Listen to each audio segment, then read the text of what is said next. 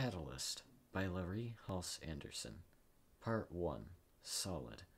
The rate of a chemical reaction depends on the frequency and force of collisions between molecules. From ARCO, Everything You Need to Score High on AP Chemistry, 3rd edition. 1.0 Elemental. Safety tip Never carry out unauthorized experiments. I like to run at night. No one watches me. No one hears my sneakers slipping in the loose gravel at the side of the road. Gravity doesn't exist. My muscles don't hurt. I float, drift past the churches, the stores, and the schools, past the locked houses and their flicker blue windows. My mind is quiet and clear. A ghost hovers off my left shoulder. I can almost hear her breathe. I pick up the pace. She doesn't scare me. I know I'll win. Well, I'm pretty sure I'll win. Chances are good. On the outside, I am good Kate, Reverend Jack Malone's girl. Isn't she sweet? She helps so much with the house. So sad about her mother. And she's so smart, too. Seen her name in the papers for honor roll this and science fair that. She's got scholarship written all over her. Runs pretty fast. She's also good with her brother. Why can't all teenagers be like her? On the inside, I am bad Kate, daughter of no one. She's such a bitch. Thinks she's all that. Prays with her eyes open, lets her boyfriend put his hands all over her. Miss Perfect, Miss Suck Up, disrespectful, disagreeable. Still, waters run deep and dirty. She's gonna lose it. Just you watch. I've seen her type before. Run faster. Sweat trickles along the bones of my face and licks my neck. Running, sweating, and evaporating, I'm distilling myself in the dark. Mixture, substance, compound, element, atom. The ghost is getting closer. Run faster. Push beyond that wall. Push beyond my limits. My chest is flayed open. No lungs to breathe with and no heart to pound. The air flows around and between my shiny bones. My skin is silk. I take it off when I get hot.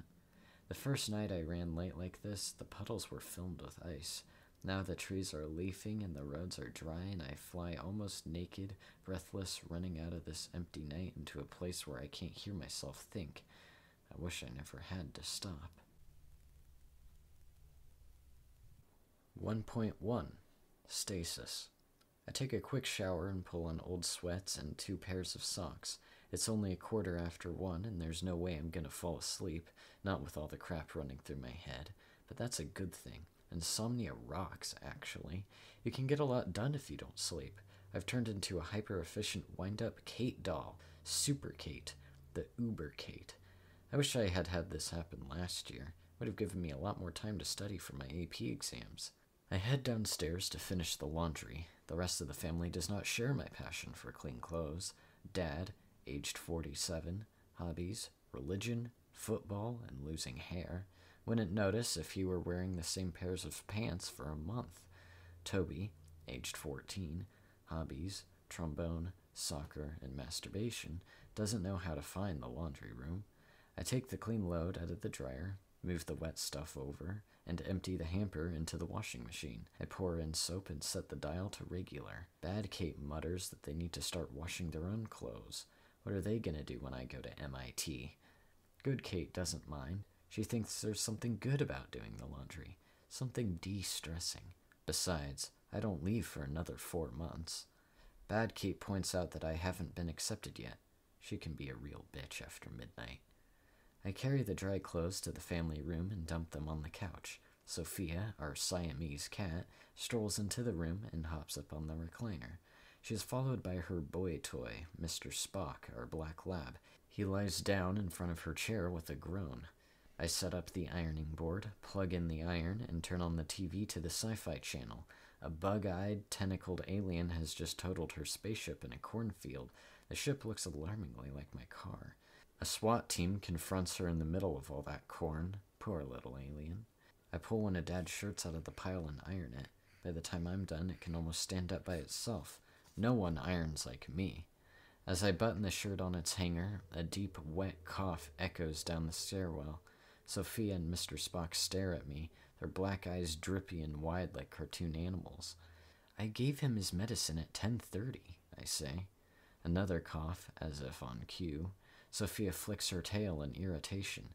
I set the shirt hanger on the edge of the ironing board. Toby has allergies, asthma, and a bad cold. It sounds as if he has a quart of pus in his lungs. He just needs to cough, I remind the cat. It clears the mucus. I check my watch. Pause. Pause. Toby coughs again. This one is better, productive and short. Then it's quiet. See? Sophia bends over and licks her butt. Oh, lovely. Thank you. I lay another shirt on the ironing board.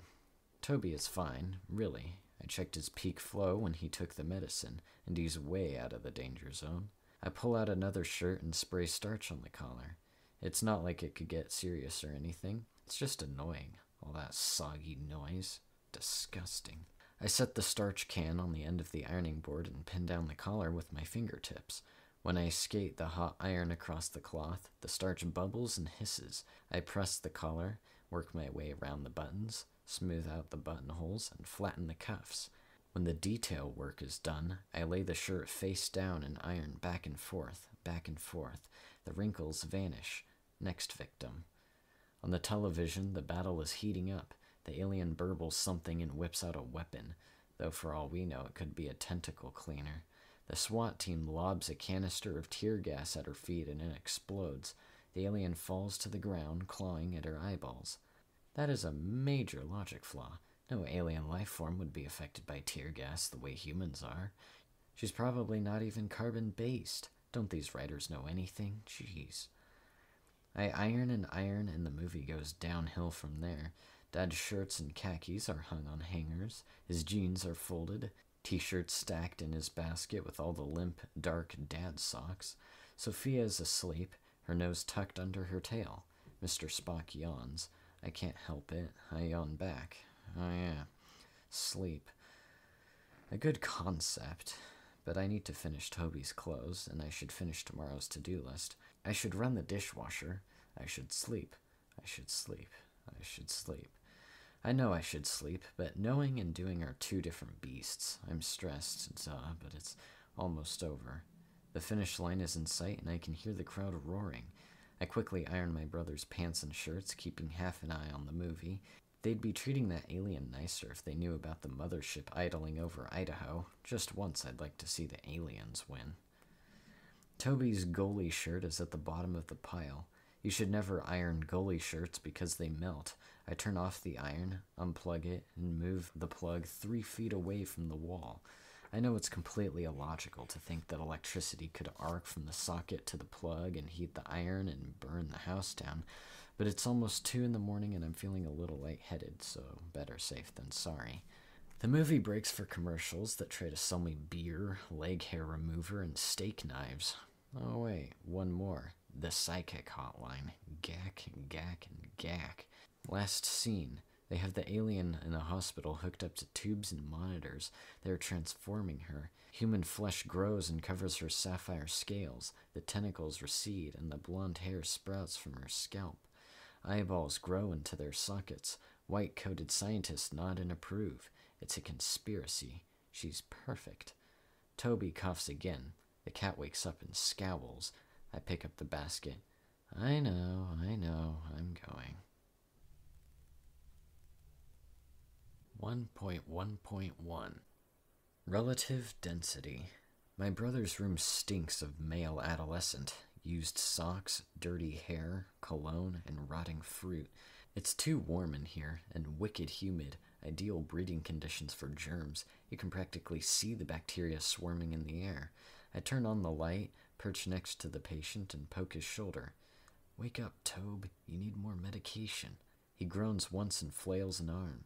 Toby looks a little like Dad, I guess. He's got the brown hair, the eyes close together. His face is long and peppered with zits. His ears are finally the right size for his head, but he needs to give up on the mustache and training. It looks like fungal growth. I shove his shoulder harder and pull back the quilt. He fumbles for it and croaks, Go away. I pull the quilt out of reach. You're coughing up pieces of lung and it's grossing me out. Sit up. He starts to say something, but a cough strangles him. He clutches the pillow and hacks. When the spasm is over, his fingers relax. I put my hand on his forehead. It's not a precise way to measure a fever, but people are always doing it in commercials. Toby's forehead is oily. I don't think that's related to the cough, though. He blinks and sits up, leaning against the headboard. I hand him the plastic cup of green cough medicine. Drink it. He gulps it down. Blah, that's disgusting. It's good for you. I pick up a half finished bottle of Gatorade from the floor, unscrew the top, and hand it to him. You need to go back to the doctor. He polishes off the bottle in three gulps and drops it in an ocean of used Kleenex. No, I don't. It's just allergies. What time is it? Almost two. Dang, it's late. Duh. Go back to sleep. Your clean clothes are on the dresser. Put them away in the morning. He nods and pulls back the quilt up to his chin. I toss the empty bottle in the trash and I start picking up the tissues that litter the bed and the floor. Hiding under the tissues is this month's Playboy, folded open and revealing an interview with Miss April. Toby, suddenly awake, sits up again and snatches it away from me. Don't say anything, he says. Why bother? I don't care. You're programmed to like that crap. You can't help it. Shut up. Whatever. I carry the trash can to the door. It's all silicone, you know. What is? The breasts, moron, in the pictures. They aren't real. They're pumped with silicone, the same stuff they used to make spacesuits. Think about that the next time you're, uh, taking care of business. Thanks, Kate. I feel so much better now. Just don't leave it where Dad can find it, okay? We don't need any more fireworks around here. A car rolls up the driveway and Mr. Spock barks. Speak of the devil, Toby says with a yawn. 1.2 Atomic Family. I jog into my room and dive into bed just as the back door opens. Keys clang on the kitchen table, then just slide off and drop to the floor. I can hear Dad chuckle. Whatever tragic emergency yanked him out of here at dinner time must have turned out all right. Maybe he talked a jumper off the bridge, or rescued a small child, or negotiated peace in a faraway country. Maybe he won a poker game. He turns off the lights in the family room, then climbs the stairs. He passes my room, opens Toby's door. Quiet pause. Then he closes it. He walks down the hall to his own room, whistling Bach. Another pause. Click, click. His door shuts. Toby and I are the proton and neutron of our atomic family unit. Dad is the loosely bonded electron, negatively charged, zooming around us in his own little shell. From the outside, we seem to fit together perfectly. From the inside, things are a bit different. Enough. I'm going to sleep right now, this minute, any second now. Watch me sleep. Shoot. I turn over and punch the pillow. My friends all have tricks for falling asleep. Sarah meditates. Mitch recites the presidents in order. Travis reviews all of his relatives the step siblings, the half siblings, the ex in laws, the great aunts, the third cousins, twice removed by divorce, then added back by remarriage. His parents change spouses the way some people change clothes. Travis rarely has insomnia. My dad was only married once, to my mom. The marriage broke up when she died nine years ago. I have one brother, some cousins in Australia, and two living grandparents, one in a nursing home and one in a commune, half a dozen relatives tops. Still awake, stone cold awake. In a few hours, I will be mixing unstable chemicals near a Bunsen burner. That is not a pretty picture. I'm freezing. I get out of bed, open the closet door, and pull down my old comforter from the top shelf. I spread it over the top of my blankets, then snuggle in. The extra weight feels safe the sateen edge smooth like candy against my cheek. Still awake. Ah, let's try the mantra. MIT, MIT, let me in, let me in. Bad mantra. It makes my heart beat faster and my stomach churn. Sarah doesn't understand why I'm so stressed. I should have told her. Should have told Mitch, too. Maybe even Dad. You know how you're supposed to apply for like 5 to 10 or 20 of your top schools? and then a couple of safeties just in case. Well, I sorta didn't follow that rule, and I sorta neglected to tell anyone that too. I only filled out one application to MIT, and I don't sleep anymore. Sarah sleeps fine because she's Bryn Mawr early decisions and has hefty financial aid packages. She thinks I should be positive, not fractured crazy, that I should breathe and visualize happy thoughts, happy thoughts, happy thoughts. Massachusetts Institute of Technology, my home planet, my people. Visualize opening the envelope. We are pleased to inform you. Visualize jogging on the Cambridge campus. Visualize the chem lab, my goggles, my perfectly starched size 4 lab coat. They will let me in. They have to let me in. There's no other option. An owl hoots and I peek out the window beside my bed. The moon is up, but it's not throwing much light. The cemetery behind our house is dark. Beyond the last row of graves, down the hill, down to the stone fence, the air is black. At the bottom of the hill, there is a farmhouse, the Litch House, with one light turned on and a second story window. Teri Litch is either up very late or obscenely early. I doubt she's angsting about college acceptance letters. She's probably planning a bank robbery. I lay down and put my arm above my head so I can hear my watch tick. When does night end and morning begin anyway? Officially, I mean. Zen questions like that work better than warm milk. I submit and submerge. 2.0 Delayed Reaction Safety Tip Store flammable substances appropriately. Boom, boom, boom. The wall behind my head is being bumped. Boom, boom, boom, boom. Oh God, Toby, are all 14 year old boys like this? If he doesn't give it a rest, his equipment's gonna fall off. I swear I'll never be an aunt. Boom, boom, boom, boom, boom, boom, boom. At least he's not coughing, and he has the oxygen for aerobic exercise. Boom, boom, boom, boom, boom, boom, boom, boom, boom. But there is a time and a place for everything, preferably where I can't hear it. I sit up and pound the wall with my fist. Knock it off, perv. Something crashes. I smile and pull up the covers. If he's gonna whack off before school, he should do it in the shower and clean up afterwards. School. Oh no. My eyelids snap open, roller blinds tugged hard and released. What day is it? What time is it? I pull my watch close to my nose. A quarter till seven. Today, chem lab. History quiz, track practice. Crap, crap, crap.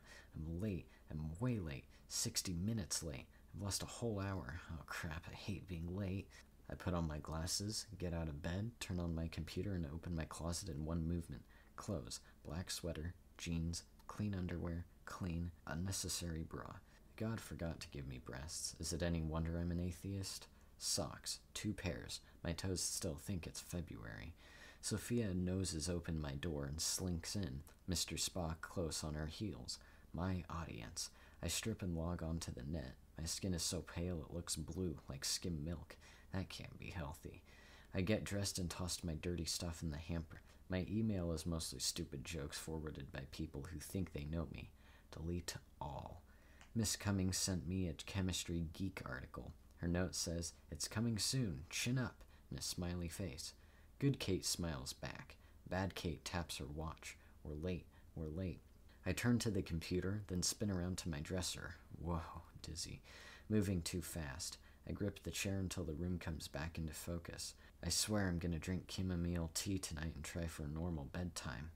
I pull my hair back up in a ponytail, bolt for the door, trip over the dog, and almost smash my face into the wall. Stupid dog.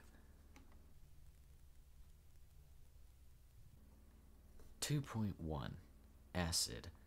It takes an average of 12 minutes to get out of this house in the morning. Today, I'll do it in 5. I dump two cups of cat food in Mr. Spock's bowl. They can share. I fill the water bowl from the tap. No, Sophia, I'm not washing it out for you. Then put it on the floor. I lay out Toby's meds on the counter a daytime cough suppressant, two asthma inhalers, a multivitamin, extra vitamin C. I used to put out a cereal bowl, but he hates that. I wish I had time to make him oatmeal. Pop Tarts. He'll snarf on those in a heartbeat. I pop a couple of vitamin C myself and drink a glass of orange juice. Once upon a time, when I was truly the perfect daughter, I used to make breakfast for Dad. He never ate it. Enough. Check the calendar. Church dinner tonight. Won't have to cook. Did I pack my racing shoes? My contacts come in on Saturday. Call work. Make sure they're letting me out early. Allergy doc has to postpone Toby's shots.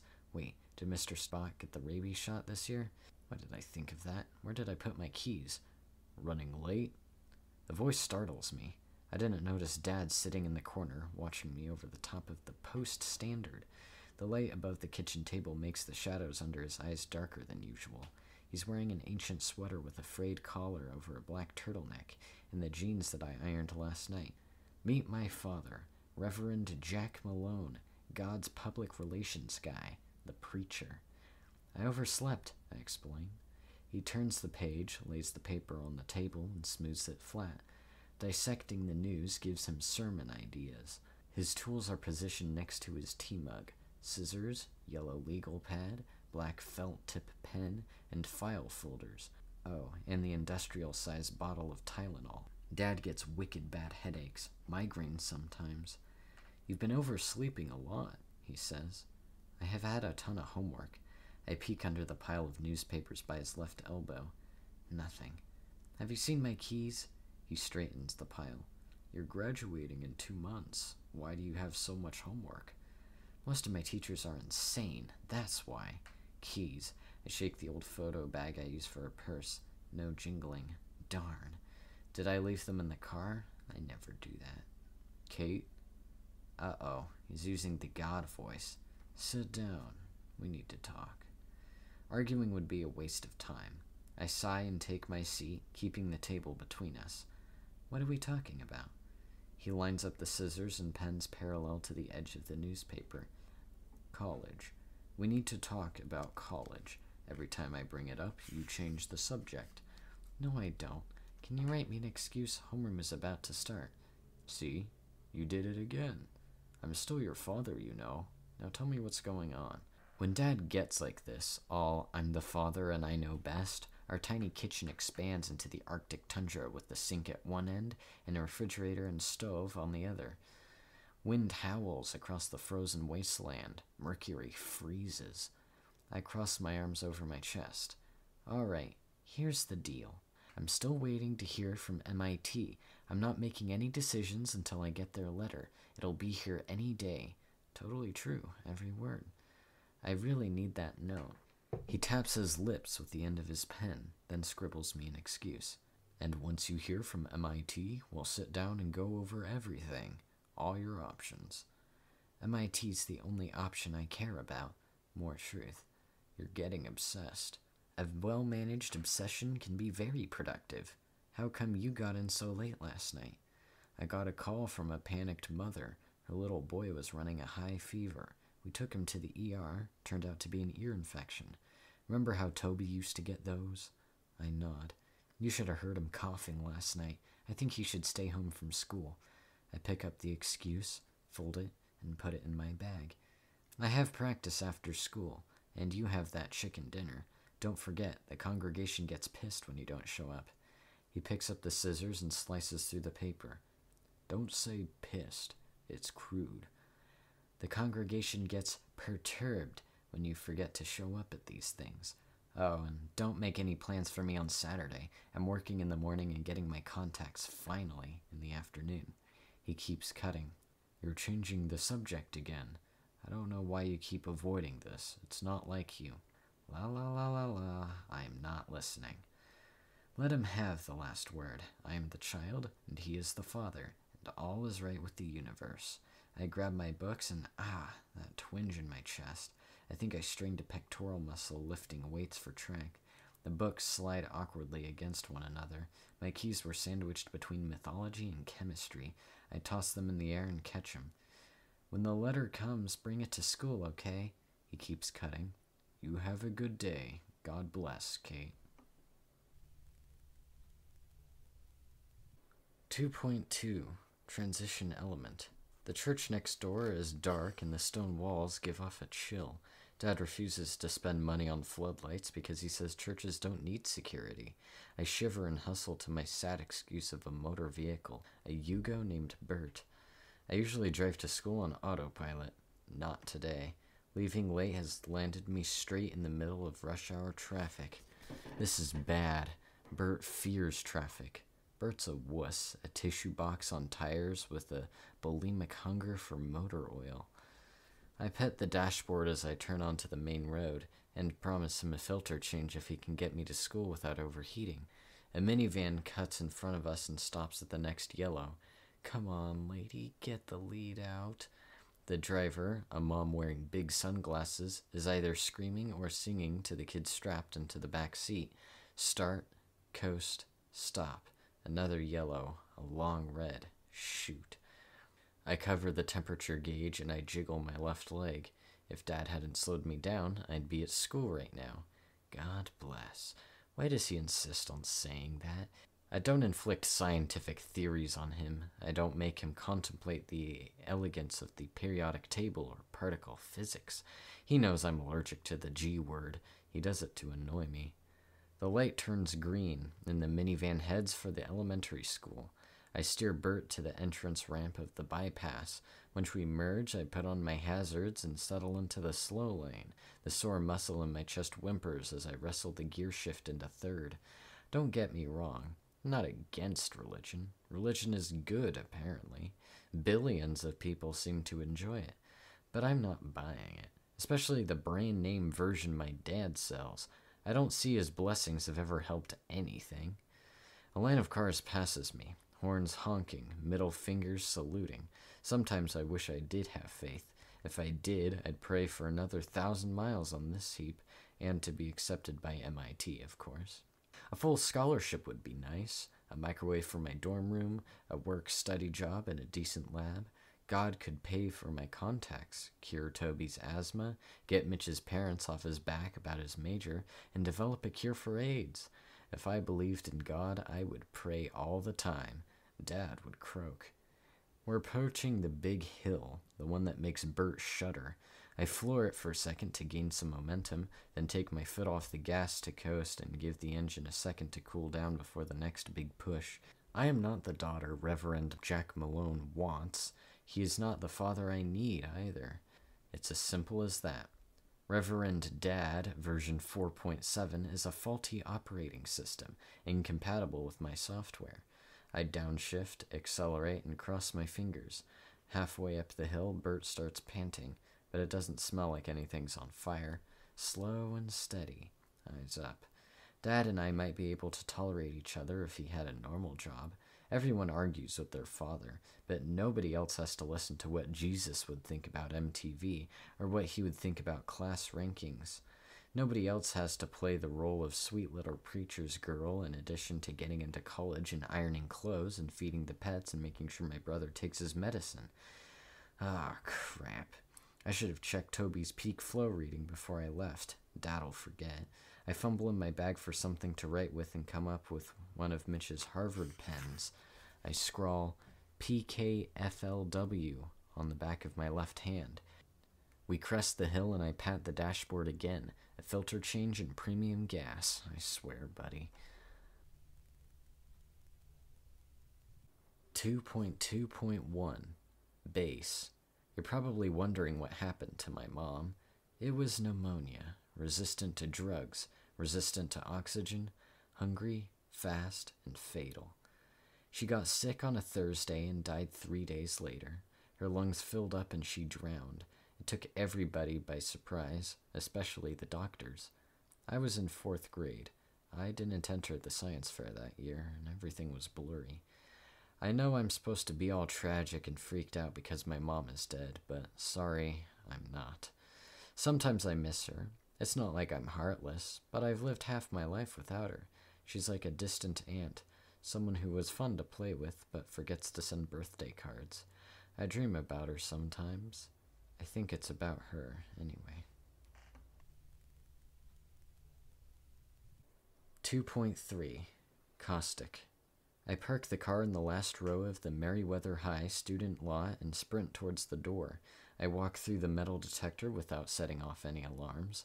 I'll have to get a late pass, but that shouldn't be. Hold it right there, honey. The security guard stands up and walks over to me. The guard and the metal detectors are new this year. They allow our parents to think we're safe. The guard hitches up her pants and tries on a firm but friendly smile. I need to see your student ID, she says. Good God. I sigh and swing my photo bag around. The card fits in the plastic sleeve in the front flap. She clears her throat. Like I said, I need to see your ID. What? I look at the bag. The sleeve is empty. The card is gone. Ah, oh, crap. Oh, smelly crap. Must have fallen out in the parking lot. I had to run, or it's in my car. I'll get it for second period. Excuse me, I have to go. I'm way late for chem. She slides sideways and blocks my path. I can't let you enter the building without proper identification. Yes, you can. Mrs. Watson does it all the time. That's why Mrs. Watson was fired. I'm in charge now. I follow orders. Deep breath. Be nice. I'm Kate Malone. I'm ranked third in the senior class. I'm National Honor Society, a peer counselor. Look, I pull out my wallet and show her my license. That's me. She studies it and crosses her arms over her bosom. There's nothing on that license that says you are a student here. You could be disgruntled. You could be hostile. Do I look hostile? You are a teenager. 2.4 The Crucible. It takes 10 minutes to convince Cerberus to escort me to the office, where the principal vouches for me and commends the guard for her vigilance. Good dog. By the time I make it to the science wing, room 313, first period is nearly over. AP Chem is home, the orderly rows of lab tables, clinking glass beakers and test tubes, and the molecular models floating overhead like satellites, beaming data down to us. I'm in my element here. If I had my way, I'd study chemistry all day, maybe with a math class thrown in every once in a while for diversion. Miss Cummings is writing a formula on the board. She looks over her shoulder. I was wondering if we'd see you, Kate. I set the late pass on her desk. Car trouble. I was hoping it'd be something more significant. You and me both. Miss Cummings moved to our district my freshman year and set up a science geek lab the day she arrived. She turned me to, on to nanotechnology, got me over my biochem prejudice, and supervised all my science fair entries, including the one that took the national award. She is my fairy godmother in a lab coat and goggles. I don't even hold it against her that she goes to my dad's church and sings in his choir. Twenty six sets of eyes follow me to my table. Twenty six pairs of lips whisper the same question Are you in? Are you in? Are you in? Are you in, Kate? I shrink smaller and smaller as I walk to the back of the room. By the time I get to my table, I have to pull myself up onto the stool looming ten feet overhead. Everyone is always into somebody else's business around here. Pisses me off.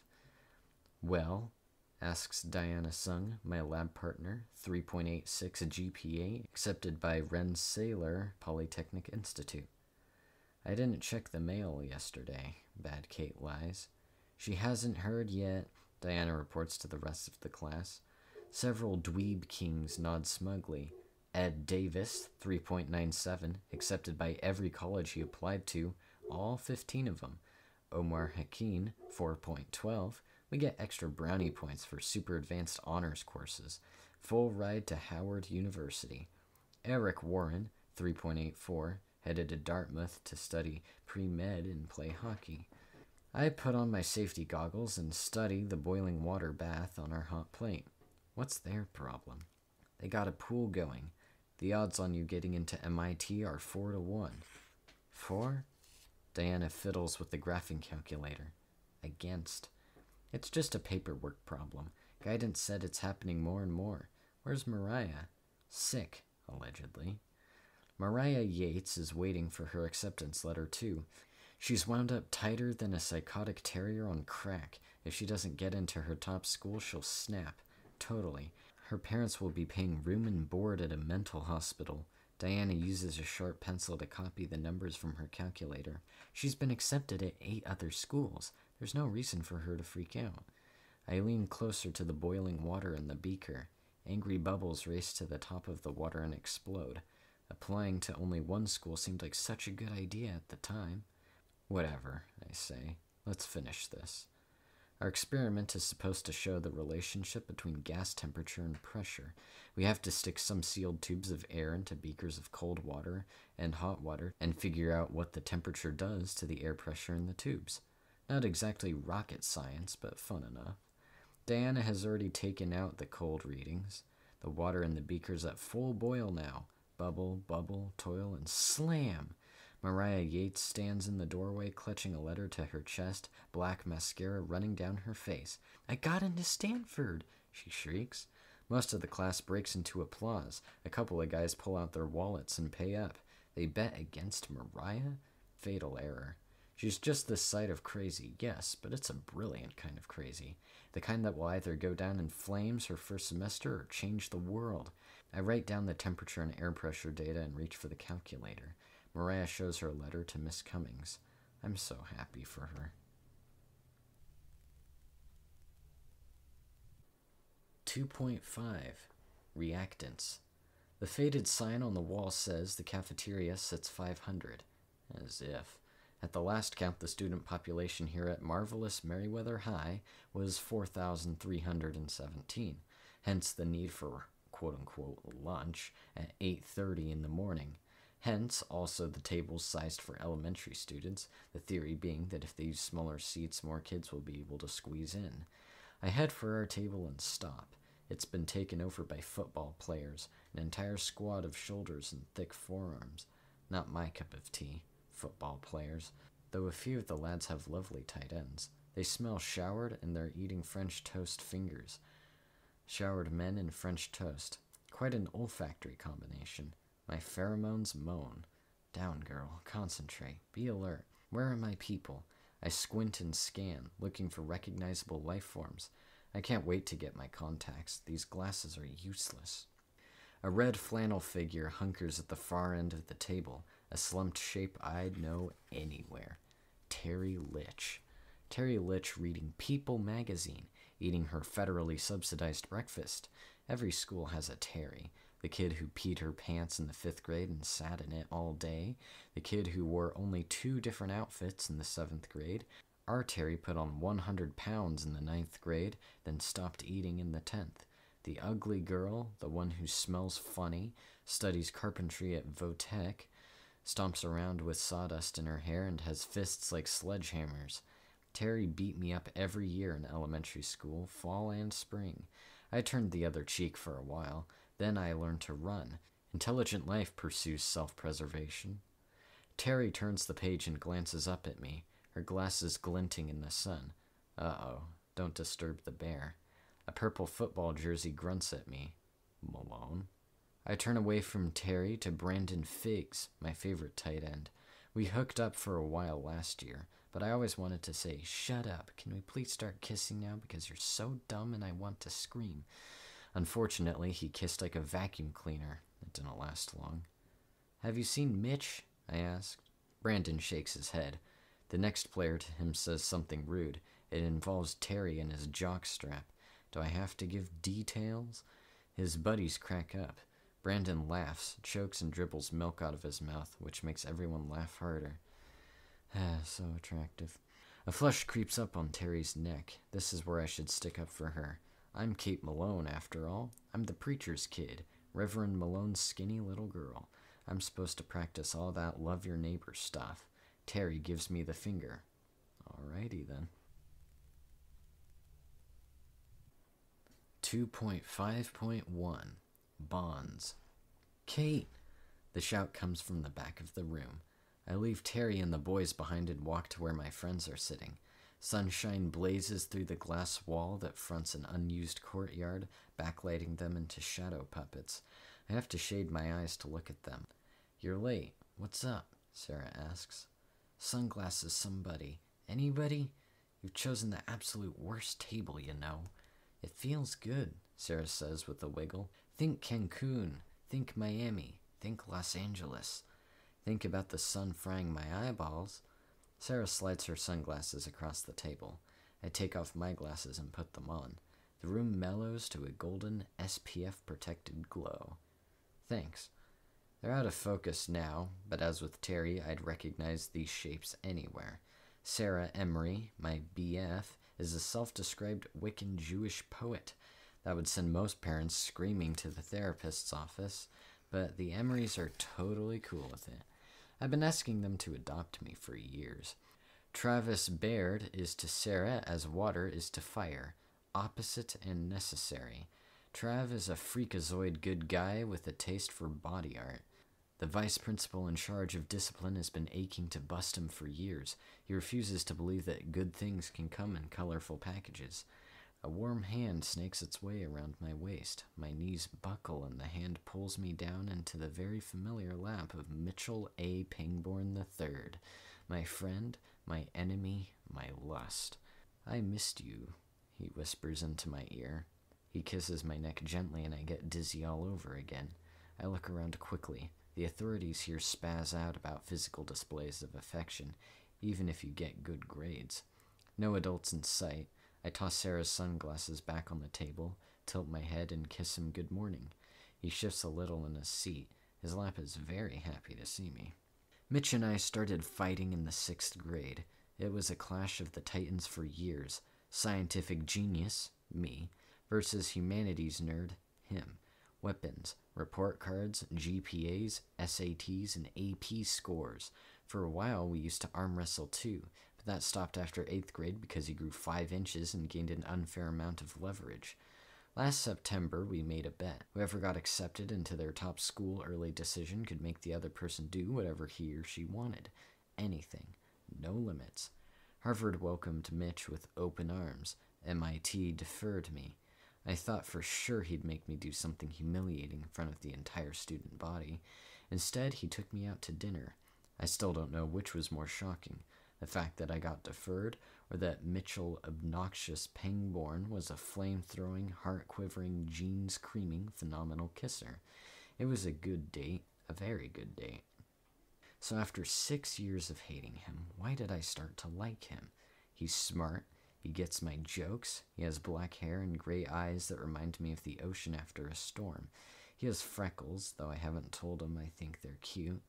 He understands about my dad and all the crap at my house. He even congratulated me when I wound up at the higher class rank. And like I said, the boy knows how to kiss and kiss and kiss. The kisses are necessary. When we're kissing, we can't argue. He still thinks that science is the root of all evil. I still think that going to an Ivy League college to study history is sort of like winning the lottery and giving away all the money.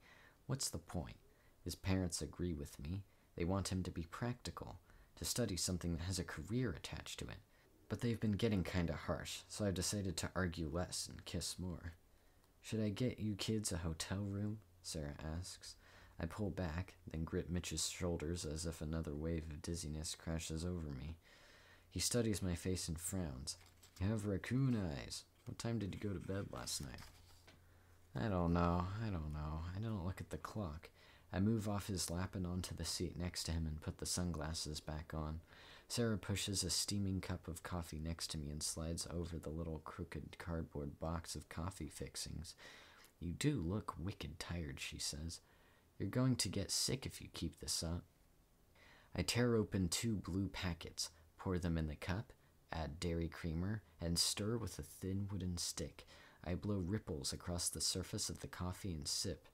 Ah, aspartame, gelatin, caffeine, and hot melted styrofoam.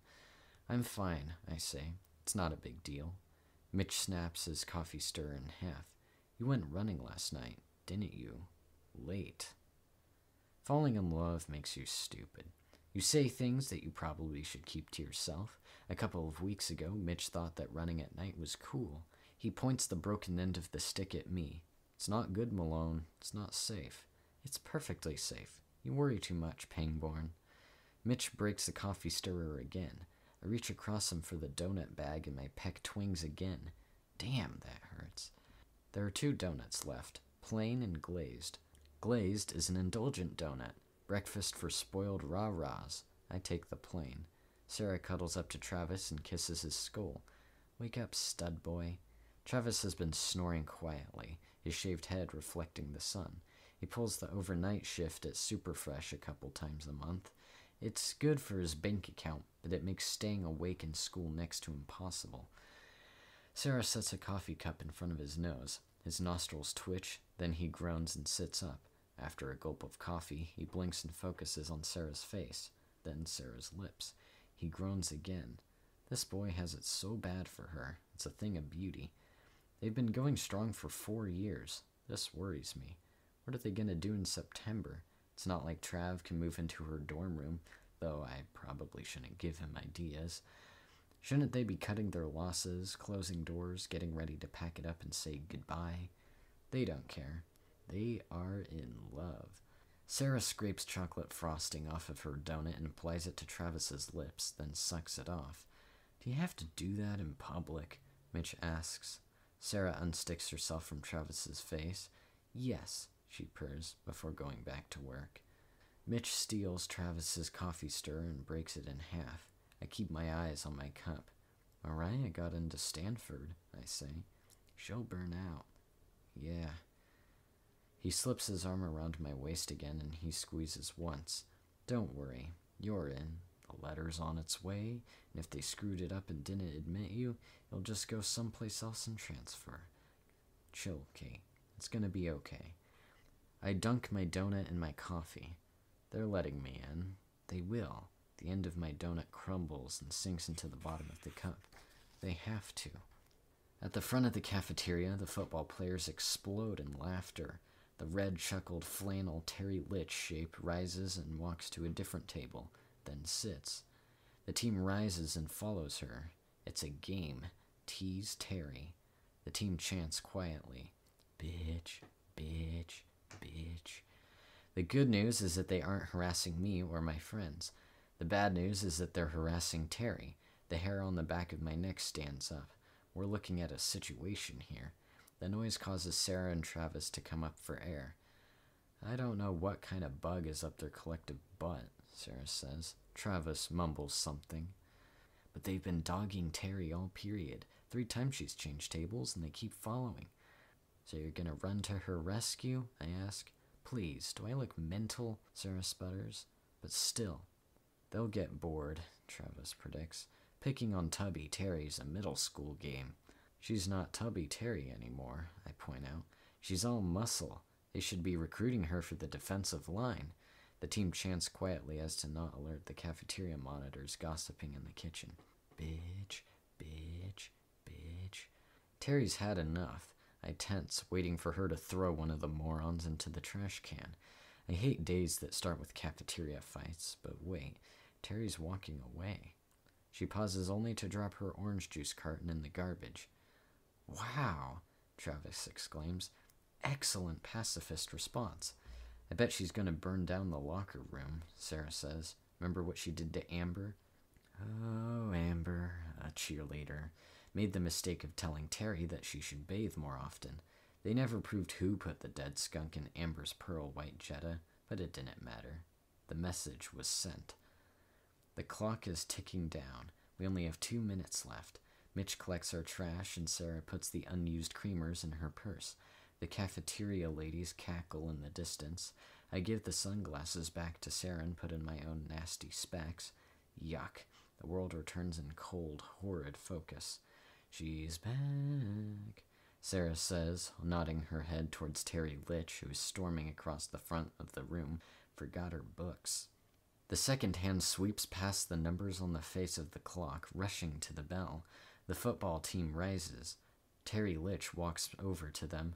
It happens in slow motion, a ballet, pas de deux.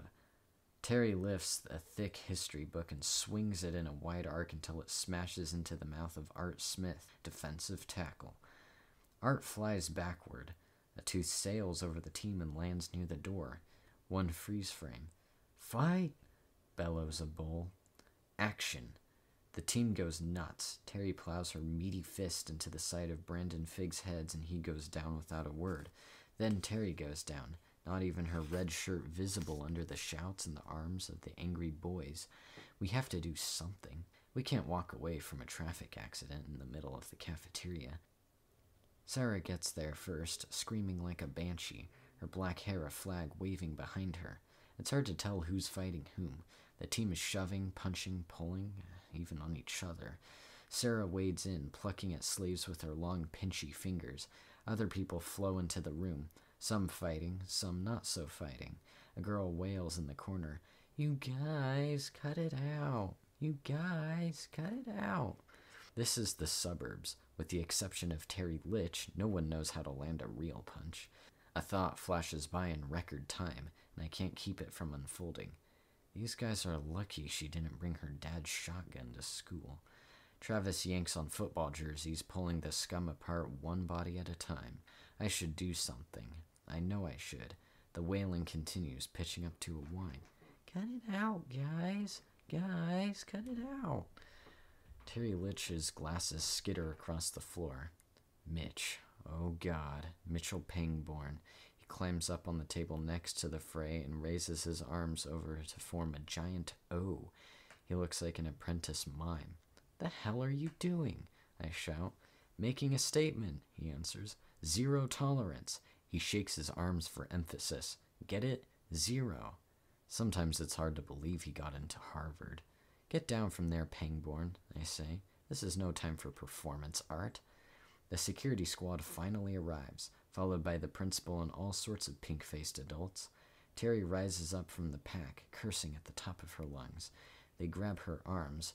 Her watch is ripped off and falls to the floor. The bell rings. It's over. The fight is over. Sarah flicks her hair out of her face and stalks past me, muttering, Oppressive bastards. Think they own the place. I told them that Karma's gonna kick their asses. Security hustles Teri out of the room. She's screaming that they broke her watch, that somebody better buy her a new one. The football players fade into the crowd, except for Art, the guy who lost the tooth. He wants to file a complaint. I pick up Teri's glasses. The nosepiece is grimy and the lenses are scratched. I fold the arms and set them on top of her books. Her watch has disappeared. Mitch hops off the table, stumbling a bit when he hits the floor. I look over him and say, This day has been really. He grabs my face and kisses me. tastes like coffee and donuts and toothpaste. I kiss him back until I have to breathe. Thanks, I say. Needed that. 2.6 Boron. Third period English. Hell. Smell the sulfur, feel the flames. English is worse than a waste of time. It robs valuable brain cells that could be doing something practical. I sit by the window. Mitchell slips into the seat in front of me. Get out your texts, Miss Devlin whispers. I'm here under protest. I was promised that Mythology 231 would be a multiple choice English class, with little discussion and no essays. I hate essays. Please get out your text, your notebooks, and something to write with. With which to write? You know what I mean. Miss Devlin is a student teacher, exactly three years older than I am. She has nothing to teach me. Null. Nada. Nuttin'. A teacher, a good teacher, anyways, is composed of molecules of education and intelligence, bonded together by patience and passion. Miss Devlin breaks down into equal parts of desperation, hairspray, and mints. Her bonds are not strong. She could fly apart at any minute. Much better, Miss Devlin says. Now, who wants to tell us the backstory of Athena? She waddles down the aisle, checking for contraband headphones and comic books. I bet her pantyhose are slipping off her butt. Athena, daughter of Zeus? It was in last night's reading. Mitch raises his hand. Of course he did the reading. He probably read it in the original Greek text. I study in the parking lot. Time in English class passes so slowly, I swear I can see the cars rusting. After about a million years, a dented gray van pulls in and cruises the aisles looking for an open space. I sure hope they brought their IDs. I blink. No way. It can't be. It's the Godmobile, my dad's church van, and it's looking for a place to park. I lean forward, forgetting about Athena and Zeus and Mitchell, who can be absurd but tastes good. The van hesitates in front of an open spot marked for disabled parking, then moves on. I sit back in my seat, flash frozen. Why is Dad here? He hates coming here. We fight about it all the time. He says it's unnecessary because I, quote, have everything under control, and other assorted garbage, which really means I'm on my own. Another layer of ice forms. Maybe someone is dead. Maybe it's Toby, who is a perverted moron, but he's my brother. And what if a bee stung him and he had a bad allergic reaction and his throat swelled closed and choked to death in math class? He hates math. What a horrible way to die. No, no, no, stop. Breathe. No one is dead. No one is dying. Get a grip. Think happy thoughts. Dad has the letter, the fat letter, the fat letter from the Thank You Jesus Massachusetts Institute of Technology and Salvation. Holy Mother, I'm going to Cambridge. I don't need a safety school or a backup plan because everything is working out just the way I planned it. The ice shell around me melts and the sun comes out, and a rainbow streaks across the sky. The letter has details from student housing and financial aid, and a note from track coach welcoming me aboard in my summer reading list, and advice to incoming freshmen. That's me. My temperature soars past 98.6 degrees Fahrenheit. I'm burning with joy 101, 102, a 103. I fry this high school skin to a crisp and emerge from the ashes, a college student. Get me out of here. I am free. I'm so gone. What is the point of sitting here, anyways? Why waste Miss Devlin's valuable time? The Godmobile stops and parks in a visitor slot next to the nurse's car. I'm halfway out of my seat before I realize it. Kate Malone? Is something wrong? Miss Devlin asks. Delete that thought. Reality intrudes. The mail never, ever comes earlier than four o'clock. There's no way on earth he can have that letter. No way. I sit back down. Leg cramp, I say. My gluteus maximus hurts. Mitch chokes back a laugh. Miss Devlin knows nothing about my anatomy, but he does. The door of the Godmobile opens. It can't be the letter. It can't be the letter. Dad sits there for a second. Then he takes off his seatbelt and gets out of the van. I hope it's the letter. He looks very small from up here. Miss Devlin draws a family tree of the Greek gods on the board. Athena was born from the skull of Zeus jumped out as a full sized adult dressed for battle. Bad Kate screams, Why do we need to know this? Time drips off the clock while I sleep with one eye on the door and the other in the parking lot. This is the type of torture that Zeus would approve of. Dad returns to the Godmobile just before the period ends. He's wearing the serious, loving pastor face. Dad is on duty. It was a false alarm. I gotta breathe again. Damn. Miss Devlin writes out our homework on the board. Study the incarnations of Athena, Greek vocab definitions, academy, hubris, catalyst, catharsis, agape, essay on Artemis due next week. I flip open my agenda book, every hour penned in, every minute accounted for. At the top of the page, in the right hand corner, is red ink, a fat number one. One more day. I started counting 93 days ago when my application was shunted from the early decision to the everyone else pile. It feels like a lot longer than that, but now we're down to real time. Meat time. Fresh and gristle time. One more day until the waiting is over. The letter will come and everything will be okay. Bad Kate wants to stand on the desk, rip off her shirt, and dance like a wild woman. Good Kate won't allow that. She draws a heart around the red number one. 2.7 Solubility. The Springville coach calls us to the starting line. Hurry up, men. Ladies, too. Let's get this over with. Move it, you slackers, Coach Reed shouts. This is not officially a meet. Coach Reed and the Springville coach cooked up an unofficial scrimmage, a 5K race between the long distance runners of the two teams.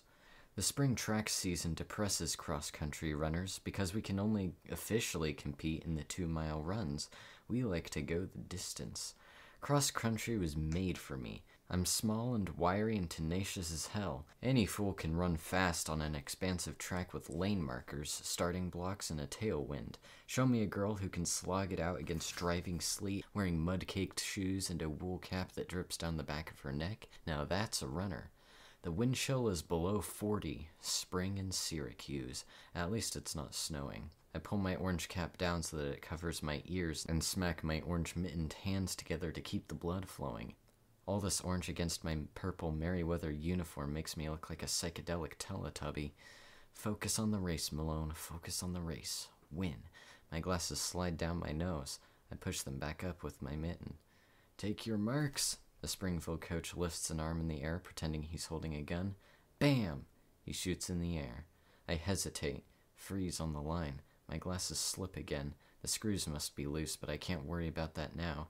I take them off and toss them at the coach and run. I jog at 70% to let my legs warm up. Let the hotshot underclassmen dash ahead. No one sprints for 3.1 miles.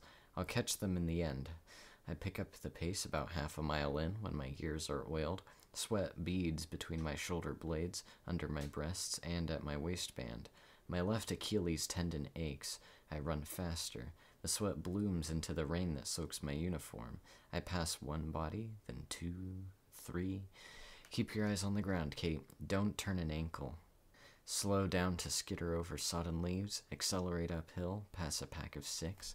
The Achilles relaxes and stretches. My thighs heat up. I shift gears again, 80%. My dad used to run long distance. He still wears his marathon t shirts sometimes. You'll never catch me doing a marathon. I love to run, but come on, 26 miles? That's whack. Mom was a sprinter. She could do the 100 yard dash in just a few heartbeats. The path wanders through a dark pine grove. The air is colder here. Focus, Malone. Run faster. My feet feel out the path, testing the traction for the wet needles. I set the pace, find the rhythm, find the pattern. The run till you win pattern. Step, step, step. Breathe. Breathe. Step, step, step, step, step. Breathe. Breathe. One more sound. My braids smacking against my spine like a rope against a flagpole. Step, step, step. Thwack, thwack, thwack, thwack, thwack. Breathe. Breathe. Breathe. Running is a mathematical sport. My races are a consistently balanced equation. Effort equals result. Relax, Malone, relax. Just run faster. The day jumps back at me in jagged fragments. The Godmobile in the wrong place. My father wearing the wrong face. Step, step, step. Thwack, thwack, thwack, thwack, thwack. Dad never comes to school, not even for track meets. Did somebody get busted? Try to kill themselves? Was he called into council Teri? He'll have a black eye tonight if he did, though. He just looks so weird, so small and undadlike. Lactic acid is weighing down my legs. I haven't passed anyone in a while. Am I in front of the pack? My Achilles hurts again, and that stupid pulled pec. Breathe, breathe, control the mind. Need a positive, rhythmic phrase. Almost there, almost there. Oh, so close, just so close. Another phrase wells up from the mud at the bottom of my sneakers. No envelope, no envelope, no envelope. Bad rhythm, out of sync. I stumble and have to slow down for a second. Negative thoughts are not allowed. Run faster. New phrase. MIT, MIT, MIT, MIT. Much better. Step, step, step, step, step. Thwack, thwack, thwack, thwack, thwack. Won't let you in, won't let you in, won't let you in. Another tight turn. No other runners. Did they all go the wrong way? I check my watch, bring it up to my face so I can see the numbers. Should be near the school by now. I'm on pace to be crossing the finish line by now. My feet slow down, then stop. The rain changes to hail. I went exactly the wrong direction in the woods. I'm dead last, so they aren't even timing me. The Springville coach, wearing a winter parka now, now approaches me. You must be Katie Malone. I think these are yours. He hands me my glasses. Kate, I say automatically. Rhymes with late, he gives with a chuckle. Ha ha, I say. Steam rises from my head when I take off my cap. I wring the water out of it and stick it back on. Then I put on my glasses. The coach's face is fluid and wavy. He grins. Got lost, huh? I bet it was in the woods. He's oddly cheerful about this. I bet he's wearing thermal underwear. The Merryweather bus pulls up alongside us. I yank my cap down over my face and feel my way up the steps.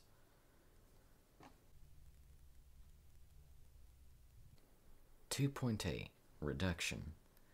When we get back to school, I beeline from the bus to my car. I take Mitch's crimson Harvard sweatshirt out of the trunk and put it on, then take a water jug and refill the radiator. My nose hairs are frozen, and I'm soaked to my underwear. I want to stand in the hot shower until the marrow in my bones boil. Bert's engine starts right away, and he steers us towards home. I got lost on the course. How stupid. How stupid. Pathetic, lame, ridiculous, moronic, and. and. need another adjective. Not sure if there's a better word for this feeling. It's like pouring vinegar into baking soda and having it vomit all over the lab tail while a panel of distinguished judges observe. I flick on the turn signal, check my mirror, check the mirror again. God, I look like a refugee, and merge into the highway. I hate merging. I can never tell if I'm supposed to speed up or slow down. Just a few more hours, Malone. MIT, MIT, MIT. The letter's coming. Hang in there.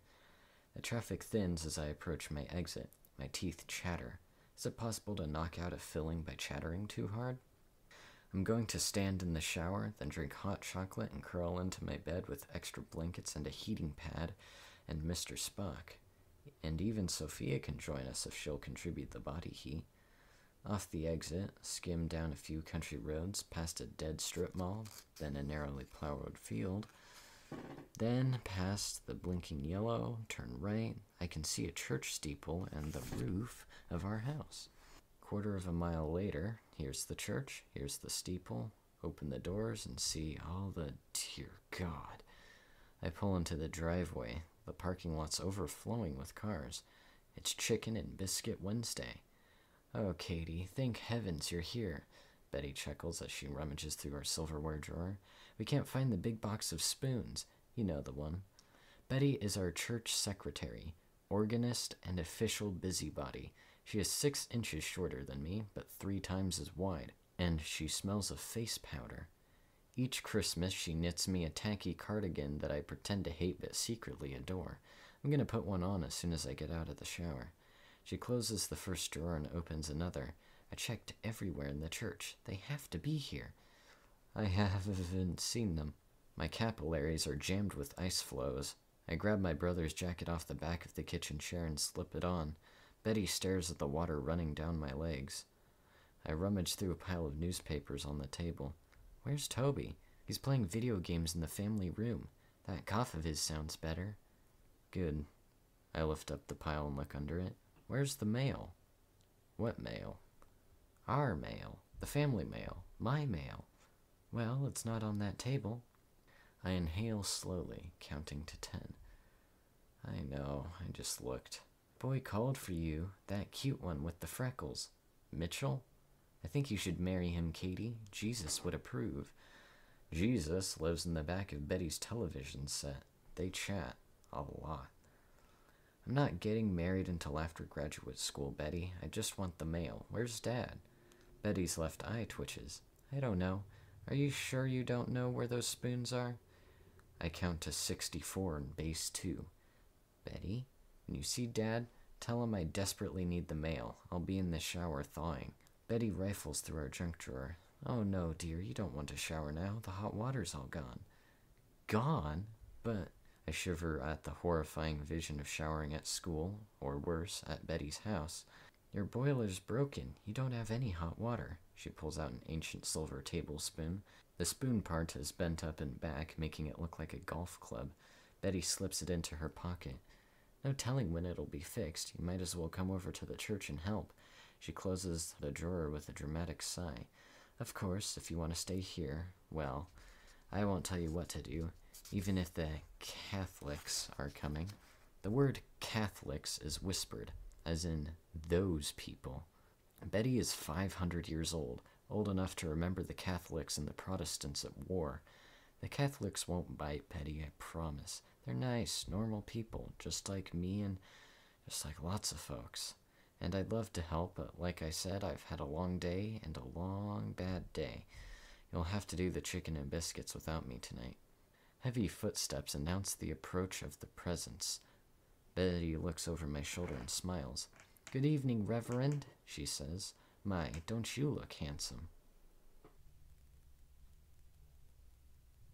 2.9 Surface Tension.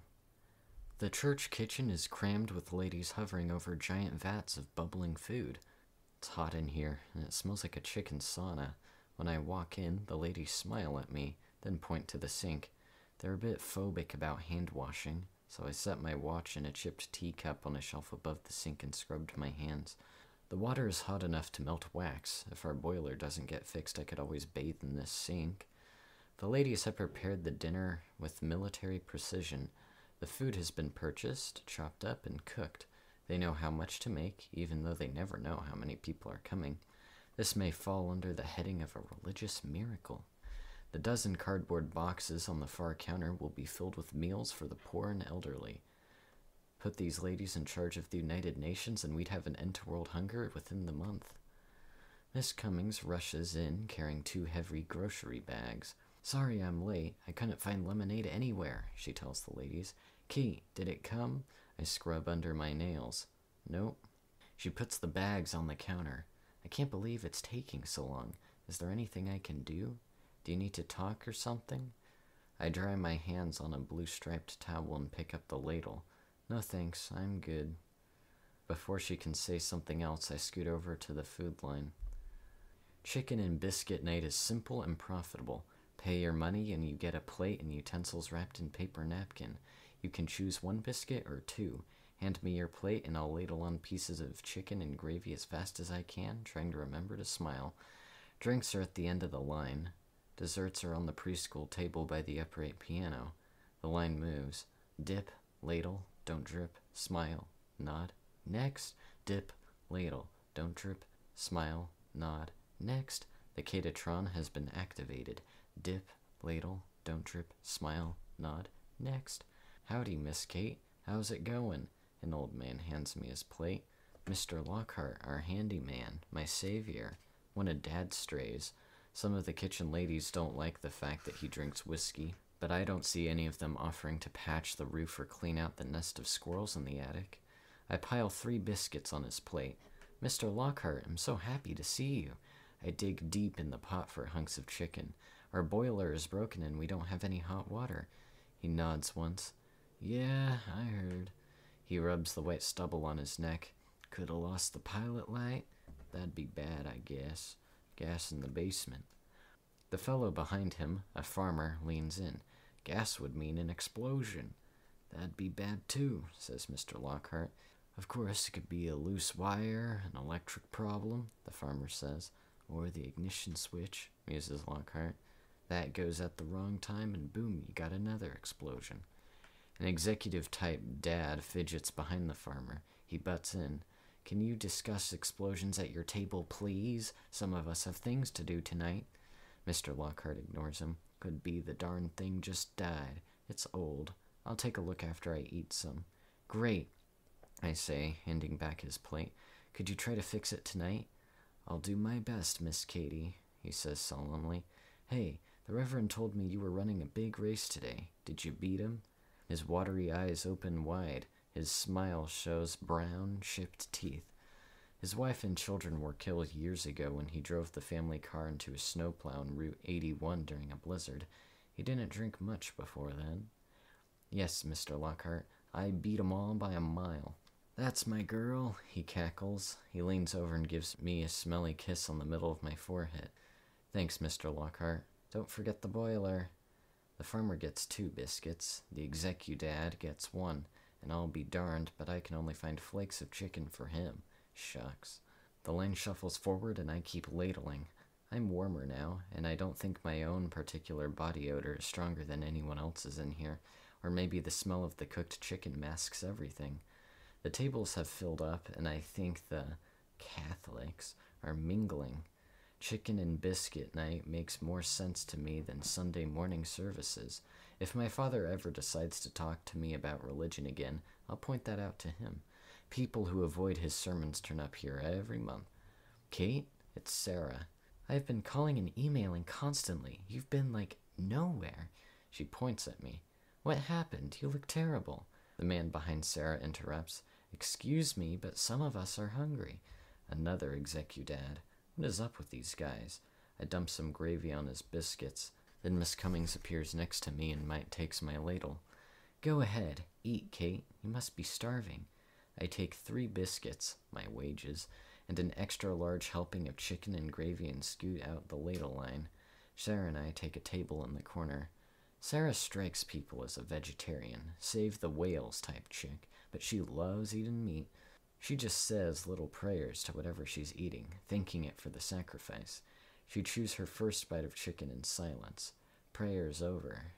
So why are you here? I ask. Well, Mitch was IMing Travis, and Travis was talking to me, so I heard how you almost had a heart attack in English because you thought your dad had the letter. And then I got a message from Amy, and she said you blew out your knee at the track meet, but she always exaggerates. But since I hadn't heard from you, I figured I'd come over. She pauses to inhale. I thought you could use some moral support. I plop one of my gravy soaked biscuits onto her plate. You are the best friend in the universe, in this entire plane of reality. Et toi, si, mon chéri. Now tell me. I fill her in on everything that sucked about the day while we eat. The noise is at full pitch now, the har har hars and the ho ho hos of good jokes told on a full stomach. The kitchen ladies come out to watch the crowd with satisfied looks on their faces. My brother is laughing with his friends and hasn't coughed once. Dad is working the room like a pro, stopping at each table for a joke or two, pats on the back, a few heartfelt glances. Miss Cummings brings him a plate of food. He takes a seat between the Catholic priest and a woman in a purple sweater who can't stop blushing. My dad's a real charmer. It's not that he's hot, just the opposite. He's shortish, with gray hair and wrinkles, but he must beam security rays, or maybe women get off on the man of God thing. There is always a divorcee or a widow trying to get her claws onto him. Not that they have a chance. When I was a kid, I overheard him tell somebody that he buried his heart when he buried mom. Took me a long time to figure out what that meant. Is that jello over there? Sarah asks. I blink back into real time. It's alive, I warn her. You shouldn't eat food that moves. She pushes away from the table and tucks her hair behind her ears. I want three helpings. I tag along behind her as she walks to the dessert table. I'm serious, Sarah. She giggles. Jello is the secret to good mental health. Ooh, look, this one has nuts. I shiver. Nuts don't belong in jello. I take a slice of apple pie instead. On the way back to our table, I catch a glimpse of Red. Someone wearing a red flannel shirt is staring at the kitchen with her back towards us. Sarah, I hiss. Is that Teri Litch? Sarah looks. Can't be. Amy said she got arrested. The guy whose tooth knocked out? Yeah, his parents are pressing charges. Are you sure you don't want any of this? I'll be right back.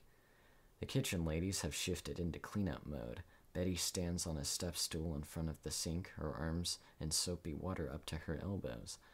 Other ladies are attacking the counters with Comet and the cutting boards with bleach. The floor has been swept and the trash removed.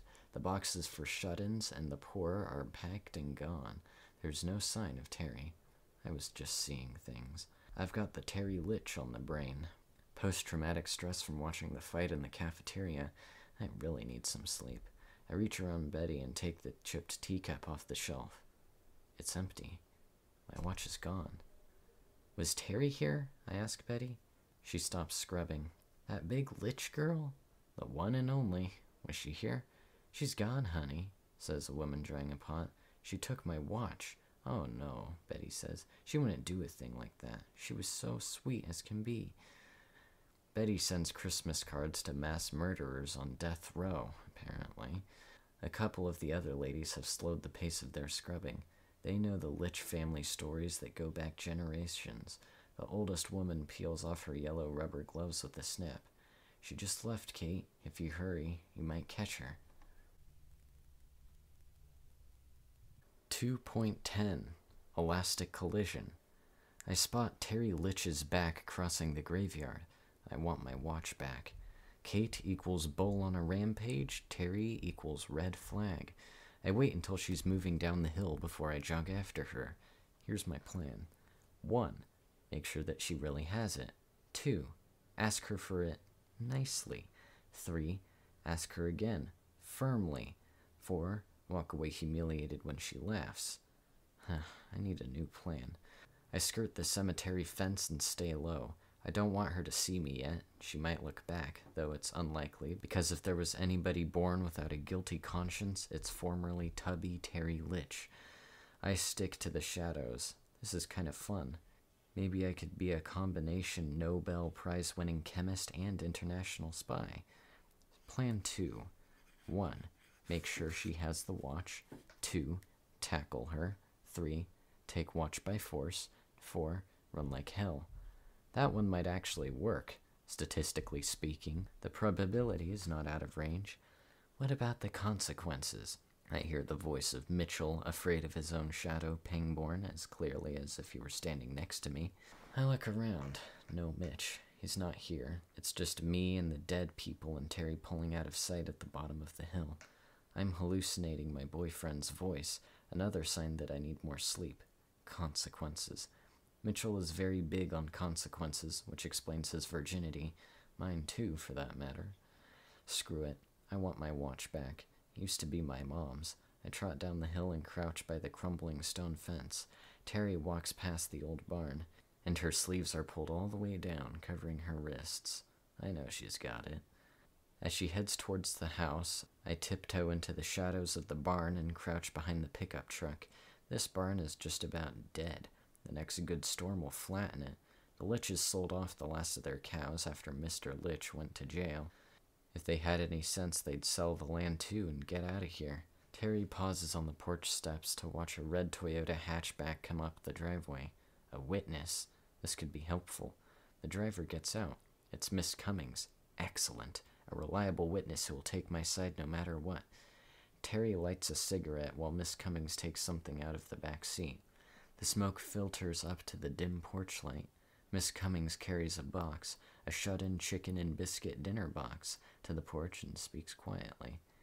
Teri reaches for the doorknob. Aha! Step one accomplished. My watch is on her wrist. I can't believe her. I can't believe it. Not only did she flat out steal it from a church basement, I'd like to point out, she has the balls to wear it too. I grind my feet in the dirt, unsure of what to do. Step two, tackle her, seems highly theoretical now. Teri turns towards where I'm hiding and squints through her glasses. Her left eye is bruised and swollen from the cafeteria fight. She points to me. Damn. Hey, Kate, Teri calls loudly. You coming in? Miss Cummings is startled. She looks towards the shadows. Kate? Double damn. How am I going to explain this? I just wanted my watch back. Then a long hot shower, a bag of Cheetos, maybe, and a couple hours on the online. Come on in, Katie. Teri sounds like a carnival barker. Meet the family. 2.11 Half Life. In the middle of the Litch living room, there are two kitchen chairs, a couch, and a television turned to a game show, full volume. Broken furniture is piled against the walls, along with file cabinets, a lawn tractor, and a folded up playpen. A wicker basket of plastic fruit rests on the tractor seat red apples, two pears, and an orange, all of them covered in crayon graffiti. The ceiling is stained brown from cigarette smoke. The arrangement is lightened by two floor lamps plugged into an extension cord that snakes underneath the couch. It's a very old house, says Miss Cummings. The original section must predate the Civil War, I bet. Just beyond the reach of the light, I can see a small rocking chair in the corner. In fact, the whole corner looks like it was set up for a little kid. The floor is covered with a brightly colored Sesame Street rug that is scattered with plastic blocks and metal cars. More cars and trucks are jumbled into an old Easter basket. The bookcase under the window is loaded with books and puzzles. The corner is not tidy, but it is clean. Miss Cummings shifts the box to her hip. I didn't know you were friends with Teri. I'm not. She stole something from me. Before she can answer, Teri guides a tiny woman into the room. The woman inches across the floorboards in scuffed slippers. She's not wearing glasses, but it's clear she can't see well. She keeps one hand floating lightly in the air in front of her. Teri leads the woman to the couch. She sits, barely making a dent in the cushion. Two bobby pins keep her blonde hair out of her face. Her nose is flat and crooked, her eyes vague, her mouth thin. A pink scar interrupts her left eyebrow and makes her look permanently confused. Even with the nice hair, this is the kind of woman you look at and think, bag lady. This is my mom, Teri says. I look at my teacher for a clue. It's good to see you again, Mrs. Litch, Miss Cummings says. She sets the box on the floor, steps forward, and gently squeezes one of Mrs. Litch's hands. I'm Amanda Cummings from the church. We met a few weeks ago. Mrs. Litch's face relaxes. Yes, thank you for coming. Her voice is too young for her face. Have a seat, please. No, I can't. I just dropped off a few things for dinner. For just a minute. Miss Cummings sits on a kitchen chair. Okay, but I don't want to intrude. Teri sits on the other chair. Why don't you sit down, Kate? Sit next to my mom. Why don't I run out the door screaming? I want my watch back. That's why. It's worth more than my car. She'd better not be stretching the band. It looks tight on her. I sit on the couch. Mrs. Litch turns her face to me and extends her hand. I was waiting for a whiff of beer or whiskey, but she smells a little like lemon. I, on the other hand, reek of sweat and stewed chicken. I'm Kate, I say, shaking her cool hand. Kate Malone. Kate is Reverend Malone's daughter. She goes to the school with Teresa, Miss Cummings explains. How nice, says Mrs. Litch. Oh, it's great, Teri says. That's a cool watch you're wearing, Teresa, I say. The scar over Mrs. Litch's eye twitches just a hair. Someone loses a thousand dollars on the game show and the audience groans. It looks just like my watch, in fact. I can't find mine. Have you seen it? Teri takes a deep breath. I shrink down to size one. She can't beat me up, not in front of her mother and a teacher. Can she? I'm saved from certain death by the arrival of a small blond boy, or rather, a NASCAR race car disguised as a small blond boy. He motors into the room, a red metal Corvette in his left hand, a small ambulance missing its wheels in his right. His eyes are the color of a clean spring sky. He's wearing jeans, red sneakers, and a faded pajama top. As he runs around the room, he makes engine noises, shifting gears up and down, squealing tires. A diaper rustles under his pants. Come here, boy, says Mrs. Litch. The little guy climbs into her lap and hides his face against her shoulder. He peeks at me once. You could get lost in those eyes. They're heartbreakers. That's Mikey, Teri says. He's two. Mikey peeks at me again and smiles. He has dimples and tiny tic tac teeth. I put my hand out. Mikey grabs my finger for a second, then lets go and hides his face again. Another contestant is trying for big money on the television. Teri turns up the sound of the audience roaring. She'll pound the snot out of me later, I guess. I really should be going, Miss Cummings says as she stands. So soon? asks Mrs. Litch. Teri stares at the television, her arms crossed over her chest. The wrist with the stolen watch is hidden. I pushed myself off the couch. Me too. I have homework. Suit yourself, Teri says. The game show cuts to a commercial and there is a loud knock at the door. Is there a Mikey Bear in there? shouts a gruff voice. Mikey squirms out of his mother's lap and races to open the door. My father steps inside. Bear, Mikey squeals. My father growls and crouches to the ground. Mikey Litch jumps straight into his arms. They wrestle like grizzlies for a second, both of them laughing. Then Dad stands up, holding Mikey. The little bear hands him the ambulance. Thank you, Dad says. Is that ear feeling better? Got a kiss for me? Mikey plants a wet one on Dad's cheek, and Dad looks at Teri. Did the medicine help? She nods, eyes on the television. Fever's gone. Good evening, Mrs. Litch. His voice trails off. Evening, Reverend, Mrs. Litch says. Hello, Dad. You don't see my dad speechless very often. Mikey runs the race car along his shoulder and up his neck. Dad stands there, his eyes locked on me, like he's seeing me for the first time. Miss Cummings breaks for the door. I really have to be going. I have a conference in Troy tomorrow. You'll have a sub, Kate. I hope they dig up a good one. Don't forget to put that chicken in the fridge, too. Bam. She's gone. Dad waits until the lights of her Toyota have backed all the way down the street before saying anything. What are you doing here? Teri has my watch. Do not. Teri mumbles, and I want it back. Teri crosses the room and takes Mikey from my father's arms. You know it's mine, I say. She bounces Mikey up and down on her hip and he clutches at her shirt. You can't prove it. What? How can you say that? Dad, take a look at it. Reverend Malone frowns and turns off the television. Kate, this isn't the time. I came here to talk to Mrs. Litch about the fight. The scar over Mrs. Litch's eye jerks upward. Another one?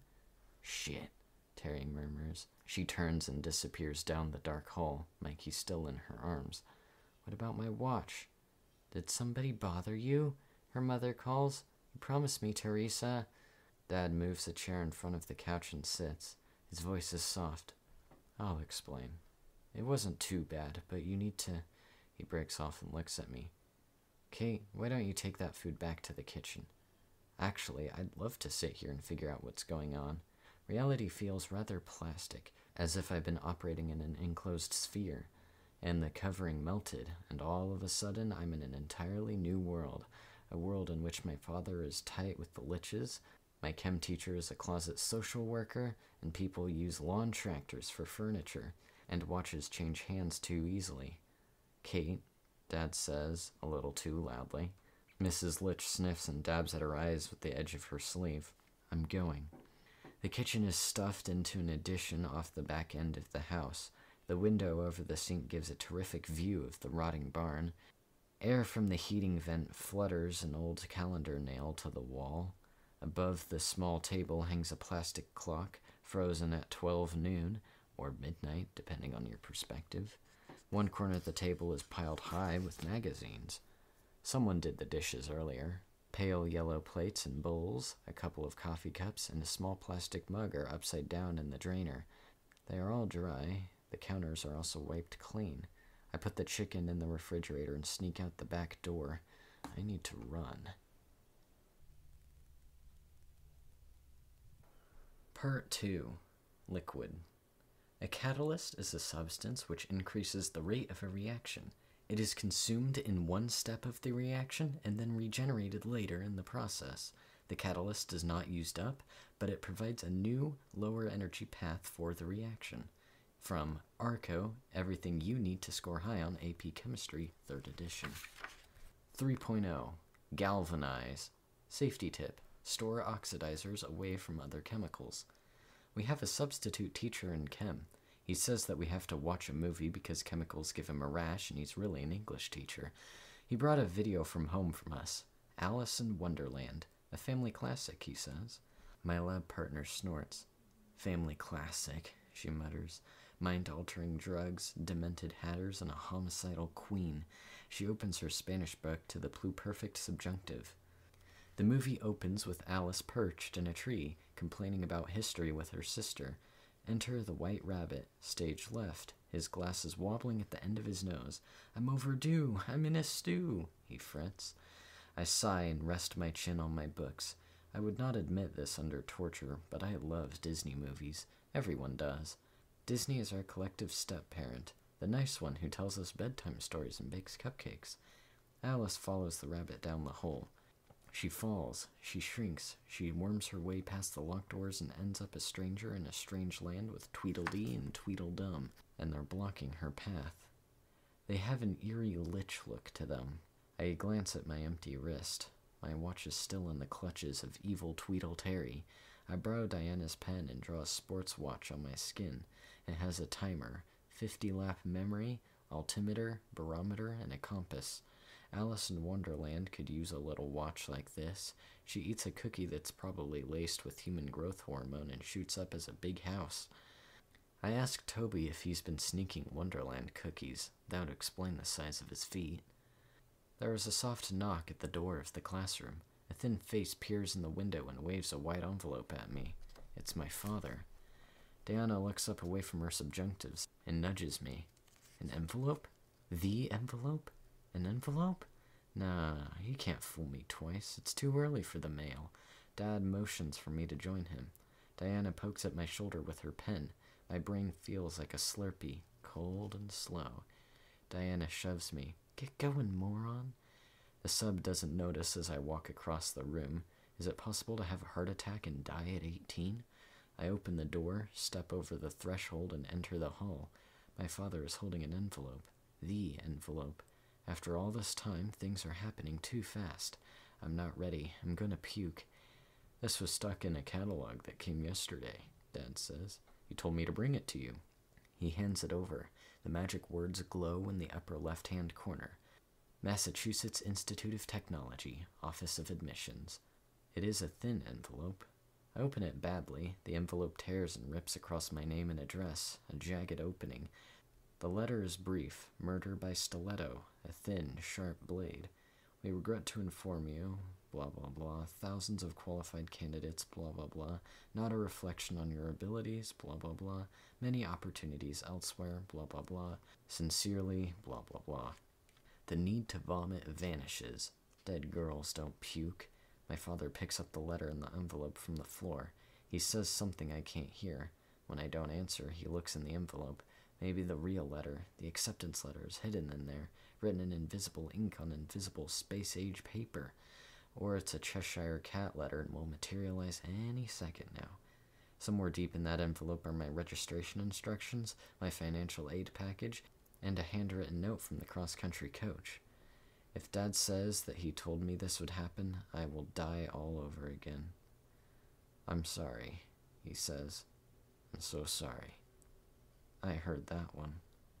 I wish I were three feet tall and he could pick me up and he still had a beard and he wore cotton sweaters that felt soft against my cheek and I would cry it all away and I would wipe my tears on his shoulder and I would suck my thumb and suck the end of my ponytail and he wouldn't tell me only babies did that and he would rock me back and forth on the front porch with wind coming clean from the north, and he would sing nursery rhymes with made up words like Mom used to, and he could teach me the alphabet again, and how to walk and how to run, and maybe if I would do it even better this time. Dad clears his throat. It's not the end of the world, honey. You have all those other schools. Come here. He pulls me into a hug. He's wearing the tweed jacket from last night. smells like chicken, and it scratches my cheek. The ground shakes, the iceberg that traps us shifts and groans, and I come so close, this close, to being his daughter, the Malone girl, Jack's girl, and letting him be daddy and love me for all my stupid mistakes, and letting him try to put a band aid on this one, even though we both know it's going to bleed for a very long time. But it's the band aid that counts. I have not inhaled since I saw the envelope. I am inert an expired reaction. You could talk to Mr. Kennedy, he says. He'll help you choose from the other schools. You have options, honey. I'm so dead that I can't even think about what this means. Or I could talk to him. I have a meeting in the guidance department. He looks at his watch over my shoulder. In a minute. I step back, a rush of cold air on my cheeks. Why? He cracks his knuckles. Mrs. Litch asked me to come. The police are involved because of the fight Teri was in yesterday. I stand up straighter. And you thought you'd drop off my letter on the way? He frowns. No, it was more than that. You'd asked me. The iceberg stops groaning and Arctic salt water swirls, restoring the space between us, putting us back in our places. I have to get back to chem. We both look through the door. The cartoon has lulled the class into their happy place. Alice is lost again. Dad folds the letter and inserts it back in the envelope. We'll talk about this tonight. I know you're upset, but we'll figure something out. He hugs my head and I hold my breath. I take the envelope and turn my back to him. I step over the threshold, enter the classroom, and close the door behind me, quietly, so it doesn't disturb anyone.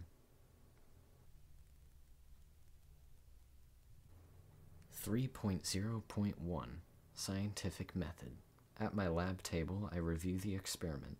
Step 1 Hypothesis I am brilliant. I am special. I'm going to MIT just like my mom did. I'm going to change the world. Step 2 Procedure Acquire primary and secondary school education. Follow all the rules. Excel at chemistry and math. Ace standardized tests. Acquire social skills and athletic prowess. Maintain a crushing extracurricular load earn National Science Fair honors, apply to MIT, wait for acceptance letter. Step 3 Results Failure. Step 4 Retrace steps, procedure flawless. Step 5 Conclusion Hypothesis incorrect. I'm a loser. So simple. I light the Bunsen burner. The thin envelope goes up in flames. 3.1 Flammability. Someone has been messing with my locker. 27 18, 28. Jiggle, jiggle, jiggle the handle, locked. 27, 18, 28. Jiggle, jiggle, jiggle, damn. If I weren't trapped in a hall of bodies, I could kick this sucker, or punch it, or find a chair and smash it against the crap metal piece of shit until I was standing in a pile of kindling up to my ankles, and then the lock would tumble into place and the handle would jiggle, jiggle, jiggle open. If there weren't 4,000 strangers bumping into me one, one after another, I could get a crowbar and pry this thing open because I have to get my books and my notebooks and look at all the stupid crap that is stuck to the inside of my locker so it can remind me of who I am on days when I forget or want to forget like this one. If there were any justice in the world, I'd be able to flatten myself and slide through the vents into the locker like the door in Alice in Wonderland. Kate in Wonderland, off with her head. Try again. 27, 18, 28. The humiliation. Searing, scarring humiliation. I can't go to the cafeteria. Not ever again. Maybe I could tell them I was banned, that I was caught putting rat poison in the peas, or that I ran into the hall with scissors. I can't go to English class either, because Mitch will be there. Come to think of it, I can't ever see him, or Sarah, or Travis.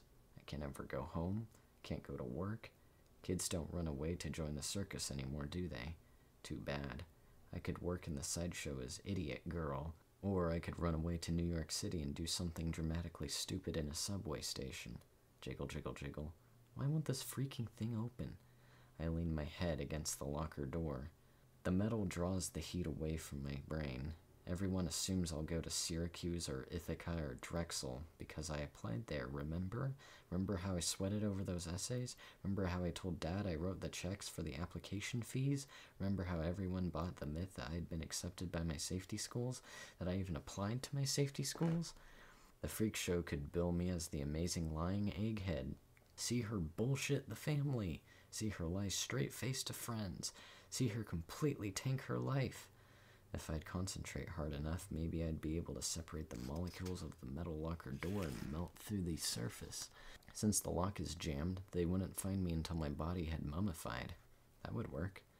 Two hands on my shoulder, a deep voice in my ear. I've been looking everywhere for you.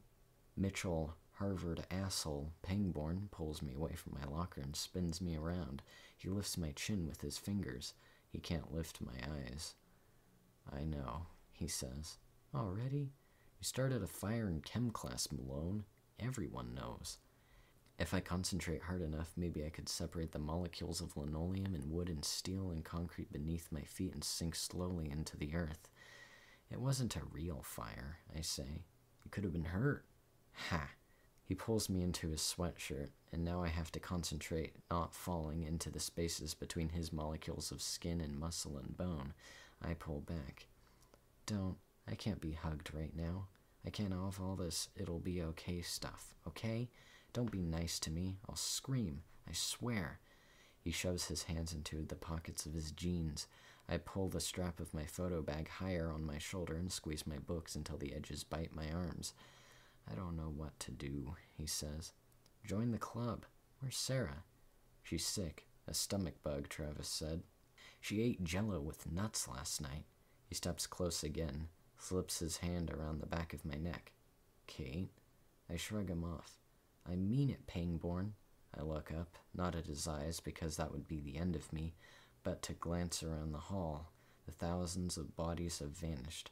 Poof! I didn't even hear the bell. Somewhere a clock is trying to tick, its hand stuck in molasses. I can't open my locker, I say. He steps around me and spins the dial. Twenty-seven, eighteen, twenty-eight. Click, click, click. The lock surrenders and the door swings open between us.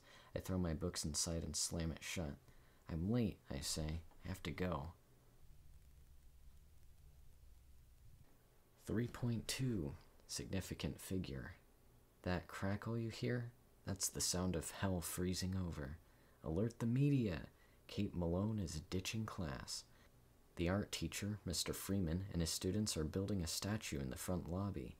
The statue is a giant stick figure with two metal legs, a pole for a body, and two long arms that thrust into the air. A guy with a skanky mullet is wrapping paper mache around the legs, while the art elves rummage through the half dozen plastic bins filled with junk The teacher fires up his glue gun. Artistic people are too random for me. But these kids look harmless. One girl I recognize. She's half famous around here. Melinda something. A senior tried to rape her in a janitor's closet last year. She fought him off and pressed charges. It was pretty cool. It made the papers when he was found guilty. He didn't go to jail, of course. White, upper class criminals go to the state college, not the state penitentiary. They join the fraternities. State college, my future, and only if they have rolling admissions. The nausea starts in my knees and surges upwards. I cover my mouth and sink to the floor, my back against the wall. My hands are shaking. They don't feel attached. Why I belong at MIT. I'm smart. I work hard. I aced the math SAT. I'm a legacy. I need very little sleep. I don't require a social life. Heat and pressure improve my performance. I could be the reincarnation of Madame Curie, according to Sarah. Why MIT blew me off. I'm not smart enough. I don't work hard enough. My verbal SAT was less than perfect. Mom didn't leave MIT any money in her will. I scared the admissions officer during my review. My essay sucked.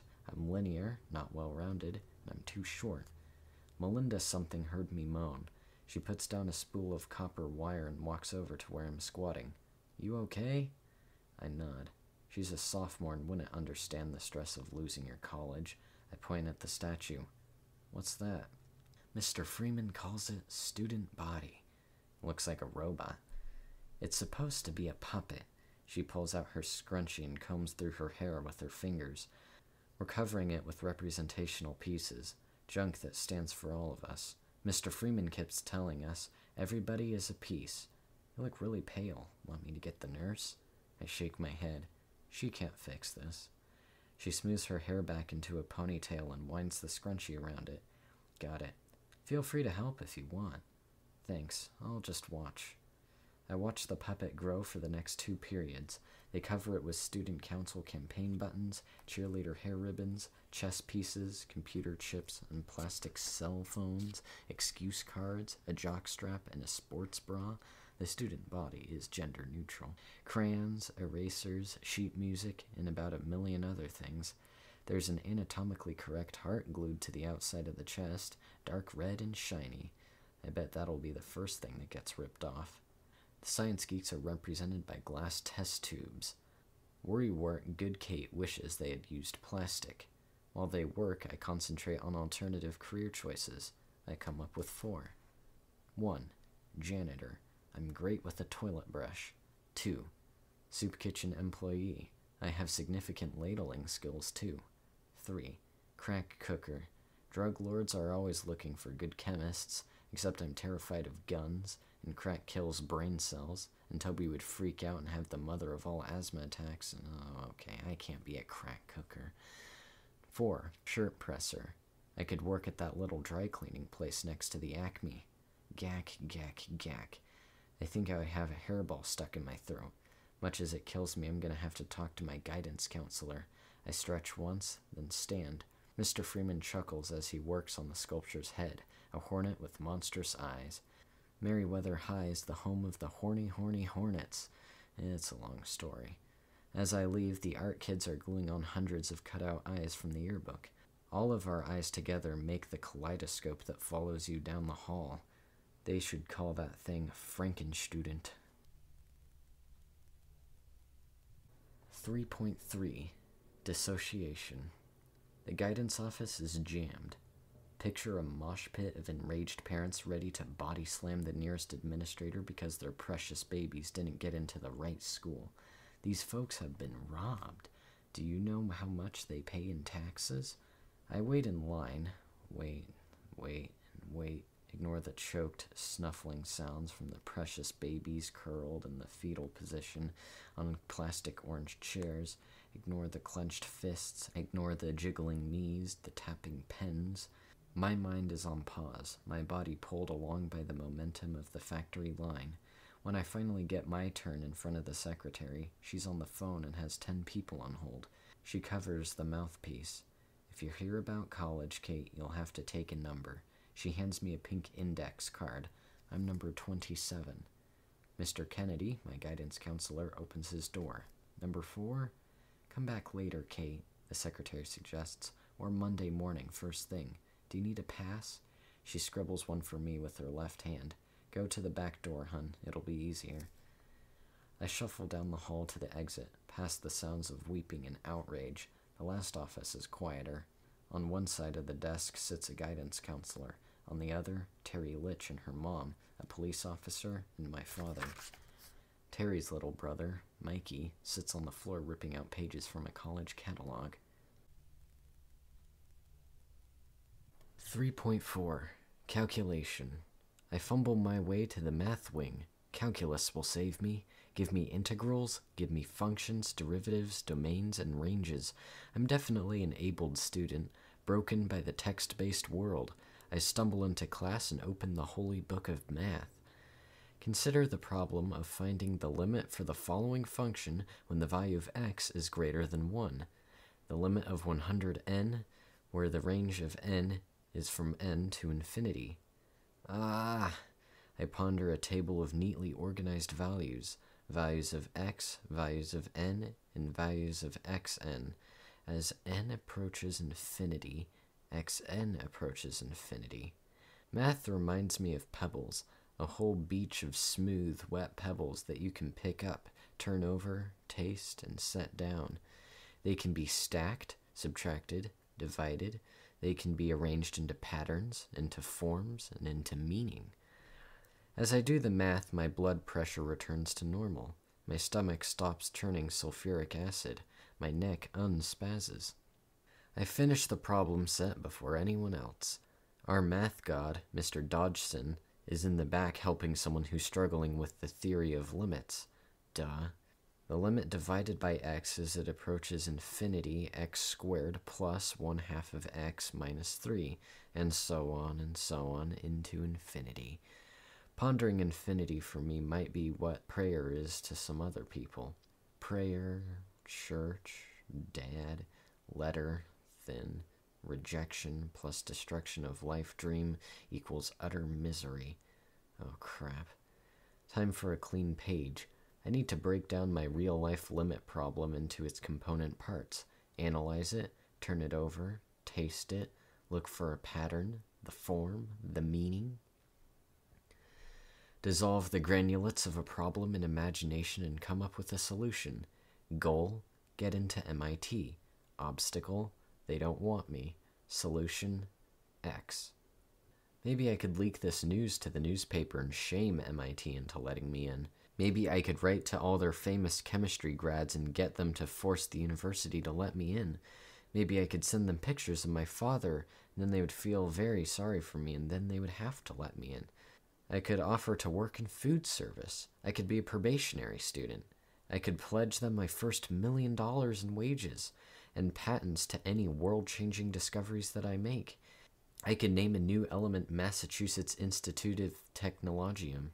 Good Kate whispers that maybe, perhaps, there could be a small chance that I need to suck it up and accept the situation. I'd rather fall down a bottomless hole. Mitch is lurking in the hall again when I leave calculus. He follows me, his mouth moving again. Look, Kate, it's not like the world has ended. They can't take all the geniuses that apply, but it's gonna be okay. I think that you should. Will you look at me, Kate? We have to talk about it. This is so stupid. Come back. Come on, Malone.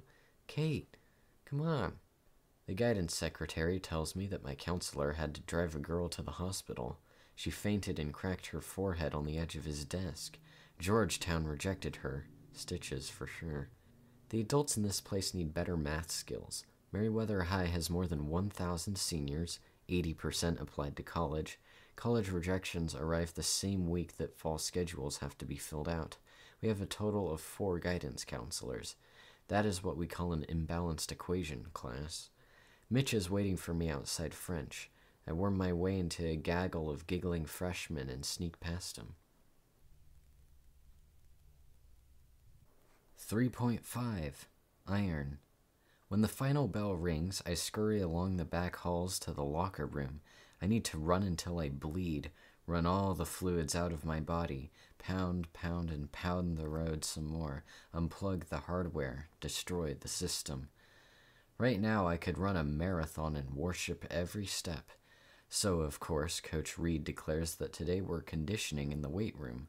He unlocks the door and directs people to the silver instruments of torture lat pull down, biceps curl, leg extensions. He hesitates when he gets to me. I'm a graduating senior, and there are thunderclouds gathered above my head. All right, Malone, you get the treadmill, Coach says. Don't slack. No, sir. I step onto the middle treadmill and punch a flat course, 3.1 miles, a 6 minute mile pace. Forget about the slow, safe warm up. I want to feel it. The room heats up quickly. The radio is badly tuned to a metal station. Weights cling against one another. Athletes grunt and strain. The stair steppers grind. Whir, whir, whir. The girls on the steppers keep their hands on their hips and their chins up. The guys on the other treadmills try to match my pace. Oh, yeah? I crank it up another notch. I streak through a half mile, my sneakers blistering the rubber belt. The guy to my right can't hack it. He backs off, slows down. The guy to my left has a sweat dripping down his cheek. He's holding his left elbow against his side. I chuckle. Coach Reed is helping a sophomore bench press 12 pounds. Stop showing off, Malone, he shouts. Bad Kate hopes the sophomore drops that weight on Coach's foot. Good Kate is frantically pointing to our tender Achilles tendon. I know I can run faster than this. I take it higher. My sneakers squeak, sounding like tiny voices on helium. Burp, burp, burp. Rest up. Burp, burp, burp. Screwed up. The guy on my left gives in to his cramps and decelerates. Wussy boy. Slow it down, Malone, Coach orders. The sneaker voices move up off the belt and whispers that they are disappointed in me, that I'm stupid, that I should be ashamed of myself, young lady. Run faster, Kate, just a little faster. Push it. I am flying, whipping through the air. The faces around me blur. My right knee sends up a warning signal. My Achilles is screaming. I can feel the fibers in my quads fraying. Give me the pain. Bring it. I want my heart to explode. A bruised cherry smashed deep in my chest. The muscles under my rib size seize up. I think my shirt is on fire. Kate, Kate, Kate, Kate. I don't know who's saying that. How can they be standing still when I'm running so damn fast? Look out, Kate! Another voice fading away. Another ghost. The lights flicker. Coach Reed yells in my ear, but I can't hear him. His hand slaps the red stop button. 3.5.1 Rust. Okay, so I might have passed out a little when they dragged me off the treadmill, but I just needed a nap. A nap. Some dinner, and then a nice shower. No big deal, just leave me alone. 3.6 Dissolve. When I get home, I park Bert by the front door and don't bother to carry any books inside. I brush past Toby in the front hall. Don't say a word, I warn. I'm not here. You don't see me. He nods. You're not here. I don't see you. Well, when you do show up, I'll tell you that Sarah and Mitch keep calling. They sound desperate. He shows a handful of Cheetos in his mouth. Did you break up with him or something? Don't eat all of those. I lock the bathroom door, strip, and step into the shower. We have hot water again, thanks to Mr. Lockhart and his magic tools. Boiling, scalding, sterilizing water hurts so good. I close my eyes and let it fall on my head. It slips off me as if I were covered in oil. I lather up. Soap, 15 carbons, 31 hydrogens, and good old carbon dioxide with some sodium. Long molecules designed to suck up dirt, sweat, and humiliation. Rinse, lather, rinse, lather, rinse until the soap melts down to a waxy crescent that jumps out of my hand. I know I should think about MIT, be logical, be practical. But I can't get my brain started. It needs jumper cables. Given my mood, I'd hook them up the wrong way. Little mistake, big consequences. Boom, there goes the brain, the engine, and the college application. Boom, a mistake. What if they made a mistake? It happens, even at the best schools. A clerical error, or the computer messed up. A mistake. It happens. Two kids with the same name apply, one is accepted, the other gets the boot, but the letters are switched. The wrong Kate Malone got into MIT. It was all a mistake. Wait until I tell them. I can see the future play out like a movie on the shower curtain. I'll drive to MIT and talk to the admissions officer.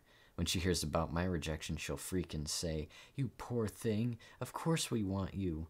She'll fire her assistant and type up my acceptance letter with her own fingers. She'll hand me the fat envelope loaded with goodies. Maybe I'll get more financial aid or a choice dorm room.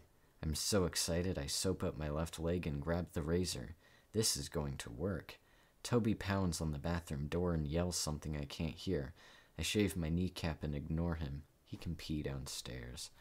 Details, details. MIT is approximately 301 miles to the east, a six hour drive. I'll have to leave before dawn. What should I bring? Copies of my transcript and two scientific papers for sure. Maybe I should leave my essay home. That was definitely weak. I loathe essays. No, I'll bring it. It'll prove I know my strengths and my weaknesses. I'll even admit that I need to improve my writing skills. My molecular models? I pull the razor along my calf, leaving a smooth runway of skin in its wake. I rinse off the blade. Nah, don't bring the molecules. That would look desperate. I lather my foot and shave my hairy toes. I don't want to look like a hobbit. Toby pounds on the door and hollers again. It doesn't sound like he's speaking English. Go away, I yell. I rinse off the razor and twist around to shave the back of my ankle. Toby beats on the door just as the blade slides over my Achilles tendon. I flinch and the razor nicks me. It takes a second for the blood to flow. I'm not opening it. Silence. Good. I work on my right leg and concentrate on the plan. There are a few kinks to work out. Bert won't survive the drive. He can barely make it to the grocery store. I'll need to borrow a car and find some cash and get an appointment, but it's going to work. I'll make it work. I shave my right leg without a single nick or cut. That's truly a sign from God. I turn off the water and reach for a towel. My hair is clean, my legs are sleek, and I don't have hobbit toes. MIT will let me in. I'm ready for the world. Toby is waiting when I open the door. He barges in and yanks on the bathroom blinds. What are you doing? I ask. Look. He wipes the steam off the window with his sleeve and points to the red orange glow down the hill. Oh my god. That's what I was trying to tell you, Butthead. The Litch's barn is on fire, a roaring furnace. The trees in the side of the yard are blazing torches. Rogue flames lick the roof of the house. Three fire trucks are on the scene, cherry lights pulsing beneath the smoke, firefighters wrestling thick hoses in the shadows. Are they okay? I whisper. The wind kicks up and the fire blooms. The Litches? Yeah, they're downstairs. 3.7 Effective Collision. I sit down hard on the toilet seat, clutching the towel around me. The Litches are here? Not the mom, just Teri and her little brother. There's a quiet knock on the door. May I come in? Dad enters before I can answer. His eyes are bright, fueled by alarm bells and emergency flashers. His sweater reeks of smoke. We need to talk. He closes the door behind him and locks it. Can't it wait until I'm wearing clothes? I ask. This'll just take a second. Teri and Mikey are sleeping here tonight. Teri can bunk with Kate. Mikey will stay with you, Toby. No, no, no, no, no. He didn't really just say that. No way. I must have steam in my ears, or I banged my head when I passed out. That would explain the nausea, too. Maybe I have a concussion. Aw, oh, Dad, Toby whines. Dad raises the lecture finger. No complaining. They are our neighbors and they are in need. Teri Litch is in my house, in my bedroom. She'll murder me in my sleep with an axe. I'm gonna hurl. I scoot off the toilet seat onto the floor and raise the seat. Why can't he sleep in your room? Toby says. You're younger. He'll be more comfortable with you, Dad says. Besides, I've got to get back to the fire. Please let me hurl. Please, Please, please. Are you sick, honey? No such luck. I'm just a wet girl in a towel inspecting the rim of the toilet, and it's disgusting. What about their mom? Toby asks. Shouldn't they be with her? The doctor says she needs some quiet, a lot of quiet. She's going to stay at Betty's house until we get things sorted out. Somebody better warn her about Jesus living in Betty's television, I say. Can't they go to the Red Cross? Kate, that's absurd. We have plenty of room. How long do they have to stay? Toby asks. A week, maybe? I choke, cough, and lean over the toilet again. We'll know more in the morning. Are you sure you're okay? Dad asks. I'm not staying here if she's gonna barf, Toby says. The snap of the door closing behind him echoes off the tile and porcelain. I sigh, close the toilet lid, and get back to my feet, adjusting the towel for some dignity. My father leans against the sink, watching me closely. Emotion won't help here. I sit on the toilet and cross my legs. Okay, Dad, let's face facts. There are a number of reasons why this won't work. One, Teri Litch is a psychopath. Remember how she used to beat me up? I know you two aren't exactly friends. Two, this house isn't ready for a toddler. Who's gonna take care of Mikey during the day? Three, Teri is a thief. She stole my watch, remember? Mom's old watch that I have worn forever? Four, four, he interrupts. You've had a terrible day. I know I'm asking a lot, and I promise we'll make time, just you and me, to sit down this weekend and go over all the material. So when you go to school on Monday, you can tell people which college you chose. It won't be MIT, but trust me, no one will care. The nausea is back. Toby knocks on the door. Dad, he says, some ladies are here with casseroles and diapers. The family room smells like smoke and sounds like a stadium. Teri Litch is sprawled across the couch, remote in one hand, a can of soda in the other, watching baseball. Sophia's curled up next to her, close but not touching. She doesn't even look at me. Mr. Spock thumps his tail once and lifts his head, his eyebrows raised high. He'd love to come and slobber on me, but he's busy being a pillow for Teri's little brother, who is resting his head on the dog's stomach. Mikey is pale, with smudges of soot on his cheeks. His eyes are puffy from crying and he's sucking his thumb. His other hand is holding a green metal motorcycle. The dog drops his head back to the ground with a sigh. Mikey looks up at me with a watery smile. His upper lip quivers around his thumb as he tries not to cry. He needs to blow his nose. I'm such a pig. Good Kate shoves Bad Kate out of the way. There are boxes of donated clothes over in the church. It'll be easy to find something for the Litches to wear. They need to shower and have some hot chocolate. That would be just the thing. I bet Toby's old teddy bear's in the attic somewhere. Mikey might like that. Poor little guy. And I won't confront Teri about the watch. Not tonight, and probably not even tomorrow. Bad Kate gets up and dusts herself off. She notices that a crisis is in our backyard and will do a good job of distracting Dad while I sort out the MIT mess up. She walks off into the night, whistling. Sorry about the fire, I say. Teri scratches Sophia's head. The cat doesn't care. She's focused on the game. The Yankees are beating the Indians six to three. We have some clothes that'll fit Mikey, I continue. I'll find some stuff for you too. Teri points the remote and turns up the volume. Teri gave Mikey a bath during the seventh inning stretch. He fell asleep on my bed while she showered and changed into some of Dad's old sweats. I suggest we move Mikey to the cot in Toby's room, but Teri refused. Can't say I blame her. The dog won't sleep there either. It wasn't part of my plan to be the schmuck that wound up in the cot, but there you go. Teri and Mikey took my bed, as if worrying about MIT weren't enough to keep me awake. I have a lawnmower roaring in the middle of the room. The lawnmower is Mikey Litch breathing through his mouth, producing a decibel per pound output that is off the charts.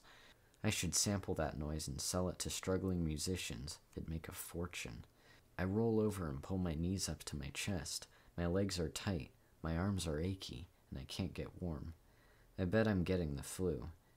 Maybe I'll be lucky and it will be a rare strain from Mongolian hamsters and I'll die. No, I'm not that lucky.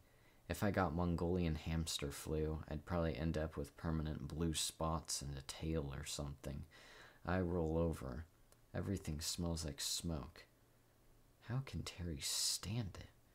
This could explain her anger management problem. I've got to do something or I'll never get to sleep. Maybe I can roll him on his side. I sit up. Teri's shape lies along the edge of the mattress. Her face is blocked by my clock radio. Is she asleep? I sit up higher. She's awake, watching the minutes on the face of the clock dissolve into each other. The cot creaks under me. Teri's eyes swivel and pin me to the wall. 4.0 Oxidizing Agent. Safety tip Substitute plastic labware for glassware whenever possible. My first thought upon waking maybe it was a nightmare. Second thought upon waking what in God's name is that awful smell? Third thought the nightmare continues. I wrestle my way out of the sleeping bag, fumble for my glasses, and stand up. Mikey Litch's diaper has exploded all over my bed. Believe me, I don't freak out about a little baby poop. I have a brother. Poop, puke, whatever, I can cope. But this isn't normal. Looks like a dinosaur took a dump. Mikey's eyes flutter and open. He turns his head to stare at me. Where, Mommy? Don't move. I, uh, I'll get help. Don't move, Mikey. Sit. Stay. Twuck, Mikey says, reaching for the toy on the pillow next to him. Dad, I bellow. Dad. Mr. Spot gallops up the stairs, streaks into the room, and freezes, his nose high in the air. He takes a sniff, whimpers, and scurries out, tail between his legs. Toby takes to the stairs two at a time. What's wrong? I point to the bed. Mikey's running the dump truck. Oh, the irony. Over the hills and valleys of my ruined comforter, buzzing his lips to make a spluttering engine noise. Dude, Toby says. He backs away from the door and coughs. That's a lot of. Please don't say it. Where's Teri? Watching cartoons. Mikey crawls to the edge of the bed. Oh, no, you don't. I run in and shoo him to the middle of the mattress like a baby herder. I have to go to work, I tell my brother. Do something. No way. I'm not touching him. That's sick. Get Teri. Toby nods. Good idea. He turns his head and yells, Teri! I could have done that. Yeah, but you didn't. Teri lumbers up the steps chewing something. Her sweatpants are covered with cat fur. She catches a whiff and shakes her head. Oh, jeez, she says to no one in particular. He did it again. She tucks Mikey under her arm like a football and carries him downstairs to the kitchen. As she passes me, I notice a thin gold chain disappearing under the collar of her shirt. I know that chain. There's a gold heart attached to it. It was a Christmas present from Mitch. Toby and I open all the windows in my room, then follow them. What if she puts him on the couch? he whispers. Who cares? See that necklace she's wearing? It's mine. She stole it. For real? For real. He picks up and shakes the box of life cereal that Teri left on the couch. It's empty. What are you gonna do? I'm thinking. Good idea. Mikey stands naked and shivering in the kitchen sink, his thumb in his mouth. Teri pulls the spray nozzle out of the faucet and tests the water temperature on the inside of her right wrist before hosing off the first layer of crud and lathering him up with dishwashing detergent. Did you get any sleep? I ask. Teri slides her hands across Mikey's shoulders and back. Her palms are calloused, and the thumbnail of her left hand is black. Not much, she says. I open the cupboard and get out Toby's medicine and vitamins. He sure can snore, can't he? He's been sick, his nose is stuffed. Bubbles cover Mikey's skinny body like translucent polar bear fur.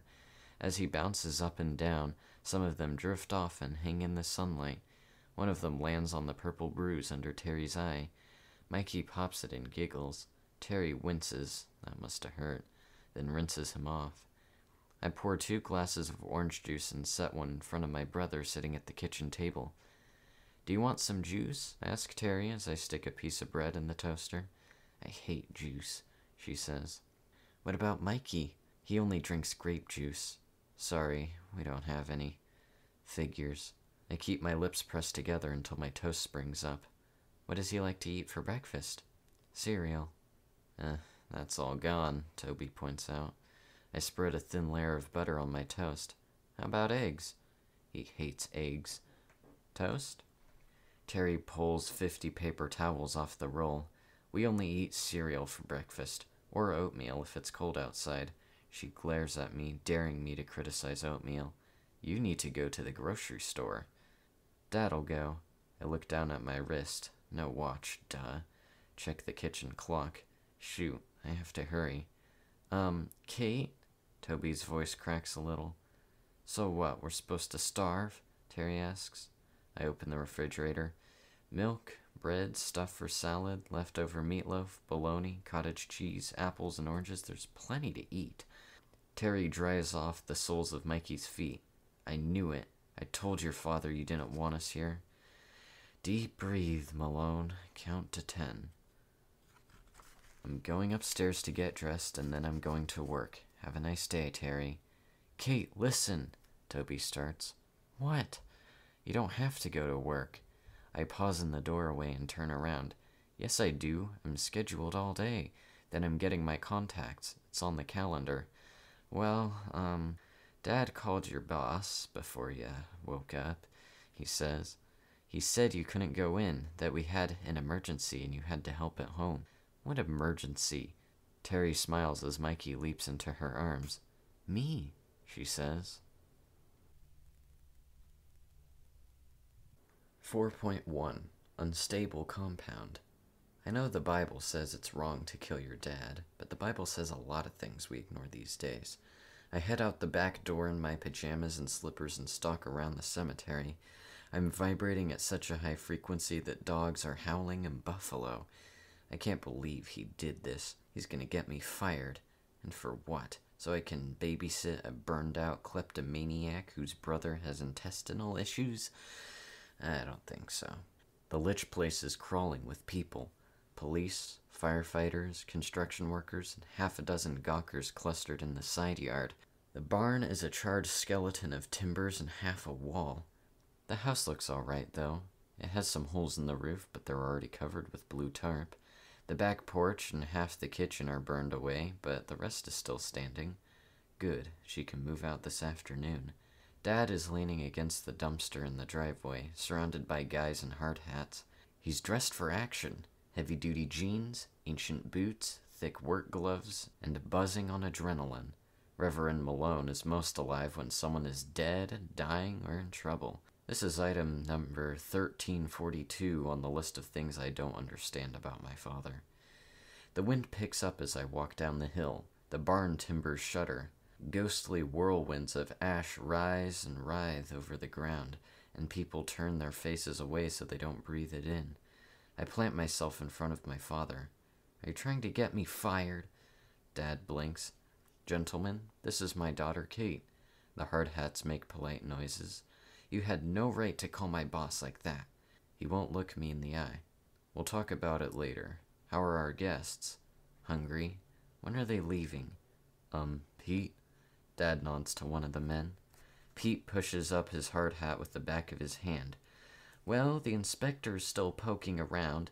The roof needs patching, and the kitchen here, that's gotta come down and be rebuilt. We got lots of water damage and smoke, but the foundation's in great shape. Can they move back in today, after you clean it up? I ask. The men shake their heads slowly.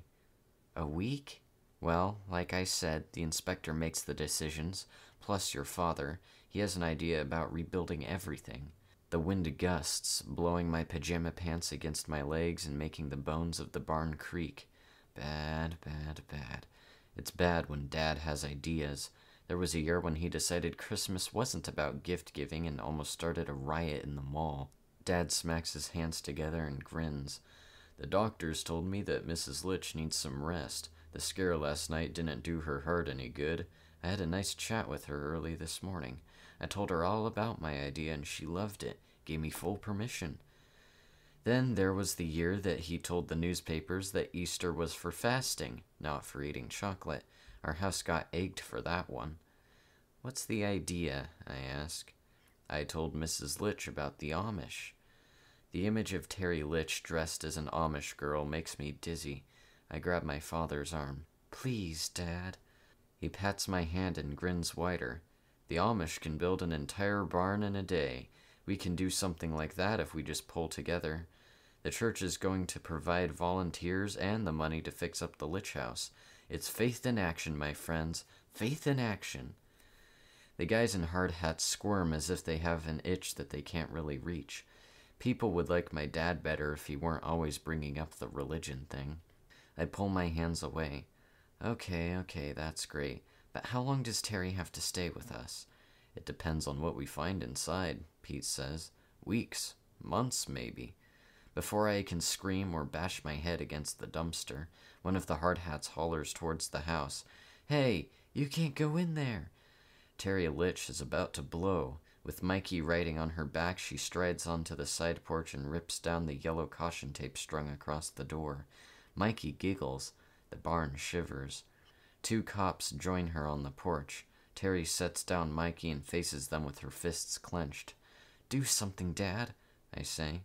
As my father sprints over to play peace negotiator, Teri lets fly with an astounding collection of profanity delivered at full volume.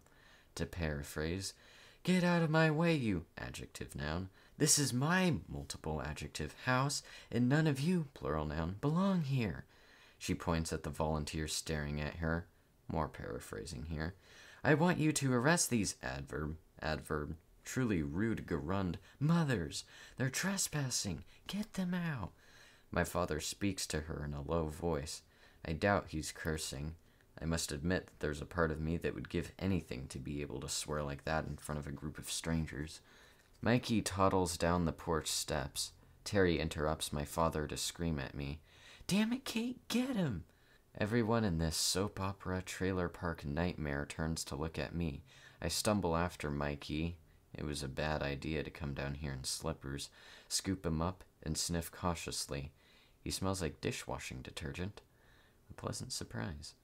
He leans back in my arms and gives me the once over. I'm Kate, I say. Can you say Kate? Twack, Mikey says, showing me the dump truck in his hand. Kate, I point to myself. Twack, he shoves the truck in my face.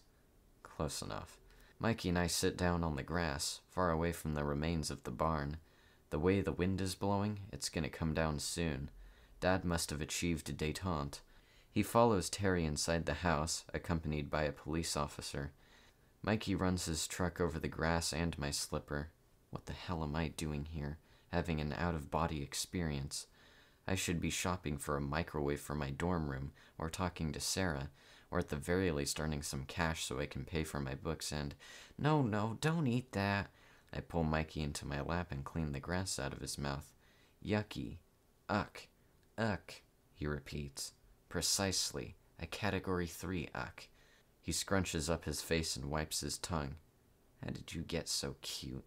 Teri dressed him in overalls and a red flannel shirt that belonged to Toby when he was a rugrat. I need to distract him. Come here, I'll teach you something. I set him in front of me and pull his palms together. It's like patty cake, only better. It has chemistry. Uck. No, not uck. Give it a shot. You'll love it. I clap his hands in mine and sing. There's antimony, arsenic, aluminum, selenium, and hydrogen, and oxygen, and nitrogen, and rhenium.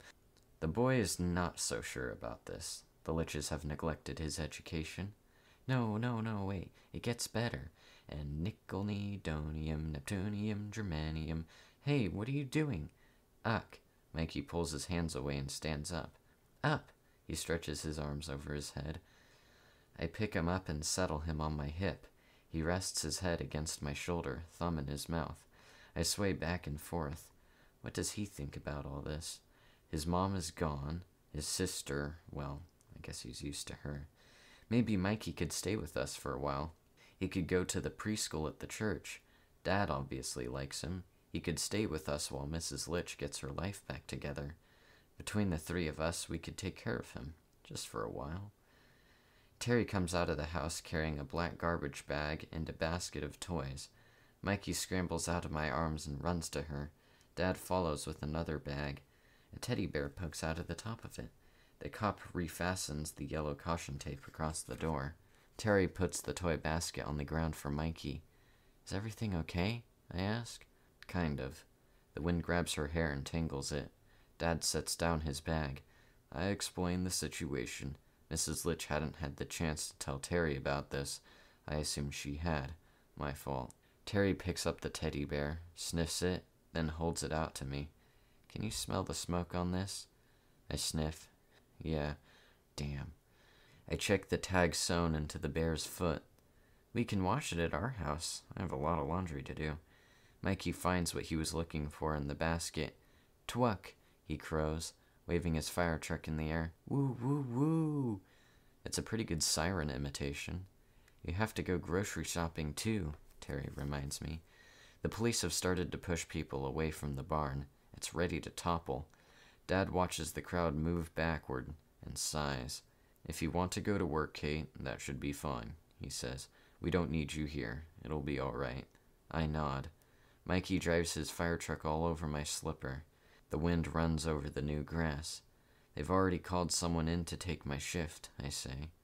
No, really, Dad says. The volunteers will be here soon. One of them can take Teri on her errands. You've got a lot to do. Plus, we have to talk about the college thing. We could do that at lunch. I crouch down to gather the metal cars and trucks. Don't worry about it. I can take her. Mikey, too, if we can find a car seat. Teri raises an eyebrow. You're driving me around? Not in those pajamas, you're not. The wind gusts hard, and the crowd watching it steps farther back. The barn shakes once, then collapses. The timbers scatter on the ground like pickup sticks.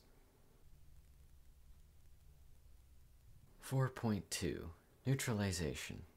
Before we leave, I refill Bert's radiator and give him a friendly pat. Don't let me down, buddy. We don't want to be stranded with these passengers. The engine starts the first time. It's quite a miracle. Teri rolls down her window and fiddles with the radio as I wind my way to the main road. She taps the bumper sticker on my dashboard. So, this MIT, it's like a big deal, huh? A brainiac school? She asks. I nod once, eyes ahead.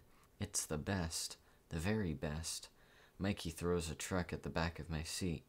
Teri chuckles. You think I never heard of MIT? Duh, I'm not retarded, you know. Let's not talk about MIT right now, okay? She sits back. Your dad said they blew you off. He didn't want me to think you were being a bitch because he didn't want me or anything. My father's a very sensitive man. Here, this is Betty's house. Teri and Mikey spend half an hour closed in the bedroom where Mrs. Litch is recuperating. Betty serves me tea and orange bundt cake and gives me the 411 about Mrs. Litch's conditions. She has a number of them, apparently. At least Betty doesn't bug me about college. A door slams. Teri strides through the kitchen without a word, dragging Mikey behind her. I guess that's her way of saying we can leave now. Mikey is already buckled into his car seat by the time I get outside. Hurry up, Teri says. I start the car, buckle my belt, and reverse. How's your mother? She flips the door lock up, down, up, down, coughing a little, whining a lot. Is she excited about the house getting fixed? Up, down, up, down, up, down. All right, don't answer me. I look in the rearview mirror. Mikey is watching the traffic, his thumb in his mouth. Up, down, up, down. Knock it off, I say. This car's a collector's item. Up, down. I try again. Is she still upset about the fire? Does she want you and Mikey to stay with her? Okay, listen up, Katie. My mom got hit in the head with a bat once. My dad was holding that bat. My mom gets confused. She doesn't understand what's going on with the house. Hell, she thinks old Betty there is a cousin. I don't want to talk about her anymore. Up, down, up, down, up, down. I'm sorry, I say.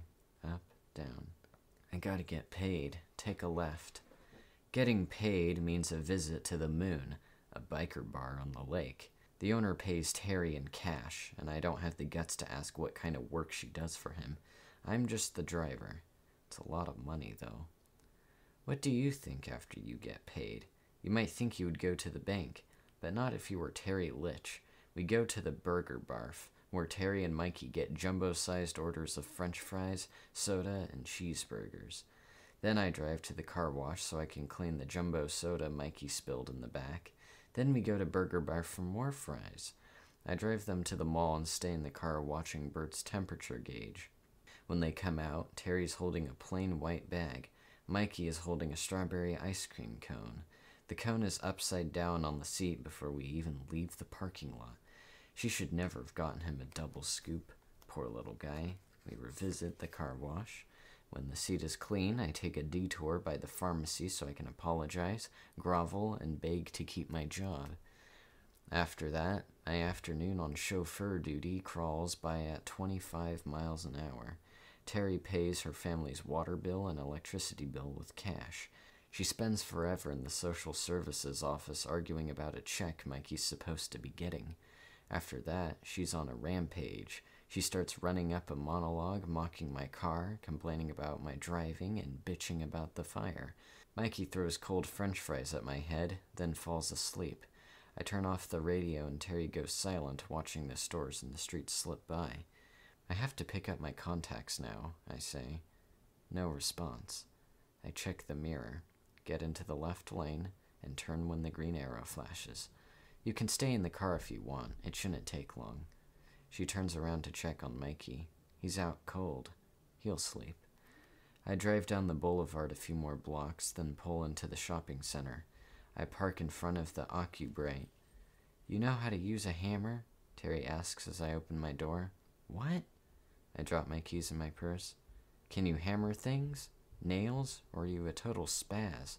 She snorts and turns to the window again. Forget it. Go on. You're a spaz. Should've known. No, open the eyelid wider, wider. That's it. Nice and big. Right. Now keep the contact on the tip of your finger. Ease it onto your eyeball and no, no. You have very dry eyes, don't you? Let's try some artificial tears. OcuBrite's official contact trainer is dressed like a medical person. White coat with big pockets, serious glasses, pager at her belt. It's all bogus, though. She used to be a grocery store cashier. I can't figure out if teaching people to poke themselves in the eye at OcuBrite is a step up or a step down on the job scale. One more time, the trainer says. Deep breath. I take a deep breath and study my eyeball. In the magnifying mirror, it's as big as a grapefruit with bright red capillaries snaking their way from the pupil. I have Medusa eyes, and they are battling the contacts. As I peel back my eyelid, the bell on the front door jingles. Teri and Mikey toddle in. Can I help you? the contact trainer asks. I doubt that, Teri says. She sits next to me and looks in the magnifying mirror. Dang, look at your nostrils. You've got a zit ready to pop out, right there on your chin. I push the mirror away. Why didn't you stay in the car? I ask. Mikey's awake. Mikey shoves a pile of magazines on the floor before running to the far end of the store. Hurry up, Teri tells me. Like she's in any kind of position to be ordering me around, like she already hasn't messed up my day enough. Plus my night, when you figure I got about three hours of sleep. Let's try this one more time, the trainer says. Teri sits in a waiting room chair and Mikey jumps into her lap. She reads him a copy of This Old House magazine. The little guy settles in and listens to the benefits of proper insulation. He's clutching a pair of demo frames in his fist. Pop! The contact snugs right up against my eyeball. It's in! It's in! Congratulations, drones the trainer. Follow me. At the counter, she rattles off a list of instructions and stuffs a paper bag with freebie contact junk. Then she hands me the bill. I take out my wallet and remove the faded 20s. She takes my money. It's that simple. I pay, I can see, next customer. I walk out of the store and clutch a concrete post. The light is blinding, screaming off the windshields and metal cars, amplified by the white stucco of the walls of the shopping center. Water gushes from my eyes. Not tears, just water. Eye water. After a couple of minutes, the water levels go down, and I can open my eyes a little. If I black out the sun with my hand, it's not so bad. Holy crap, I can see everything. The numbers on the license plates, the small print on the signs in the music store window, the price of gas at the Sunoco. Yikes, when did that go up? I can see the street signs. I can see cardinals flying. I can see the cardinal's beak, the twig in the cardinal's beak, and the flash in the cardinal's eye. I have magic eyes. The bell jingles again, and Teri and Mikey strut out of the OcuBrite. Mikey is wearing the stolen frames, and Teri's carrying the issue of This Old House. I can see the ice cream stain on his shirt and the scar under her chin. I follow them to the car, squinting from the intense light, captivated by the exquisite details of our little strip mall. The dust caught in the petal of a buttercup is growing in a crack in the sidewalk, the weary faces of teenagers working at the video game store. A woman walks by carrying a briefcase. Her nails are bitten and torn. I can see them. A family bounces out of the sports equipment store carrying a huge rubber raft. I can see the price tag. They paid way too much. 4.3 Free Radicals. Just a few normal hours. That's all I wanted. I drove Teri and Mikey back to our house. I made hamburgers and mashed potatoes, and Toby made salad. At that point, I figured I was off the hook. Since I was avoiding my friends, I figured I could hide in a movie theater for a few hours. At the very least, I figured Teri was going to put Mikey to bed and watch television and then leave me alone. That, my friends, is what they call hubris. Dad asked me to get out my acceptance letters and course catalogs. Teri bitched about the lack of grape juice and oatmeal. It was a no brainer. Off to the grocery store we go. As the super fresh doors glide open, I rip the shopping list in two and hand half of it to Teri. I'll meet you at the checkout counter, I say. And don't get any junk, okay? I don't have much cash. Teri shoves the list in her back pocket without looking at it, takes the shopping cart, and wheels away without a word. I head for the produce aisle, where my best friend in the whole universe, who I'm avoiding like the plague, is squeezing pomegranates. Shoot. She spots me before I can duck behind the display of grapes. Oh my god, Kate! Sarah drops the fruit and runs over to hug me. I've called you like ten million times. Your dad said you hadn't started any more fires or anything, but Kate, damn, how are you? She squeezes me again and pats me on the back. I'm so sorry. They should have let you in. They're morons. We should organize a boycott. MIT is already boycotting me, Sarah. Whatever. They suck. She steps back, her hands on my arms. Let me look at you. Oh my god, you got contacts. Keep it down. People are staring. She covers her mouth briefly. You look amazing. How are they? Except for the pain, I love them. I pull the bottle of eye lube out of my purse, tilt my head back, and squeeze a few drops into each eye. My eyes are a little dry. When I blink, the fake tears turn down my cheek, making a mess. Sarah digs out a tissue and hands it to me. Have you figured out which safety you're going to accept? Um, I actually have a plan B. I wipe my face clean. I'm going to appeal. I think maybe, maybe they made a mistake. While I explain my plan to ambush MIT, Teri Litch wanders briefly into sight. Her cart contains three economy sized jugs of grape juice, a huge box of oatmeal, two cases of soda, and countless bags of potato chips and pretzels. She carefully looks over the raspberries and boysenberries, the most expensive fruits in the store, and picks out two boxes of each. Sarah frowns. This might work. You need a different car, though, and you have to weasel your way into the admissions office. Yeah, I know. What does your dad think? He's been too busy to talk about it. I guess that's typical, huh? Tell you what, we can work on your plan instead of going to the movies. Since when are we going to the movies? I forgot to tell you. She grins and waggles her eyebrows. We're going to kidnap you. Me, Travis, and Mitch. That's why I'm here. Isn't kidnapping illegal? Not when you do it to save your best friend from certain despair. You wouldn't answer any of our calls or emails. We were afraid you were freaking out, like go on medication, get a shrink, seriously freaking out. We are going to force you to sit through a vampire movie and eat cheese fries. I hate cheese fries. Cheese fries are good for the soul, but that's besides the point. We don't need cheese fries therapy because you're here. You're talking to me. You're okay. Not so fast, I say. She zooms in close. Now what? Teri Litch is living in my bedroom. No way. Big way. Teri passes by at the end of the aisle again while I give Sarah the gory details. Sarah's eyes are huge. So she could be living with you until graduation? She could be living with me all summer. You seriously need cheese fries. Thank you, I think. Look, there's Travis. Travis bursts through the swinging doors carrying a box of apples. Only Travis Baird could make a super fresh uniform look cool. The skull and crossbones sticker on his name tag is an elegant touch. Babe, he says, setting the apples on the floor. Sweetie.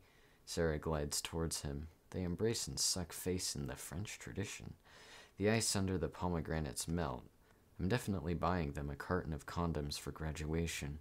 The doors swing open again and pops a short, middle aged guy in an uncool, super fresh uniform. He has gold stars on his name tag, Manager Ed, and is pushing a cart loaded with bleach. Travis peels himself off Sarah and whispers something in her ear. She saunters back to me, hot eyed and hungry.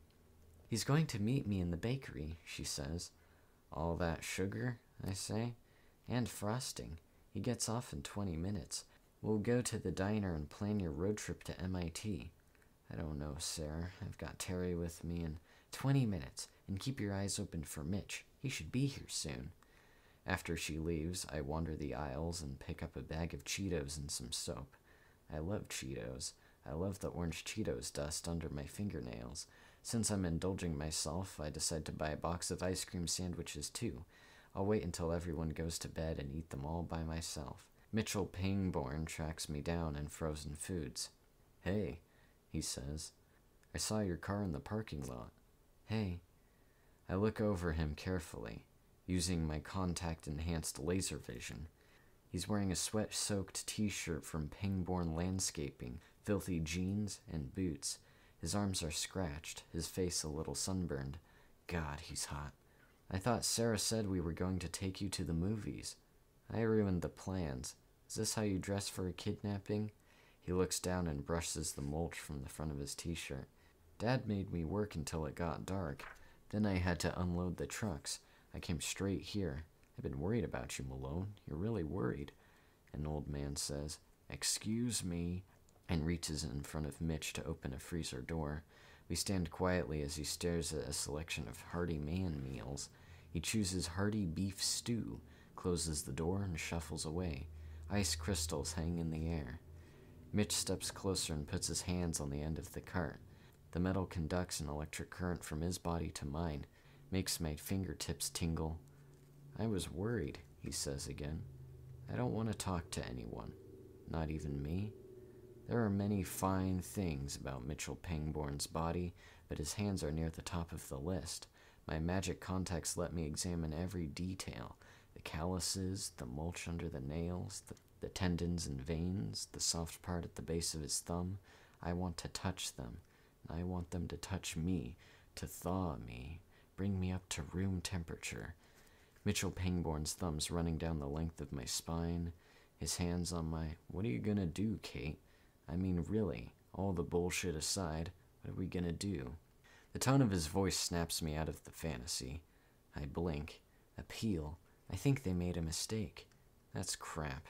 No, it's not. I think the computer screwed up. He makes a face. It's crap and you know it. You didn't get in, babe. You have to deal with it. Red warning lights flash behind my contacts. That's a little harsh, don't you think? It's not harsh, it's reality. He takes his hands off the cart and lowers his voice. Deluding yourself won't help anything, Malone. Excuse me? You're in Harvard. You've known for months. You don't know what this feels like. He puts his hands on his hips. More mulch flakes to the floor. It's not that difficult to figure out. Lots of people didn't get into their top school. And you know I'm sorry that you didn't, but it's not the end of the world. Choose one of your safeties and send in your deposit. End of story. This is why we need to do more kissing and less talking. I push the cart back and forth a few inches. I wonder if Mikey likes ice cream sandwiches. Maybe I should get popsicles instead. Less mess. I'll come over tomorrow after lunch, he says. I'll help you choose. No. What? I don't need your help. Besides, I'll be busy tomorrow. The Litches have moved in with us. Didn't you know that? Teri's little brother is so adorable. I have to get him some popsicles. I'll see you on Monday. As I swing the cart around him, he grabs it again. What the hell is going on? You aren't you. I can't move the cart. Are you high? Is it lack of sleep? You're scaring me, Kate. I take a deep breath, fortify my shields, and strengthen the force field. I'm busy and I'm tired, and I want you to let go of my cart. I'm going to talk to the admissions office department of MIT.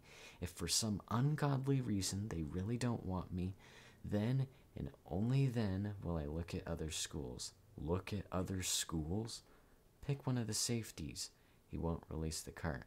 You did apply to other schools, right? You never did get around to showing me those essays.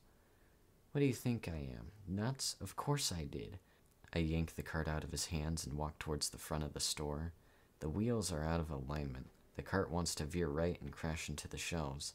Come back, Kate. I'll see you Monday, I say over my shoulder. Teri is nowhere to be seen. Neither is Sarah or Travis. I wrestle the cart into the express aisle and pay for my Cheetos and soap. I'll buy popsicles at 7 Eleven. I want out of here now. Someone in the parking lot leans on a horn. It doesn't blare, it bleats like a sick goat. That's Bert's horn. I look through the plate glass window. Teri has Bert parked, engine idling, right in front of the store. She's in the driver's seat. She waves her hand, motioning for me to join her. I run outside. What the hell are you doing? How'd you get this started? Teri leans over and opens the passenger door. Get in, she says. I think they called the cops on me. 4.4 Activation Energy. I jump in the car, slam the door, and grab the dashboard as Teri floors it. She squeals the tires as we leave the parking lot. The good news is, is that this car is barely capable of making the speed limit, much less breaking it, so we won't be pulled over for going too fast. The bad news? Teri is driving. We turn right, then left, then double back. We turn left again. She pulls a U turn and burns rubber again. My stomach flips, and I have a nasty flashback to the fifth grade when Dad took Toby and me to the Mad Hatter's teacups at Disney World, and I upchucked cotton candy everywhere. You better slow down, I say. No, no, no, just stop. Stop. The engine is going to overheat, and I can't afford a new one. Teri pulls into the mall parking lot and cruises to a spot in the shadows behind the Sears. I wipe my palms on my pants. She chuckles and pulls a pack of cigarettes and a lighter from her shirt pocket. You think this is funny? I ask. Yep. She shakes out a cigarette and lights it. I thought you were going to shit your pants. Don't worry, no one's coming after us. I listen. No sirens. What do you mean? She inhales, and the glowing end of the cigarette reflects off her glasses. She blows the smoke to my side of the car. I wave the smoke away and roll down the window. Did they call the police or not? She shrugs. They might have. Might have? She shrugs again. I take off my seatbelt and check the back. It's empty. What happened to the food in your cart? She slips the lighter into the cellophane sleeve of the cigarette pack and puts it back in her pocket. I hid it in the bushes behind the loading dock. We can pick it up later. No, we can't. Why not? I don't steal food or cars. I didn't steal your car. You're sitting right here. How'd you get it started? I hot-wired it. Piece of cake. Want me to teach you how? No thanks. I think I'll use my keys. Teri takes another drag and sucks the smoke deep into her lungs. Suit yourself. Bert's engine ticks loudly as it cools. I stare through the windshield at the brick wall in front of us. So you were stealing, but you didn't get caught, but you pretended the cops were coming. Why? Teri blows a smoke ring that loops around the rearview mirror. That geek. You've been ducking his phone calls, right? I thought maybe he was dogging you. I was trying to help. Don't thank me or nothing. Thank you? I should thank you? Yeah, I think so. She pulls out the ashtray, but it's full of lavender potpourri. She flicks the cigarette ash into her jeans and rubs it with the palm of her hand. Smoke hangs around her head like a dirty veil. It's so quiet I can hear the water leaking from the radiator. I clear my throat. All right, you were trying to be nice. Thank you. But I don't need your help. Suit yourself. She rubs more ashes on her jeans. I'm just having a hard time right now, I say. That's right. I forgot. No college for Katie. and I have no idea what it's like, right? That's not what I mean. Right. She takes a drag and blows smoke at the ceiling. I need you to smoke outside. I can't stand it. It's too cold. Don't be such a bitch. Me? A bitch? Yeah, you're a major bitch.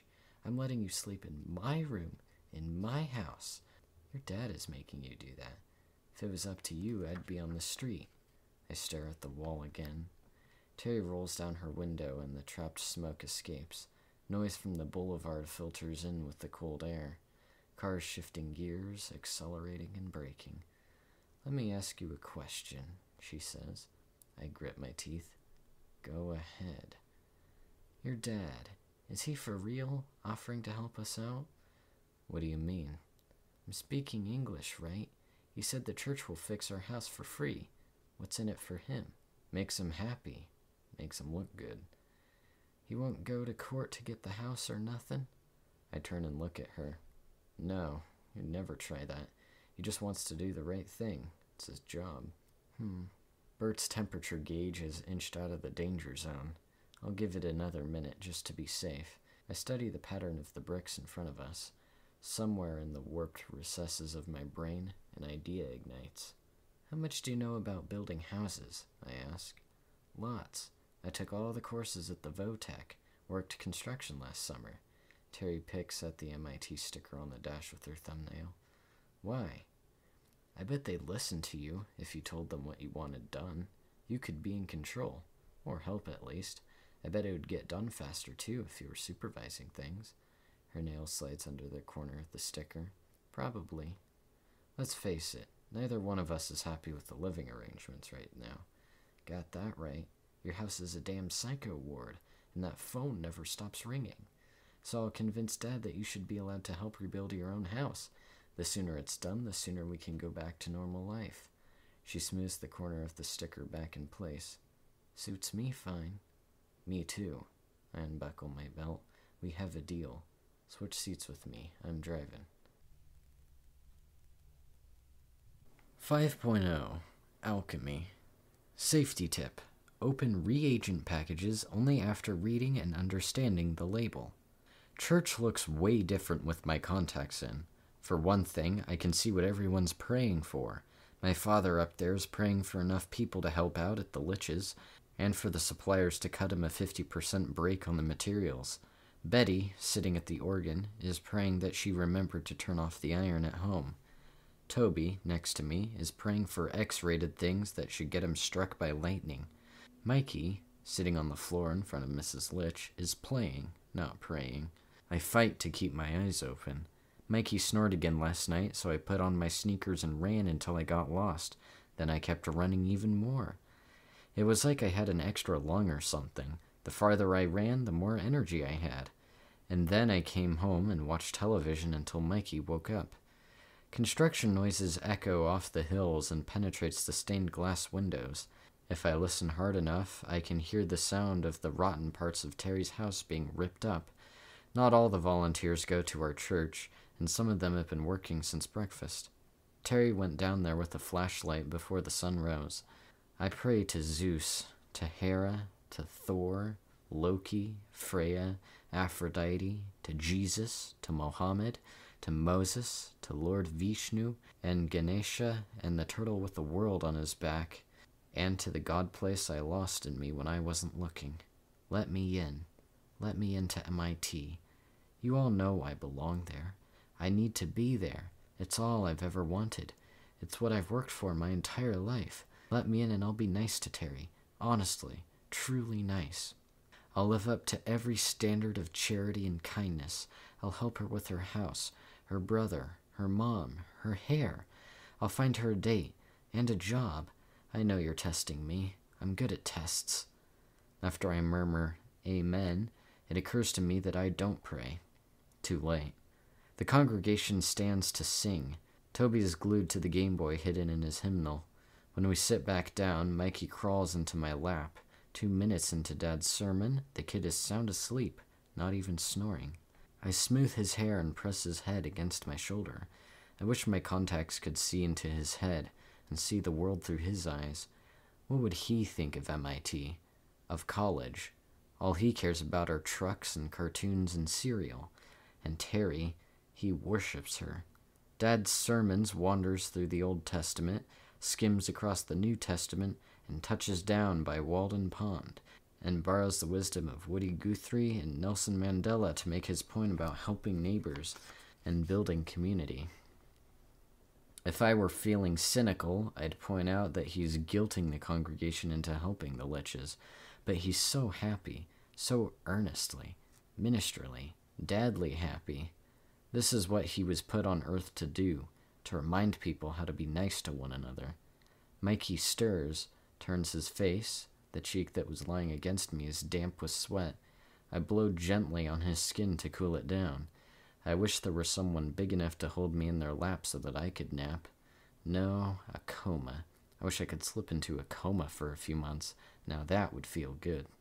I just need a way to get through this week. I have to find a way to get some sleep and deal with MIT, put up with all the withering, pitying, gloating looks from my classmates, evade the well meaning support of teachers, not to piss off Teri, figure out why Mitch is beginning to bug me, and stop running. I think I can do it. Please, gods. 6.0 Electrostatic Forces Safety Tip Use gloves when handling steel wool. By Monday morning, Operation Amish Rebuild is in full swing. Teri blows off school so she can work with Pete and his construction crew. My job is to drive Mikey to preschool, the one at Merryweather High. It feels weird looking in the rearview mirror and seeing him wave at me. I sing the Elements song 50 million times. He says, Twuck. Cerberus, the security guard, stops us at the door to the school. I have my ID card out and ready. Do you want to see his too? I ask. Her upper lip twitches. Why do you have Teri Litch's little brother with you? He's an extra credit project. Don't get an attitude with me, Missy.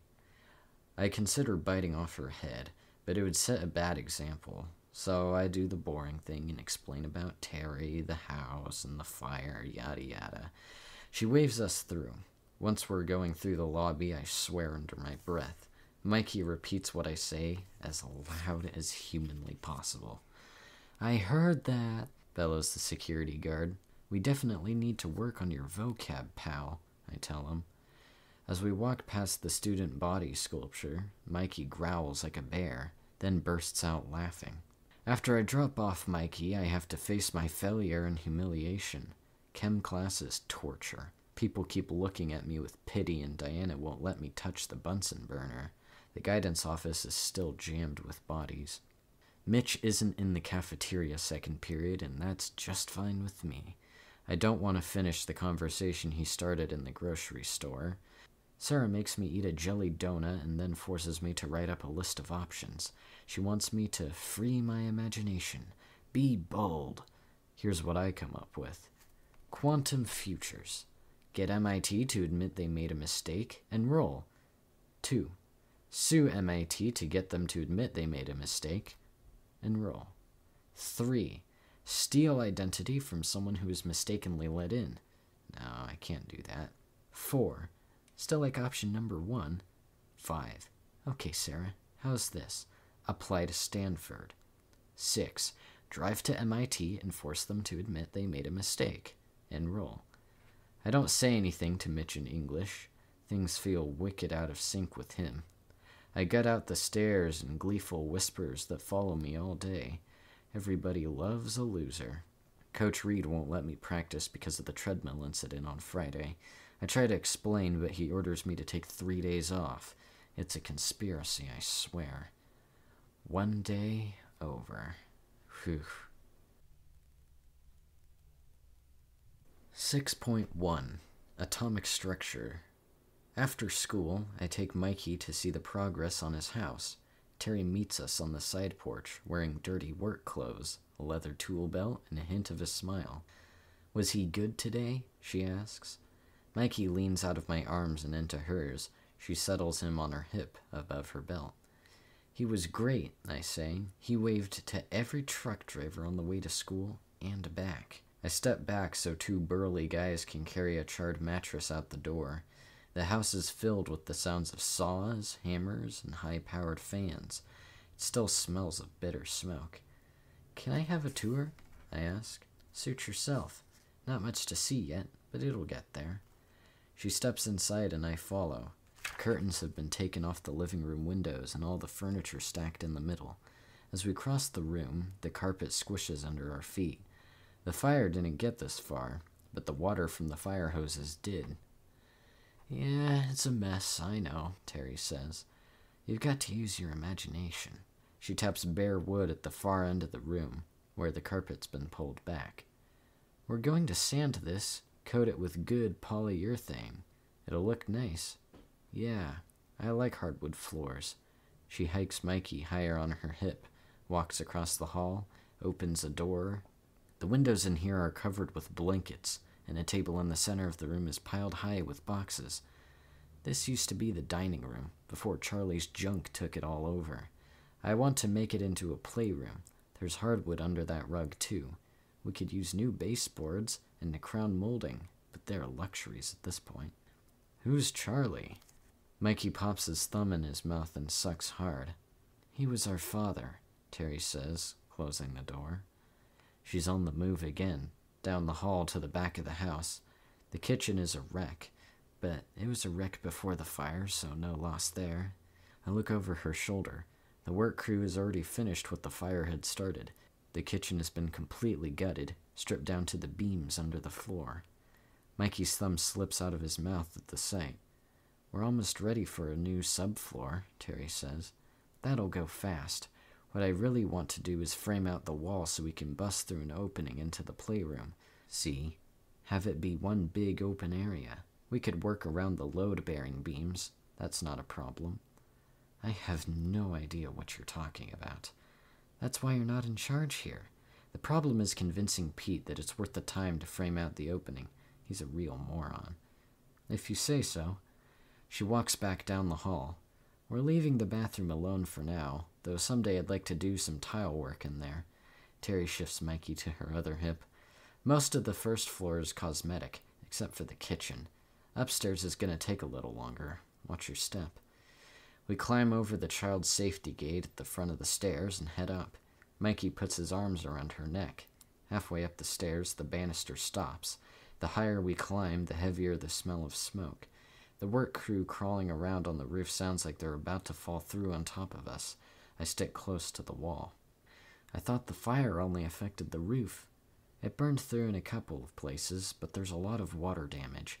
Teri waits for me at the top of the stairs. We have some old Charlie damage, too. What's Charlie damage? Mikey squirms in his sister's arms, and Teri slides him around her body so that he's riding piggyback. Charlie rewired the house and ran an illegal tap off the power lines out front. Cheap SOB. The code officer freaked out when he saw it. He won't let us move back in until everything's up to code. Guess how long that'll take? Months? She chuckles. Nah, a couple of weeks tops. Don't be so gullible. Your dad found a guy who said he'd do it and only charge for parts. Come on, I'll show you Mikey's room. The doors along the dark hall are closed. One has three locks installed and a column above the doorknob, like a television version of a New York City apartment. Who do you have locked up in there? Teri reaches down and jingles her keyring. That's my room. And no, I'm not showing you. Here. She opens the room at the end of the hall. Mikey's bedroom is small, with tall dormer windows on three sides. One window looks straight up the hill to our house. The walls and ceiling are smoke stained. Some furniture is stacked in a corner a crib, chair, dented cardboard boxes of toys and clothes. Mikey squirms to get down and play, but Teri locks her arms under his legs. The electrical outlets have been pulled from the walls, their wires writhe and coil. I know exactly what I want this to look like, she says. I want to put wainscoting on the bottom third of the wall and build a chalkboard so he'll have a place to draw. I want built in shelves where he can keep his toys and books and stuff. And a big boy bed. If we run out of money, I could probably make one from scrap lumber. I'm sure someone will find him a bed, I say. When he gets older, we'll get him a desk, a computer, too, a key. Mikey says, still squirming to break free. No way, dude, Teri says. She spins in a tight circle. You're not getting down. She spins faster to distract him. Mikey giggles and throws his head back. Teri whirls like a centrifuge, her boots thudding on the floor until she stumbles a bit, slows down, and stops. Mikey rests his face between her shoulder blades, still giggling. So, Teri hikes up her tool belt. Feel like helping? she asks. I'd, um, love to, but I don't know how to do any of this. Let's see if you could learn how to hold a hammer. Of course, I can hold a hammer. Any idiot can hold a hammer. It's the act of hammering, the physics of the process that I'm struggling with. I've never been completely comfortable with the physics. No, no, no, Teri says for the 83rd time. Like this. She holds a nail with her left hand. No, I will not comment on her black thumbnail. I will not, I will not, I will not. Takes a breath, and bam, bam, bam! The nail slides into wood like butter. She's doing the real thing, nailing the kitchen subflooring to whatever they're called, the longboards under the floor. She pulls a nail from her pouch on her tool belt, sets it, bam, bam, bam. Isn't there something called a nail gun? I ask. Wouldn't that be easier? This is a low budget job, Teri says. We're powered by muscle and sweat, the old fashioned way. Try again. I take a breath. Weight, velocity, and angle. Remember to hit the nail in the center of the head. Tap, tap. Damn! The nail drops sadly to one side. I killed it, just like I killed all the other bent nails in my little test board. I don't know, Kate. Maybe you're not made for real work. You should stick to school. Got me some slack. I've never done this before. Bam, bam, thong. Damn it. Teri pries the bent nail out of the wood and throws it to the ground. Kate Malone, you suck at hammering. I drop the hammer in the dirt. Is there something else I can do? Sawing, maybe?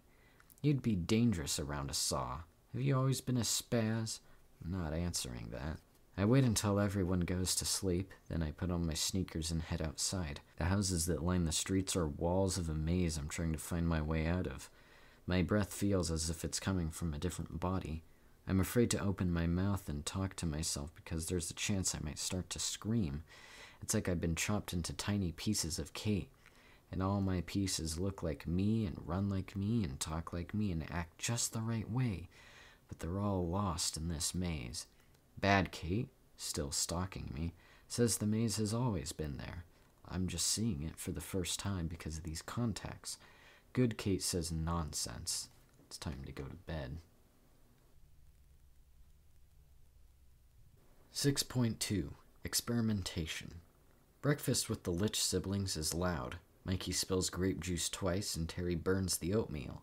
She's pumped about her house, though. She keeps talking about Palladian windows, I've got to look up that word when she's not around. Dad tries to get parental about how she should be in school and work on the house on the weekends. I suggest that we talk to her Votex supervisor, see if Teri can get credit for what she's been doing. Dad scowls and Mikey spills his grape juice yet again. Mikey gets through the security at the school without causing a scene. He's not blown out a diaper in 48 hours. Progress. Mr. Kennedy, my guidance counselor, finally sees me fourth period on Tuesday. He tells me my options, the non quantum ones. Basically, I'm screwed. My father can call MIT to make sure they rejected the right person, but there's no way they'll reconsider my application. He says if I really don't want to attend any of the schools that accepted me, let's hope it's not a sin to lie to your guidance counselor, I can apply to a school with rolling admissions and hope to transfer to MIT after a year. Or I can take a year off to get my act together. How 60s of them. I leave his office with a stack of brochures that I'll give to Mikey to destroy. When I get home, everyone is down at the Litches. Teri and Pete are feuding about opening the wall between the kitchens and the playroom.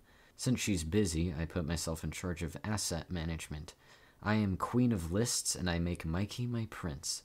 He and I walk around the house writing up highly technical documents like this A Litch List Restoration Requirements, Part 1. Three fans from the fire company, 80 gallons of white paint, 10 gallons of colored paint.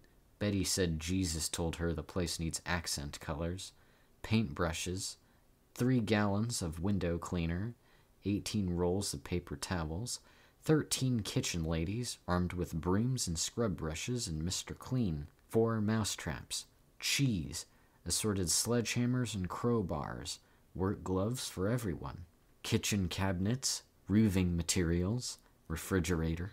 Stove sink, one gigantic dumpster, industrial sander for big things, 100 pieces of sandpaper for little things, countless pieces of wood, nails for said wood, and hammers for said nails for said wood.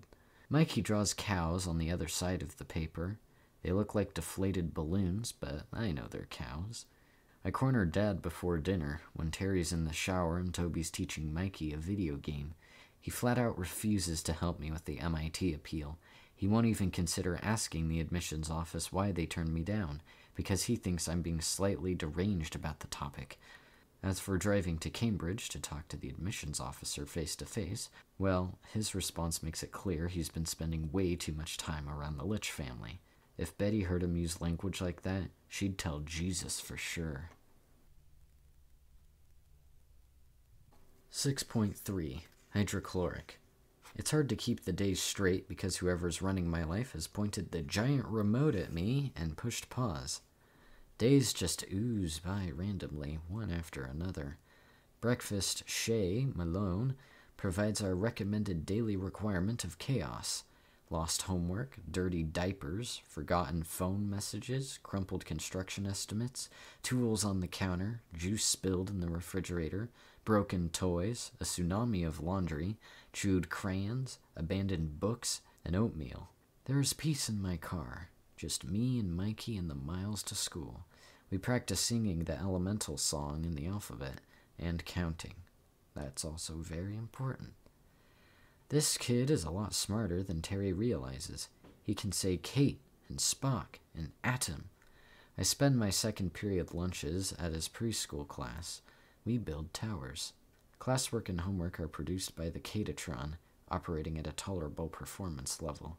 Everything is under control, with the possible exception of Mitchell, why won't you answer my calls, Pangborn. Sarah understands how busy I am with the Litch invasion. Travis understands. My father and brother get it. Even the dog is giving me some extra space. By the end of the week, I have a few things to add to the Quantum Futures list. 7 become an Olympic runner. 8. Become a leading childcare expert. 9. Become a construction consultant. 10. Create a new career, chaos manager. 11. Rehabilitate the title domestic goddess. 12. Make a movie about why MIT should let me in. And enroll. 13. Reapply to MIT. Pay someone to write my essays. And enroll. 14. Take a year off and chill. As if. The lines between my days and nights are blurring. The night is filled with the calls of owls and smell of daffodils, and I run for miles. 7.0 Nuclear Stability Safety Tip Develop an accident plan. I work at the pharmacy until 3 o'clock on Saturday. Then I change into cruddy clothes and hurry down the hill. Dad had more than 40 people volunteer to work today, and they had great weather. I can't wait to see how much they got done. 40 people plus good weather times motivation equals a miracle. Incredible. All that's left of the barn is a neatly raked rectangle bordered by foundation stones. The roof of the house is patched, the gutters have been fixed, and the shutters all taken down. Every window is open to catch the breeze. The kitchen has walls and a roof, a door, and a bay window that looks out over the pond. The air is filled with the sounds of hammers, saws, and some kind of buzzing noise I don't recognize. When it dies down, I can hear a radio playing and people laughing, shouting, and talking. The smell of smoke has been replaced by the smell of new lumber, varnish, and paint. Hopeful smells. I walk up to the porch and step inside. The living room is unrecognizable. Everything, absolutely every stick of furniture has been removed and the rug torn out. The hardwood floor glows. I move down the hall. The kitchen is busy with one guy installing a sink while his buddy sticks tiles in the place on the wall where the stove will go. A third guy is sweeping up sawdust. The appliances aren't in yet, but the cabinets are all hung. Amazing. Truly amazing. The playroom is where the buzzing noises were coming from. A woman with a mask over her mouth is pushing a giant sander over the floor. Two other women wait until she turns it off, then they follow and clean up behind her. The windows are still grimy, but the floor's looking pretty good.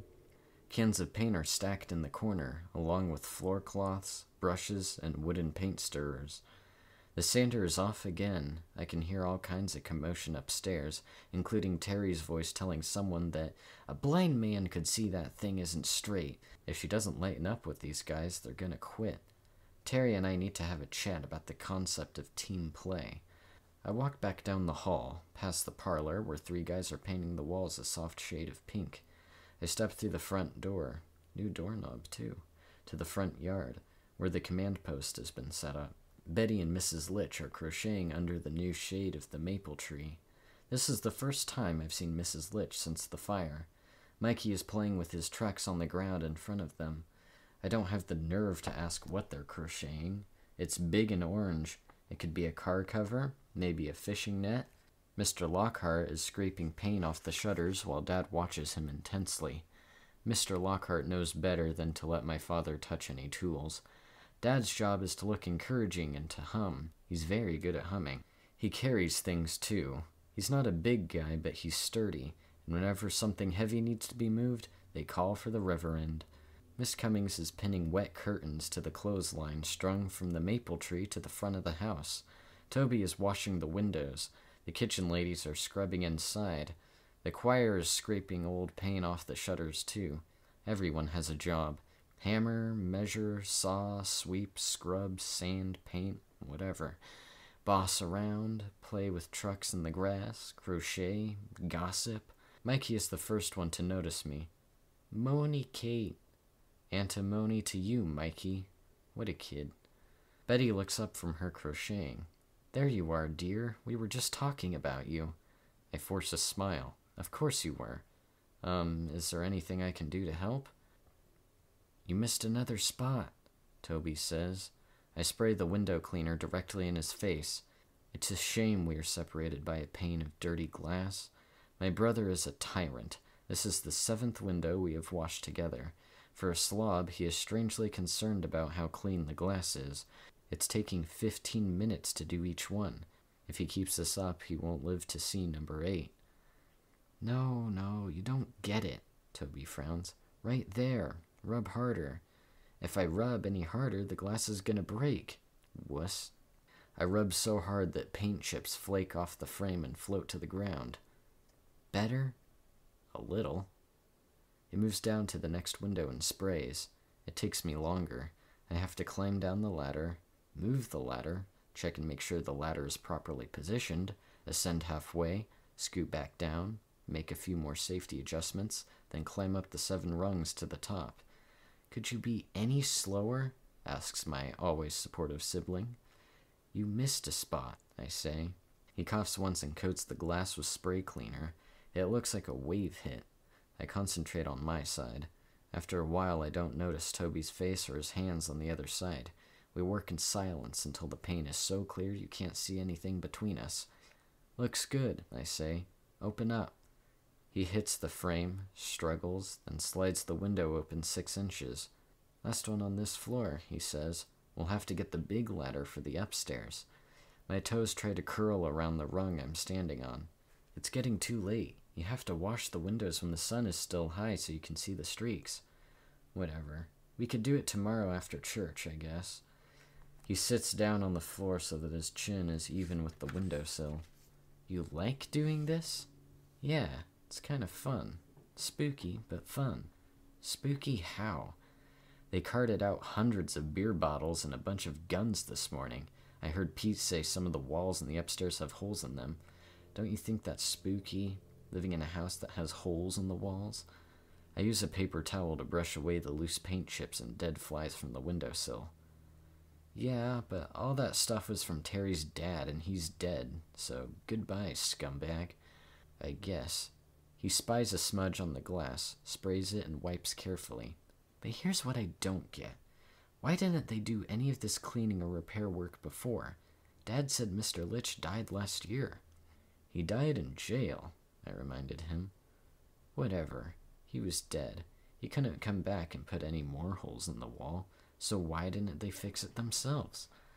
I peel off more flakes of paint with my fingernail. Little worms are chewing their way through the wood. No money, no time, no energy. Remind me to show this to Teri. I bet all the frames are rotting. They'll have to be replaced. Maybe that's another reason. Once you get started on something like this, it just gets bigger and bigger. He stops to cough. It's amazing he's lasted this long with all the sawdust, paint fumes, and mold spores floating around. You're done, Tobe. Time for some clean air. Out of there. Give me a break. Seriously, I shouldn't have let you stay in there for so long. You want me to use the nebulizer? Quit babying me. I'm fine. Pizza, someone calls from the front of the house. Yes, Toby bolts in the direction of the food, hacking all the way. I descend the ladder slowly, feeling with my toes to find the ground. 7.1 Synthesis Mitchell A. Pangborn's Saturn has become the pizza delivery van. He parks it and unloads the boxes from the trunk, handing them to Travis and Sarah, who carry them to the side porch. I think I want to say hi to him, but I have to wash my hands first. Miss Cummings and Mikey walk down the hill bearing leftover tuna casserole. Some volunteers use the arrival of dinner as their cue to head home, but a good dozen stay to chow down. Before the pizza is dished out, Dad asks all of us to hold hands and bow our heads for grace. Mikey drags Teri over to me so he can stand between us. When we take his hands, he pulls his feet up off the ground and swings back and forth, his eyes squeezed shut. Dad blesses the house, the food, the families, and the friends gathered around the pizza boxes. Then he grins and blesses the pepperoni, sausage, green peppers, onions, and extra cheese. Amen. Dig in. Teri carries a plate to her mother, sitting in the best folding chair on the porch. Then she sits down beside her to wolf down on a slice of pepperoni. Teri's face has gotten tanned this week, and I swear her biceps are even bigger. Mikey is wired. He climbs into Mrs. Litch's lap and eats a few bites of her pizza, then slides to the floor and rolls his toy fire truck around, scooting the length of the porch on his knees. When he gets to me, he drives the truck up my back and into my hair. I pretend to growl. He giggles and then crawls away. Travis takes his boom box out of Mitch's car and turns it on. My father listens to the mildly obscene hip hop for a minute, then fiddles with the dial until he finds a jazz station. Mrs. Litch unexpectedly pipes up and tells us about going to a jazz festival in Central Park in New York City when she was 15. Before I met Charlie, of course. She says that when she squeezed her eyes, she could see the notes like colors splashing in front of her. It's hard to imagine Mrs. Litch was ever 15 years old. Mikey steals a few noodles from the casserole dish, stuffs them in his mouth, and runs inside. Is everything cleaned up up there? Teri asks. He's fine. All the tools are put away, Dad says. I close the paint cans myself. The place is as clean as a whistle. I stretch across Sarah's legs and take another slice of extra cheese and onion. The conversation drifts back to jazz, to paint colors, to the sunset.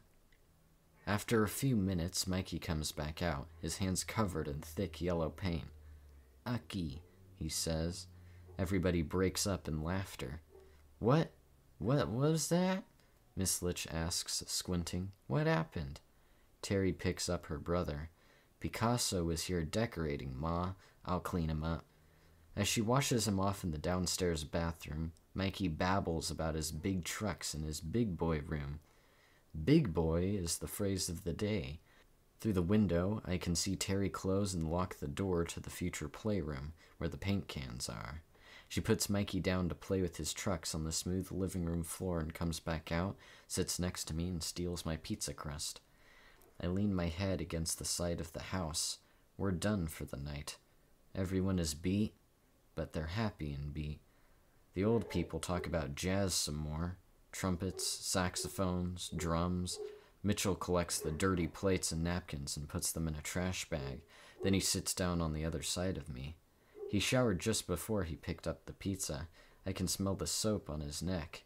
I'm too tired to move away. Almost too tired to be irritated by him anymore.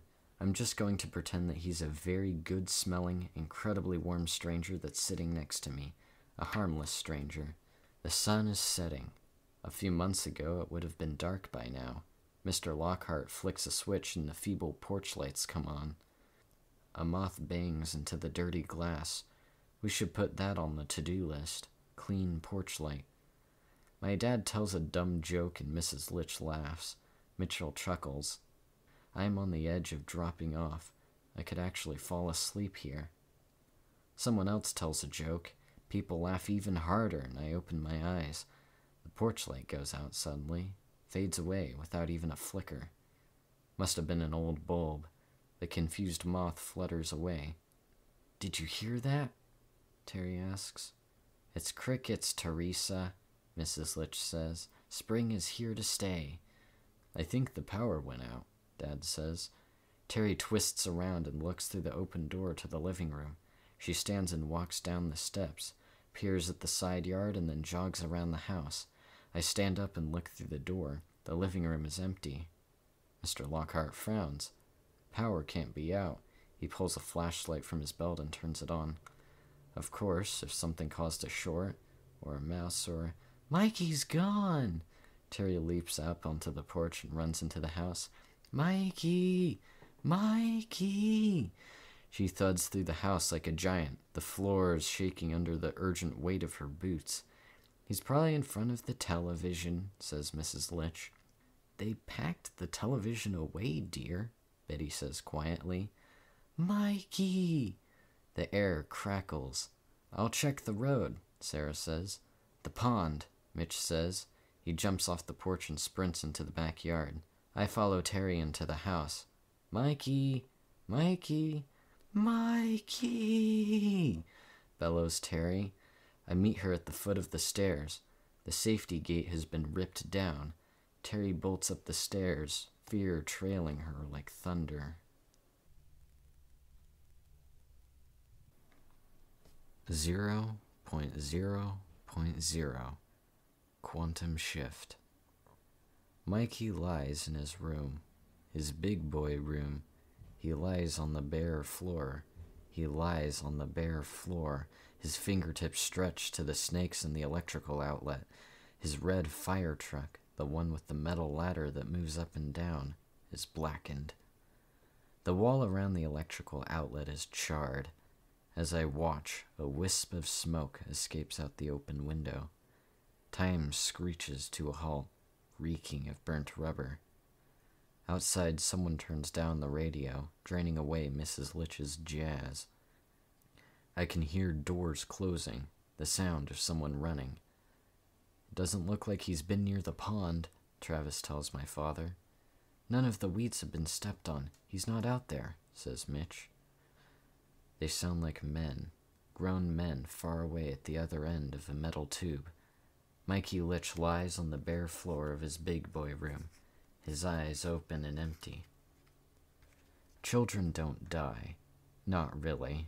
Not really. They don't die. They can't. They're wound up, charged with enough energy, enough juice to carry them for 70, 75 years. But a bottled bolt of lightning came from the electrical outlet and poured across the red fire truck it crackled through Mikey's fingertips and stole him away, even though we were all watching him and the doors were locked and the gate was up. Teri screams, Oh God, oh God, oh God, oh God, oh God, oh God, oh God. Time speeds up again. Teri sits on the floor, her legs stuck out in front of her like a broken doll, her dead Mikey in her arms. I am a shrieking ghost, seeing everything unseen. Daddy runs up the steps. Miss Cummings runs up the steps. The hard hats run up the steps. They peel Teri away from her Mikey, pry the baby from her hands. They lay him out on the hard floor, his arms thrown carelessly over his head like he wants to be picked up and swung around, spun until he's dizzy. Check his pulse, breathe into his mouth, pizza breath, grape juice stained. Push on his chest, one, two, three, One, two, three. Need the bread back from the dead. Breathe. Breathe. Broken doll Teri lies forgotten in the corner. I float across the room and settle next to her. Her hands are frozen into the holy shape of Mikey's head and his chin. I touch her elbow. I pet her shoulder.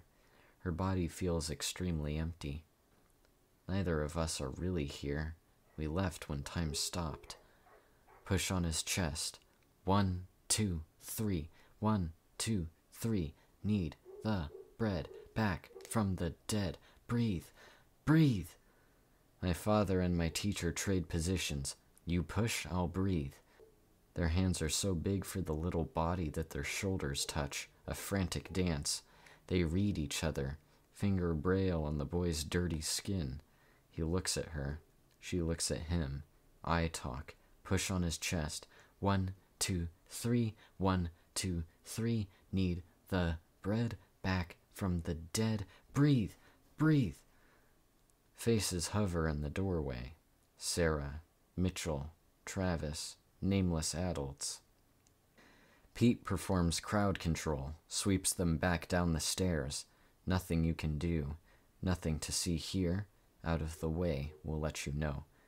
A fat pearl of sweat rolls down the side of my father's face, slips past the lines around his mouth, his Sunday night stubble, and falls splash onto Mikey's glass forehead. Red lights chase the shadows around the walls. An ambulance howls and skids into the driveway. My father's mouth moves and moves, but I can't hear him.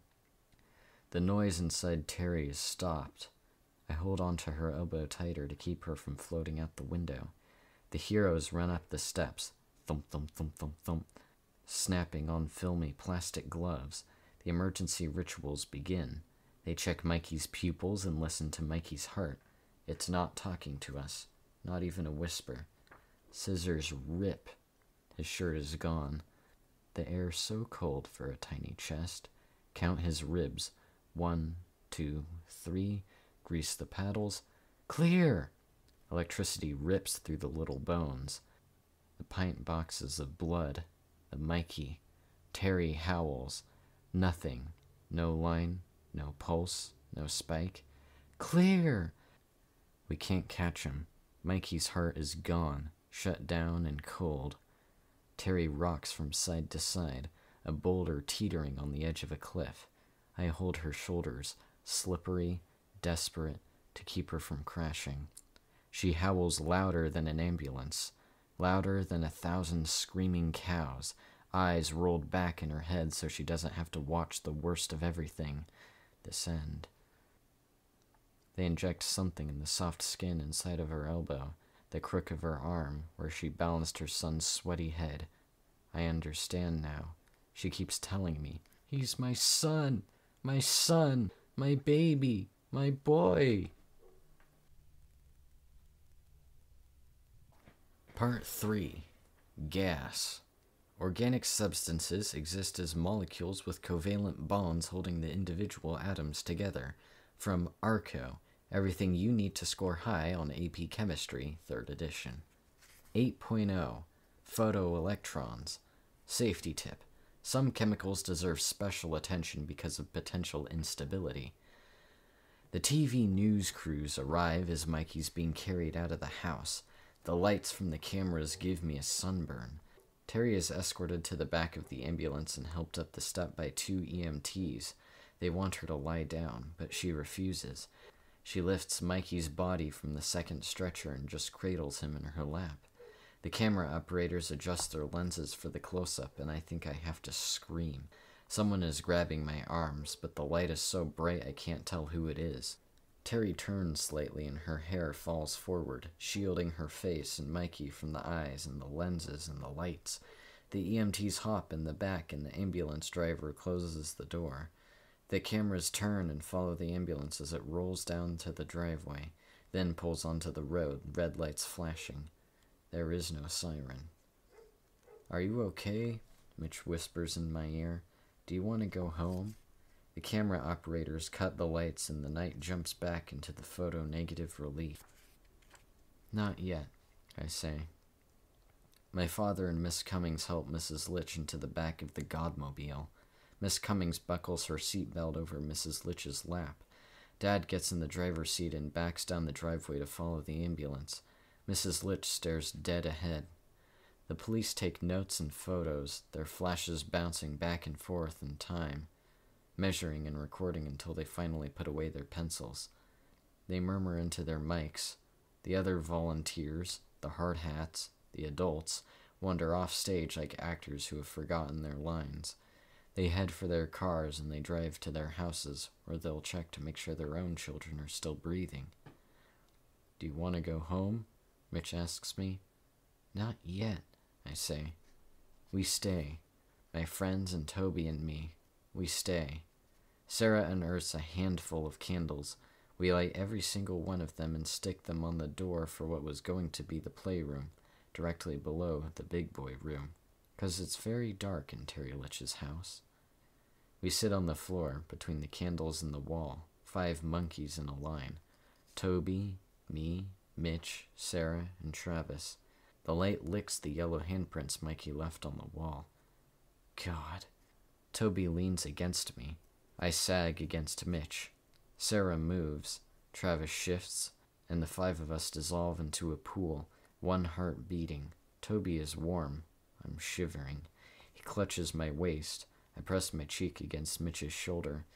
Mitch grabs the back of my neck. In our shadows, Sarah's hair flows from Travis's head. His legs grow out of her body. Travis reaches out and drapes an arm across my brother's shaking shoulders. We take turns breathing. They cry and their tears roll on the wood floor. My eyes are dry, frozen behind my contacts. I crawl onto a candle flame until it becomes a whiteout, the color of hospital walls and bandages and wax bodies. It feels as if my contacts are peeling off. I close my eyes and rub them with my fists. The light explodes like a broken kaleidoscope with all the gritty bits draining away. I untangle myself from the circle and wrap my arms around my knees. It's our fault. We let him go, I say. We weren't watching. Mitch's head snaps up. Don't say that, Kate. Don't even think about it. She can't help what she thinks, Sarah says. Mitch stands up. It wasn't our fault. Don't feel guilty. Toby wipes his face on his shirt and slides closer to the line of candles. You know what the worst part was? he whispers. What, Tobe? I ask. The way his arms flopped when she picked him up like he was made of rags. The candle flames blow another whiteout across my eyes. If anyone is at fault, it's that inspector. Mitch crosses his arms over his chest. He left the job site with a dangerous hazard out in the open. He could be arrested. At the very least, he should be fired. What? I ask. Sir frowns. Who cares? Somebody should care, Mitch says. This could be a massive lawsuit. I shiver again. I'm going to pretend you didn't say that. Nothing matters right now. Nothing. My brother leans forward and waves his fingers through a flame, testing at the speed at which he'll get burned. The heat crinkles the hair on the back of his hand. Mitch paces at the edge of the shadows. It does matter. It matters a lot. A kid died right here. Right here. Dude, settle down, Travis says. We know it was an accident. Accidents don't happen, Mitch says. Someone is always responsible. Toby presses his thumb into the soft wax at the top of the candle. He flattens the rim and sculpts it into a rose. Molten wax runs down the back of his giant hands and hardens. The light reflects up against the angles of his face, catching in the fuzz above his top lip. I don't want to talk about this now, Sarah says. Mitch turns in the shadows. How can you not talk about it? I just want to be quiet. You can't be quiet, he's dead. Travis stands up. Chill, take it easy. Toby moves to the next candle. I pull myself to my feet and walk to the collection of paint cans in the corner. I pick one up, carry it back to the light, and pry off the lid. Yellow the color of dried chrysanthemum petals. When Toby was tiny, he had a jar of yellow finger paint this exact same shade. I would cover the kitchen floor with sheets of blank paper, and we would just paint with our fingers and hands and elbows and knees and toes. I stick my right pointer finger in the paint. It's cold and yogurt thick. I dip my fingers in one by one and stir slowly, counterclockwise. I cut my hand in the yellow, then rinse it and let the paint roll down my arm. I dip it again, then stand up and fling my hand towards the wall like a magic wand. The paint flies, glistens, lands, a perfect sun splatter above the handprints that Mikey left. Toby looks up with a gasp. Sarah smiles. She takes off her rings and bracelets and braids her hair out of harm's way. Travis opens two more cans, red and blue. I plunge my left hand in, bring out dripping threads of rich blue sorrow. I throw a handful of blue at the wall. No, Mitchell, heartless Pangborn says. You can't throw paint at the walls. It's not your house. My contacts are working again. I can see his words hang in the air, then crash to the floor. He is standing so far away from the light that it's hard to make out the lines of his face. His hands are locked in the dark behind him. If you don't like it, you can leave, I say. He walks out without another word. When the door slams, the candlelight jumps. Toby dips his fingertip in the blue can and paints the figure of a tiny man on the wall. I throw more blue at the wall, leaving lines of color on the floor, on my sneakers and legs. Travis paints tiny monsters flying around the window frame. Sarah puts a yellow handprint by the light switch. Mitch's car starts up. He backs down the driveway slowly, then lays rubber on the road. I stand back and observe my masterpiece. I'm so not an artist. Does it matter? This wall, this house, it's all coming down. I bet they'll bulldoze it and sell the land. Sarah ties her t shirt up under her bra, and Travis paints a face on her belly. She draws a flower on his bald head. My brother finds a couple of Mikey's trucks in the living room. He dips an 18 wheeler into the surface of the red paint and runs the truck along the wall, leaving wet tire tracks. He hands me the moving truck. I dip it in blue. We work together until the candles burn out. Teri and my father return to our house a little after midnight. Mr. Spock and I are watching Star Trek reruns with Toby tucked under the quilt on the couch behind us. The front door opens and slams shut, and Teri shuffles past me without a word. On her left wrist, she's wearing a plastic hospital bracelet along with my watch. She heads up the stairs to my bedroom. I join Dad in the kitchen. He takes a beer out of the fridge and sucks it down while I wait at the kitchen table. When the beer is gone, he sets the bottle in the recycling bin. He leans against the sink and recites softly, bringing me up to date. To summarize 1. Teri is sedated. She'll be staying with us for an unspecified period of time. 2. Mrs. Litch is even more sedated. She's at Betty's house. 3. Mikey died of a massive electrical shock. 4. Mikey will be buried on Tuesday in the morning. The Litches want to get it over with. 5. Mikey didn't know what hit him. Dad gulps back a sob. He holds his breath for a minute, then exhales slowly. His eyes are watery and old. I'm sorry, Kate. I don't know what to say. He massages his temples and grimaces. I take his migraine medicine out of the cupboard by the sink, hand it to him, and pour him a glass of water. He tosses back the pill and drinks the water. Thanks. Can I ask you a question? He nods slightly. Mikey's father. It was Mr. Litch, wasn't it? Charlie. Dad turns on the hot water and carefully washes the glass before answering. Quite possibly. Probably. I'm going to try and get Teri into counseling, see if there's anything I can do to help. He takes a shaky breath. How's your brother? How's he doing? Toby was kind of freaked out, but he's sleeping now. I'm okay. He dries the glass and returns it to the cupboard. You should get some sleep, too. Go on upstairs now and turn out the light, will you? It's bothering my eyes. I hit the switch as I leave the room. He opens another beer in the dark.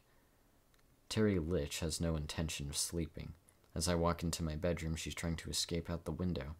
I grab her arm. What the hell are you doing? Go away. She shakes me off and tries again. Given her luck, she'll fracture every bone in her body. I put my arms around her waist and try to pull her to the bed. You have to stay here. She releases the window frame and looks down at me. Let go. No way, you're trying to kill yourself. She steps backward and pushes me off. Not killing myself. What do you call jumping out of the window? I just want to go home, she says. I flick on the overhead light and blink. She's not wearing her glasses. Her eyes are so puffy I can't see the pupils. There's scratches on her face, a bandage on her forearm. They gave you drugs, Teri. You need to sleep. You're not thinking clearly. She makes a flapping mouth motion with her fingers. Blah, blah, blah. I move between her and the window. Seriously, you can't go back there. Not tonight. There's no heat. So? The springs squeak as she sits on the edge of my bed. So stay here. Ask me to drive you to Betty's house so you can stay with your mom. Please, please, please. Stay here and rest. She shakes her head from side to side, her hair swinging gently. No, no, no. Where he died, the exact spot. That's where I'm sleeping. No way. Even I can see the mental health implications in that. Tomorrow, when the sun is up and you're feeling better, Dad will go with you. I will too, if you want. But you can't go back now. I'm serious, Teri. Listen to me. Sit down. Come back here, Teri. You can't. She closes the door behind her. Damn. 8.1 Residual Matter. By the time I get down to the Litch's house, Teri is upstairs, sitting cross legged on the floor where Mikey died. The moon is swimming through the window, casting silk shadows. She has stripped down to her bra, underpants, and mismatched socks. A semicircle of toy cars and trucks arcs in front of her. The half empty toy basket is in her lap. First in the line is a fire truck. Teri? Teri? She doesn't answer. Her eyes are focused on a spot beyond the cars. I drape the blanket I brought over her shoulders and laid the pillows on the floor beside her. The air is thick with moonlight and the smell of Teri. She breathes in and out slowly, a wet, reluctant tide. I'm trespassing on holy ground. The boards creak as I make for the door. Teri's arm shoots out towards me, her fingers splayed open. Do you want me to stay? I ask. Nothing. Did she hear me? Is she freaking out on whatever the hospital injected? Teri! My voice is too loud. What do you want me to do? Stay? She slides the toy basket across the floor. Suit yourself, she slurs. Another beat of silence. The house creaks as the air quivers with Litch lies and secrets and memories. I sit behind her, my back against hers. I take the ice cream truck out of the basket and set it in line. Next comes the police car, then the jeep, the motorboat, the cement truck, the bulldozer, one by one, the paint chipped, dented, wheel free vehicles of Mikey Litch line up until at last the basket is empty and the circle is finished. I can feel Teri twist as she looks to her right and left, making sure I completed the job properly. She settles back with a grunt and leans against me. The ridge of her backbone is thick, like she has hunks of granite instead of vertebrae. When we are balanced back to back, covered by the blanket and encircled by toys, her gray hand appears again slipping blindly towards mine. Our fingers weave together. Her hand is so hot I can already feel blisters forming. It's like holding on to a kerosene heater, hearing the sizzle and popping of burning flesh. Paint peels off my skin and drops to the floor, drops between the cracks, but I don't let go. 9.0 Radioactive Safety tip First aid kits in the lab must be clearly marked and identified. Sunday is a foggy day. Teri refuses breakfast and asks Dad to drive her to Betty's house so she can see her mother. Miss Cummings stops in after lunch and says Toby and I are in shock. She makes us pudding and leaves. I want to play hearts, but Toby keeps falling asleep. He could have a viral form of narcolepsy, or maybe he's suffering from exposure to the paint fumes that night. I take the phone off the hook so he can get some rest. I look at my homework, but it doesn't make any sense. I take out my contacts and put on my glasses, and that doesn't help. I think maybe I should do some laundry. I think maybe I should check my email. I think I should brainstorm about my MIT appeal. But all I can do is watch cartoons all day and half the night. It's really foggy out. Teri stumbles into my bedroom at one o'clock on Monday morning and wakes me up. She has walked from Betty's house to mine, with a stop at the moon for a beer or two or eight. I leave a note for Toby and Dad on the kitchen table and drive Teri to her house. We sleep on the floor of Mikey's room again. It's even colder than the night before. 10.0 Phase Transition Safety Tip Wear lab coat when handling corrosive or flammable substances. There's no point in going to school on Monday. No point whatsoever. Teri has other ideas. She shoves me awake at dawn. We're going to be late, she says, pulling on her dirty clothes. I rub my cheek. I toppled over in the night and slept on the cement truck. We don't have to go to school. Dad will call and explain. She pulls on her jeans. Why would I want to stay around here? Because you're in shock. You need counseling. You need Prozac and many other drugs. Your son is dead. You need to cry. You need more sleep. You need to eat something. You need to plan a funeral. You need to deal with all this shit. Fine, I say, trying to stand up. Let's go to school. When we get to my house, Teri walks straight to Bert and lets herself in the passenger's side. I duck in the house to change quickly and grab my books. I tell Dad what's up and remind him to give Toby his meds. The recycling bin is full of beer bottles and Dad is moving slowly. No comment. Teri doesn't say a word during the drive to school. She follows me through the parking lot and stands patiently in line to get through security. I show my ID and pass through the gates without setting off any alarms. Teri doesn't even reach for her wallet. She just walks through, head down. Don't you need to see her identification? I ask the security guard. Everyone knows Teri, the security guard says. Move along, please. The bell rings and the crowd in the lobby streams off and down the halls. We pass Student Body, the bizarre sculpture Mr. Freeman's art class built. Sure enough, someone ripped off the heart. The jockstrap, too. Teri failed to mention the part where she planned to accompany me to my classes. Miss Cummings' eyebrow arches up when we walk into chem, but she doesn't say a word. Teri takes a seat at the empty lab table by the fume hood. When she lays her head down, my necklace slips out from the collar of her shirt and the gold heart pings once on the table. She falls asleep instantly. My friends, enemies, and competitors whisper the expected questions and toss me notes, but I am a rock. I say nothing. In fact, I don't do anything either. Miss Cummings gets it. She calls Diana up to her desk and makes excuses for me and gives her instructions on how she can get through today's lab single handed. Diana comes back and tells me she's sorry about everything. Everything is a big word. The class gets to work. They are studying the rate of reaction influenced by the presence of catalysts and inhibitors and a bunch of other stuff.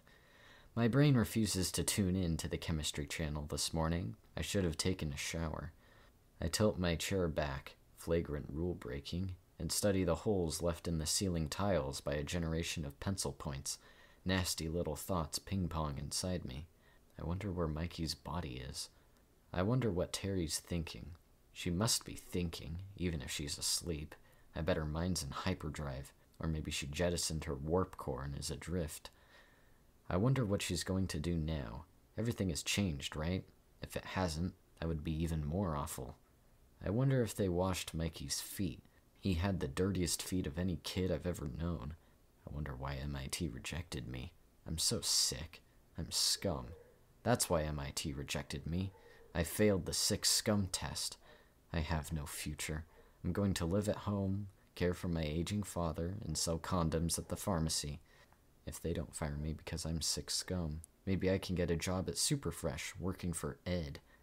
God, I'm cold. What's Teri going to do? What was she going to do before everything happened? College? The army? What about her mother? Can she live alone? Teri will join the army, rise through the ranks, and command the U.S. troops in the Pacific. She'll live in Hawaii. I will live at home, care for my aging father and her aging, blind, diabetic mother, and sell day old bread at the Superfresh. Sick, pathetic, overwrought scum. My quads hurt, my Achilles tendon, and that stupid pec muscle's bothering me again, probably from carrying around. Uh, suddenly, the class is empty, except for Miss Cummings at her desk, watching Teri, who's standing next to me. Class is over. Wake up, Teri says. Where do we go next? We eat. 10.1 Titanium. We have to walk past the football team in the cafeteria. The guys don't say anything to Teri, even though she glares at each one straight in the eyes, daring them, egging them on. They must have seen it on the news. Everyone knows everything. Every stinking little thing. Once we're past them, Teri's shoulders sag as if the air has been let out of her. I can't believe she's standing, much less has the energy to walk or dare the team to fight her again. She's made of titanium. Titanium doesn't tarnish easily. It doesn't conduct electricity so well either, considering it's a metal. Sarah and Travis are waiting with four coffee cups and a greasy bag of donuts. Like Miss Cummings, they're surprised to see Teri, but cover it with a polite, hey, and what's up? Where's Pangborn? I ask. He's not here, Sarah says. Teri, you want some coffee? Teri lifts her head. Yeah, thanks. Sarah gets up and jogs to the lunch line. Terry stares at the swirl of yellow paint on Travis's forehead. We finished painting the playroom, I explain. The other night after after you left, it's a little sloppy. We'll go back and paint it over when you want, if you want. She closes her eyes. Shut up, Malone. Just leave her alone. Sarah comes back with an extra cup. She carefully pours coffee from each of our cups into Teri's until we all have the same amount. Then she pushes the cup across the table and says quietly, We have glazed donuts. Teri takes a shaky breath and opens her eyes. I like glazed. I open the bag and offer it to her. She reaches in and takes one, then breaks it into two and hands the small half to me. I dunk it quickly in my coffee and take a bite. The icing melts and softens on my tongue, sweet and warm and delicious. Teri blows on her coffee, sips, then eats. She isn't even wearing her glasses. Come on, how did I not notice that before? The last time I saw her wearing them was that night, I think. In the ambulance? Before the ambulance? The swelling around her eyes has gone down a bit. There are dried lines of salt on her face. I overdunk and slop coffee on the table. I take another bite. When was the last time I had it glazed? Travis yawns. He puts four packets of sugar in his coffee, stirs it with a pencil, and gulps down half of it. You get any sleep? he asks Teri. Enough, she says. You? He smiles. Not enough. Do you want me to go home and get your glasses? I ask. I like it blurry, Teri says. Travis nods. Exactly. That was good. An almost normal conversation. She doesn't look like she's going postal or anything. Maybe as long as she stays in school, she can pretend it's still a normal day, and she'll go home, and Mikey will be there. If it hurts me to think about that, I can't imagine what it feels like for her. Sarah pokes my hand with her coffee stirrer. You should call Mitch. Why? Trav called his house, and his mom says he doesn't want to talk to anyone, so you should call him. Travis nods. Teri is lost in her coffee cup. He'll turn up, I say. You know him. The last time Mitchell missed a day of school, it was in first grade and had the chicken pox. He's been gunning for the district attendance record ever since. His mom said he was acting strange, Trav says. He was cleaning. Cleaning? He was so weird. Sarah swallows hard and studies her nails. You know, when we were painting. Travis licks his finger and uses it to pick up the spilled sugar on the table. Both you guys have been acting weird, if you ask me. Too much geek pressure. It's like you're having a symbiotic meltdown, Sarah says. They need sex, Travis tells her. Teri acts like she doesn't hear a word of this. She reaches for what would have been Mitch's cup of coffee and drinks from it. I brush the donut crumbs into my hand. Stop being melodramatic. No one's having a meltdown. Call it what you want. Pangborn is changing, Travis says. He's been watching that damned golf channel. It's polluting his soul. And you guys have been fighting. Aren't you worried? Sarah asks. I have other things to worry about right now, I say. Teri sets the empty cup on the table. She's still wearing her hospital bracelet and my watch. 10.2 Freezing Point Depression. We're trapped in a wormhole the rest of the day. My body's in slow motion, dragging through classes that look like video clips transmitted through a lousy modem connection. The memories of the weekend, they're all piped through a DSL line. Teri walks next to me. Teri sits next to me, wordless. I reroute us through the halls to avoid going near the preschool classroom. English, blah blah blah, no Mitch. Miss Devlin still thinks understanding Greek mythology is the key to happiness. If you ask me, Teresa Litch is a living, breathing Greek tragedy. AP Euro, the Balkan Wars, 1912 to 1913, helped create World War I. Why do they think we care about this? Teri spends the class writing in my notebooks. She rips out the pages and stuffs them in her pocket. Is this how she should be reacting? Maybe I should call my father. Calculus. Now I know I'm trapped in an alternate universe. Calculus has become pointless. Still no Mitchell Pangborn. My antennae are wriggling. Gym. It's raining. We're supposed to watch a video about the importance of stretching. Teri and I sleep on the wrestling mats instead. Study hall. Napping. Part 2. AP French. Who gives a merde? I don't take Teri to track practice, though I'm dying for a long, sweaty run. I have to take her back to the real world, plus, I'm still sore. There is a funeral director in our kitchen, Mrs. Litch sitting by his side. He has a giant binder open on the table, a binder filled with pictures of caskets. He doesn't look like a funeral director, he looks normal. This is a terrifying thought. You could walk past somebody like this in a mall, and you would never know he handles dead bodies all day. What other anonymous aliens are out there messing with us? Teri pulls out a chair. The legs screech against the floor. She sits down and reaches for the book of caskets. I'm so out of here. Dad catches me as I'm flying down the hall. He's wearing a black suit with a white shirt and a gray knit tie Mom bought him years ago. It is knotted against his Adam's apple.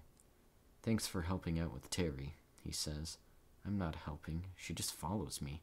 How are they going to pay for a casket? They cost thousands of. He holds up his hand. It's taken care of. Someone called and offered to take care of the expenses. They saw what happened on the news. Why do these generous mystery donors always wait until a kid dies before they show up? Where were they when Teri's father was coming into her bedroom and beating the crap out of her mother? I'd love to ask a Dad, but all I'd get would be the patient look, the you don't understand the ways of the world, little girl look. And if I got that now, I'd spontaneously combust into a million fragments of blond hair and bone and skin. Maybe you should go in and sit with her, he says. No way, I can't. I can't look at those things. I have to make a phone call, Dad, in private. 10.3 Transmutation. This is perverse, but I can't help myself. I can't think about Mikey, not for one second. I can't think about Teri or Mitchell or my father or anyone else. My hands seek out the phone and punch in the 10 digit number, plus one for long distance. I have it memorized. Hello, my name is Colleen Malone, I say, invoking the name of the long dead. Class of 84, I'd like to speak to someone about my daughter's application, Kate, Kathleen M. Malone. Was she rejected? asks MIT. Swallow hard, old girl. Uh, yes, yes, she was. We were wondering about an appeal, or if someone could tell us why you turned her down. She's heartbroken. I understand, purrs MIT. It's a hard thing to go through. After a couple of minutes on hold, sharing my social security number and other useless information, more time on hold, they finally patched the ghost of my mother through to somebody with an answer. Your daughter is very intelligent, no question about it. High grades in advanced placement classes, plays a sport, a few clubs. She won a national science competition, too. I see. She'll have no problem getting into any number of schools. But she's had her heart set on MIT since the fourth grade. I'm sorry, Mrs. Malone. The intercom buzzes. No, no, no. I shake my head like a two year old. MIT is slipping away from me. I can feel it. Is it the money? I ask. I know, I know, we're poorer than dirt, but she can work. I'll I'll take another job. Wash dishes, wash windows. Kate can work too. She's a good worker. We'll do anything. It's not the money, Mrs. Malone. We don't take our decisions based on the size of the applicant's bank account. Then what did she do wrong? MIT pauses. There's a boy entering this fall who has already patented genetic therapy on fruit flies. We have a girl who wrote her own translation program from Chinese into Somalian. They bring an extra something, that oomph. Oomph? Oomph. Your daughter is smart, Mrs. Malone, but she's missing something. That something extra. And frankly, her essays were weak. I recommend she work on her writing skills. I know you love her very much and you want the best place for her. MIT is not the best place for her right now. The intercom interrupts again. She would be an asset on your campus, I try. I'm sorry, I have an appointment now. The MIT mask slips back into place. I can hear the elastic band twang, vibrate, then go still. Good luck, Kate. Goodbye. No one is home at Sarah's house. I back down her driveway carefully and head to the other side of the development. I'm terrified that if I take my eyes off the road for even one second, I'll go out of control and run down an old lady or sideswipe a police car. Five blocks later, I park on the street, get out, shut my door, and lock it. Then I unlock and open it and double check that I turned off my headlights, double triple check that I have the keys in my hand, close the door, lock it, keys still in hand, check. Mrs. Pangborn opens her front door while talking into a telephone headset. They have to remove it. It's in the contract. I don't care how much it costs. My client refuses to take possession while there's a two ton statue of copulating Greek gods on the patio. Would you like to eat breakfast next to that thing? She waves her fingers at me and smiles. Hang on, Anne. I've got another call. She presses the button at her waist and gives me a quick hug that smells like Victoria's Secret lotion. Kate, I heard all about you, you poor thing. I'm okay. Do you want to stay for dinner? I won't pester you with questions, I promise. This is the first time I've seen Mrs. Pangborn with my contacts in. With my glasses on, it was always easy to see what it would look like to cook Christmas dinner with her, to invite her to my college graduation, thank her for my bridal shower, drop off the grandkids, and other assorted nonsense. With the contacts in, I can't see any of it. We're having salmon, she says. I can make a dill sauce. I blink. Thanks, but I can't. There's a lot going on at home. Is Mitch around? She rolls her eyes. In his room. I don't know how you finally did it, but thank you. He told us last night. He told you what? He's finally going to be practical about college. He wants to study international economics, then go to business school. Thank God.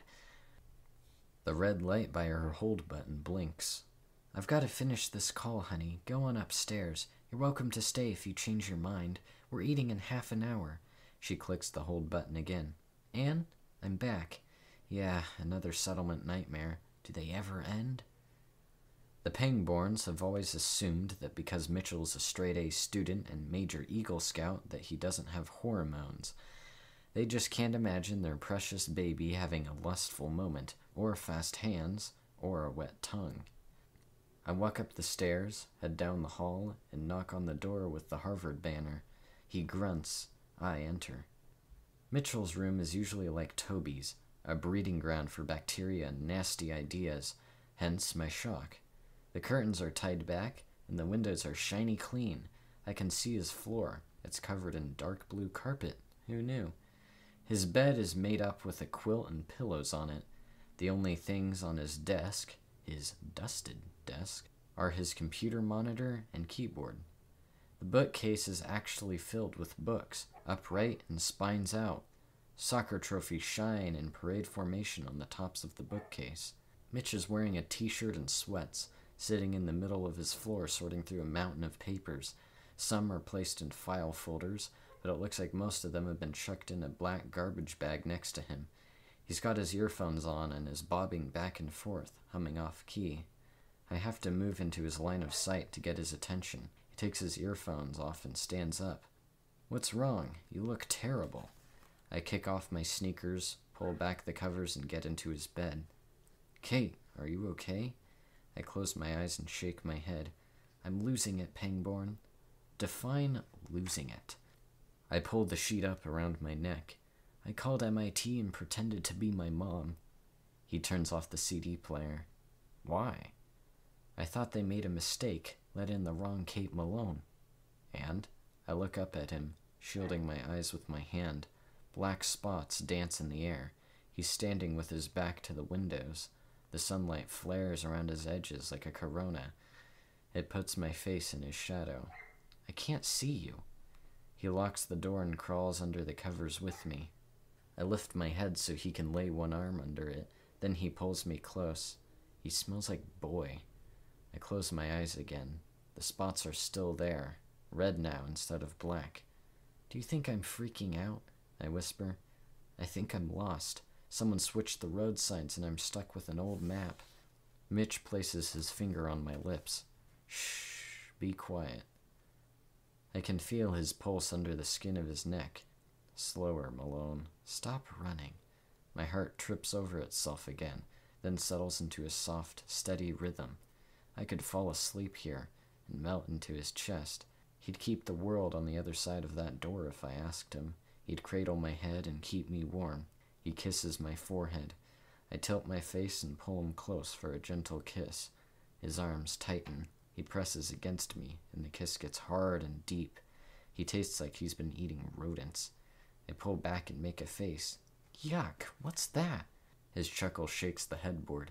Beef jerky. Sorry, I didn't think you'd be crawling in my bed today. I wave the air between us. It's fetid. All right, I won't breathe on you. He rolls on his back. Come here. I lay my head on his chest and he strokes my hair. I press my ear against his shirt. His heart beats lazy like a rocking chair. This is a good place to freeze time, right here, this very second. So, what did MIT say to your pretend mom? Telephone rings. Mrs. Pangborn's heels clatter across the tile floor in the foyer. Her voice echoes up the stairwell, chattering about nothing and nothing and nothing. She's a fab saleswoman, though. Kate? he asks softly. I smooth his shirt over his chest. It's a new shirt. I haven't seen it before. I, um, I lack oomph. That's what the MIT god told my mom. Spots dance in front of my eyes again. I am one of a million wannabe geeks. Great, just not great enough. And my essay sucked. Shit. Yeah. So you're not going. I'm not going. And look, I know things are a little weird between us right now, but please don't make me talk. I just need you to hold me because it sort of feels like gravity doesn't work anymore. He pulls me close. Not that tight, I say. I still need to breathe. Sorry. Is that better? Great. Thanks. Mrs. Pangborn's voice moves from the foyer to the kitchen. I can picture her taking the salmon out of the refrigerator. She'll smell it to make sure it's fresh, turn on the oven, spray a pan with no fat, butter tasting chemicals, and wash the vegetables. Mitch's voice rumbles deep in his chest. Which safety are you going to take? I have not been nice enough to Mrs. Pangborn. She offered to go shopping for a prom dress with me a few weeks ago, and then I blew her off. That was bitchy of me. Kate, I said I didn't want to talk. You don't have a choice. This is your life. Which safety? I curl into a ball and pull the sheet up over my head. I don't have a safety. What did you say? Speak up. I only applied to one school, MIT. I thought I was a sure thing. So I was right. You never wrote those essays. That's why you wouldn't show them to me. I pause to swallow the jerky taste. As much as it kills me to admit, yes, you were right. My boyfriend, my enemy, and my lust lie still for a moment. What does your dad say? He doesn't know. You're the only person that does. His heart is beating faster. Mine is about to propel me out of his bed. If you call me stupid or laugh. He takes a deep breath. Man, it's hot in here. He stands up, crosses the room, and opens the windows over his desk. Seen through the cotton weave of his shirt, his edges are blurry. He leans forward to look outside. So, no college in September. That sucks, really. I'm sorry. The oven door bangs in the kitchen. I bet we're having spaghetti at my house. Spaghetti and bread. I bet Teri isn't hungry, not after choosing a casket. It's funny, you know.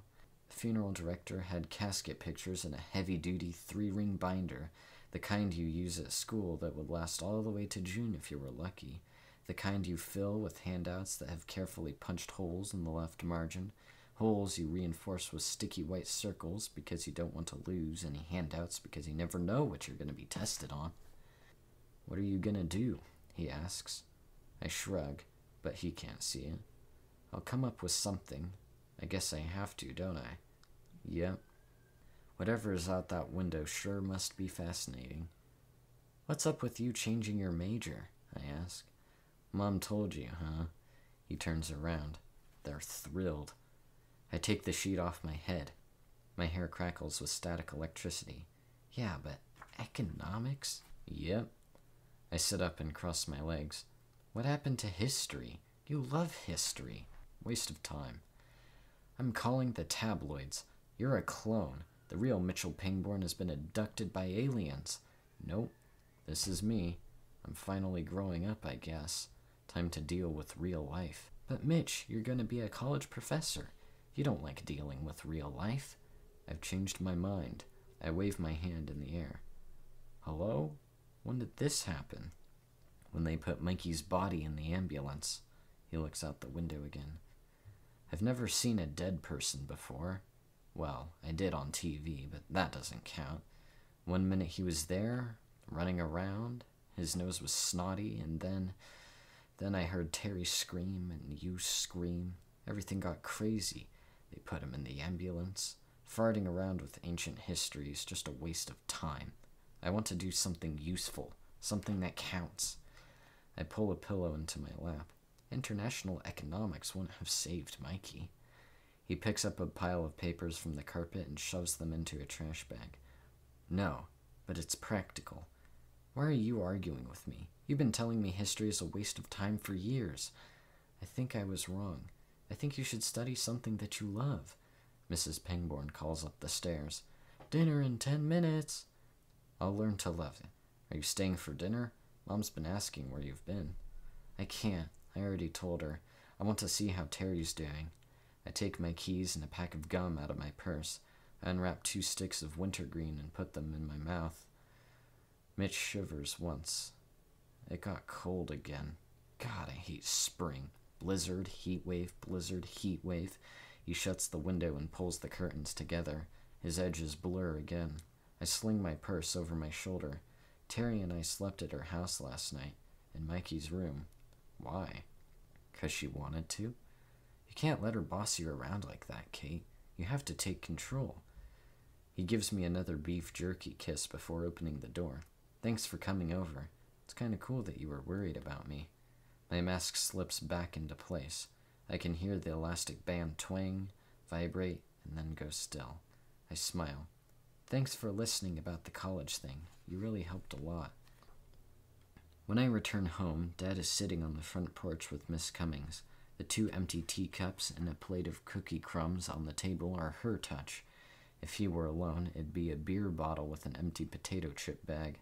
There's pizza inside, Dad says. Did Toby eat? He's over at a friend's house. I thought it would do him some good to get away for a little bit. What about Teri? I ask. Watching television, Miss Cummings says. She said the two of you were going to sleep at her house again. Well, no, actually, I want my own bed, all to myself, with clean sheets and no Litch odors or ghosts. Yeah, I say, whatever. How is she? Quiet. The funeral is all planned, and everything is ready. A rusty pickup truck barreling down the road backfires loudly. The sound makes Dad wince. Did you take your migraine medicine at dinner? I ask. I forgot. I'll get it for you. I pick up the cookie plate and teacups. Dad stands up to get the door for me. Is Mitchell Pangborn all right?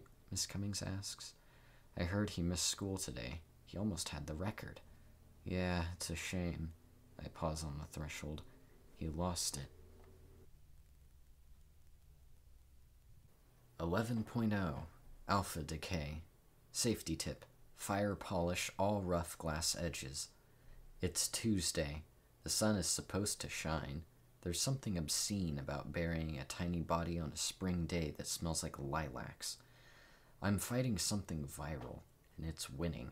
I've got chills, my head hurts, and I want to heave. My eyes are so irritated and dry that I can't get my contacts in. I shouldn't have gone running last night. I slipped the black dress over my head, reach around, and pull up the zipper. A black velvet headband keeps my hair out of my face. I put on my glasses. A perfect little mourner stares back from the mirror, with clean hair, depressing clothes, and low heeled shoes. Got to do something about the bags under my eyes. Teri changed hours ago.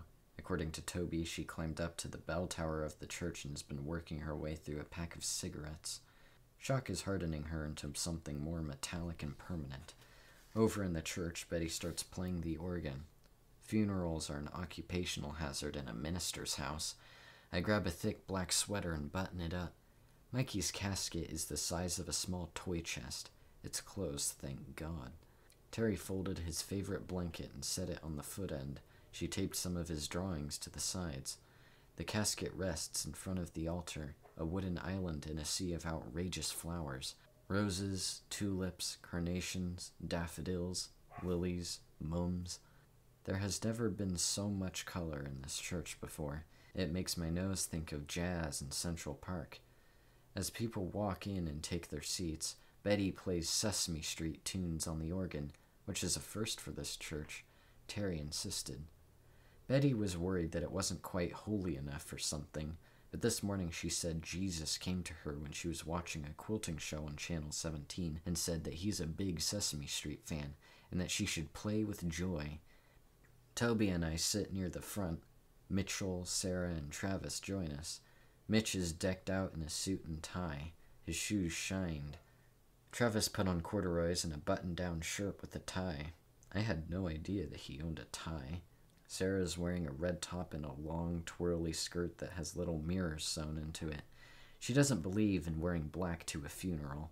She gives me a hug before she sits down. People keep coming, more than I thought. The entire hard hat crew is here. All the kitchen ladies, the ambulance drivers, our principal, and a couple of teachers from the Votech and the preschool, and the librarian. Teri walks her mother down the center aisle with some help from Miss Cummings. They sit in the pew in front of us. All of us, Toby, me, Mitch, Sarah, and Travis, reach forward one by one to pat Teri's shoulder.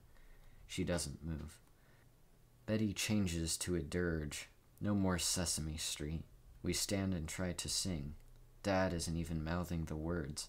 When the last minor chord warbles away, we sit. Dad takes his place in the pulpit and bows his head. In this light, there is more white in his hair than brown. One minute ticks by.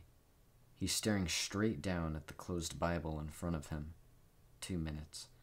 My hands curl into fists, the nails biting into the palms.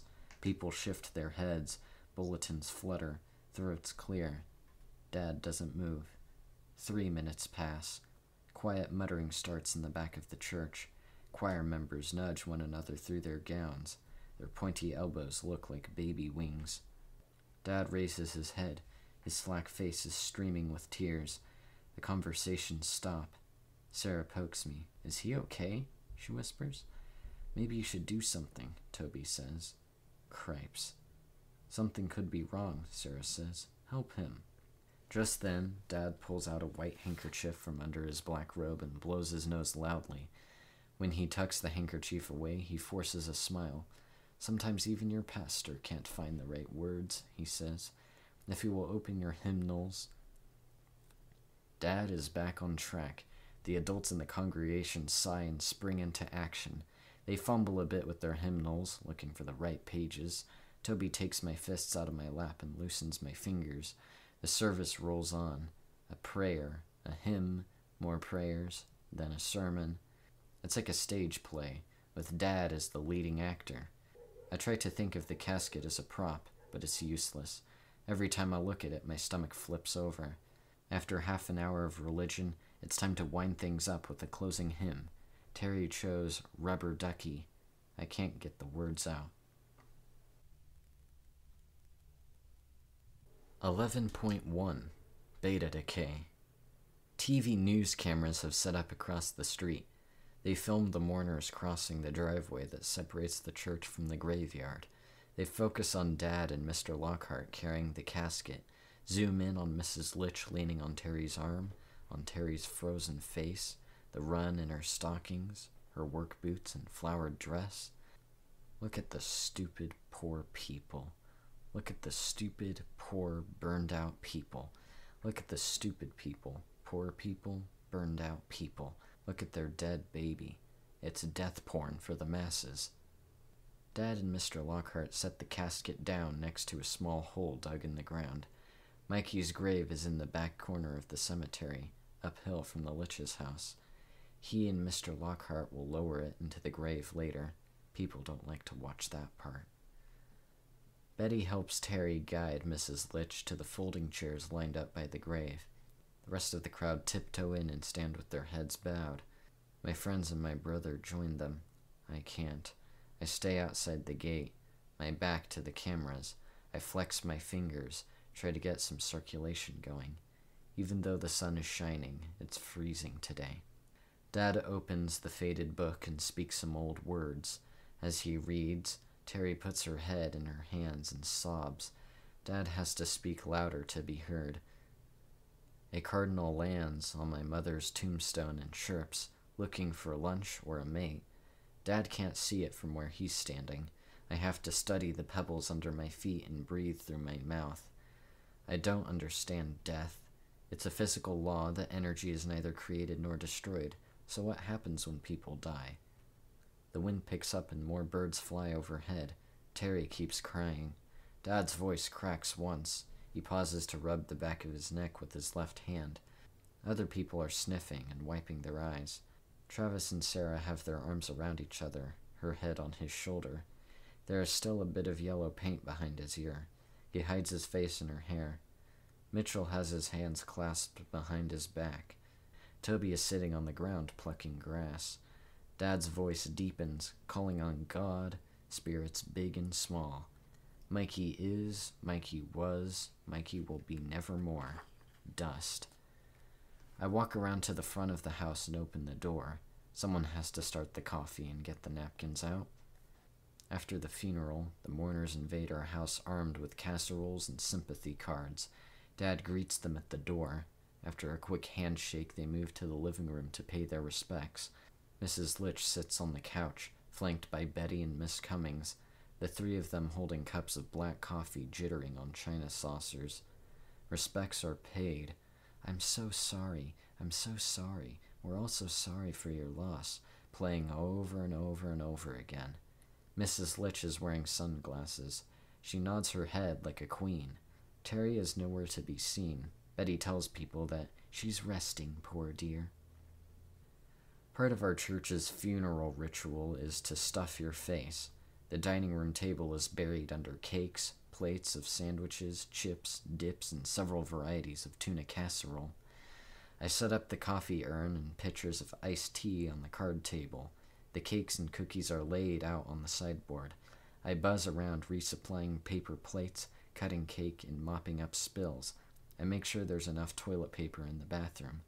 My flu symptoms seem to have abated. Maybe I ate something that was spoiled, or the lack of sleep caught up to me. Toby disappears into his room with his Game Boy and Mr. Spock. Teri's gone too. I'm too busy to worry about them right now. I send my friends back to school, back to normal. We all hug, hug, kiss, kiss. Mitch tries to hold on too long. I squirm away. The adults mingle and murmur. I'm so sorry, we're so sorry. Have another piece of that nut bread. Did you get something to drink? Your rose bushes look so healthy. What are they going to do? Is it true what I heard? Apple doesn't fall far from the tree.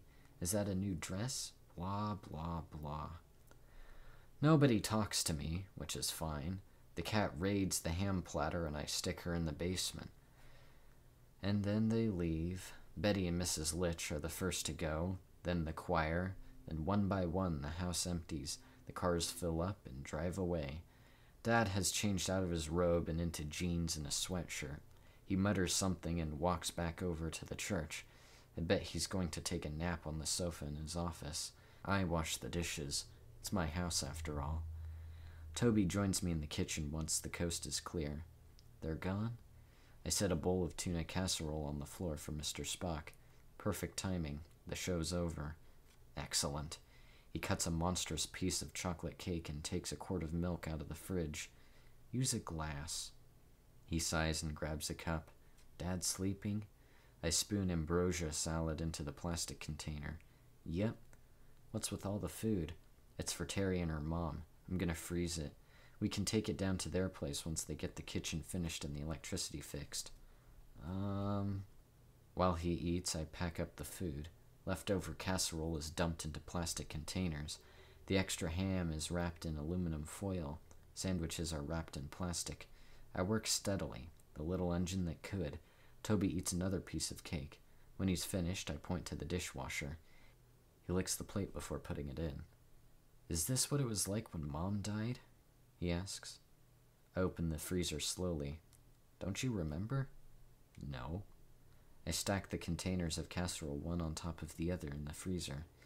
I guess. Toby hands me a container. You guess? I put the last container in and shut the door.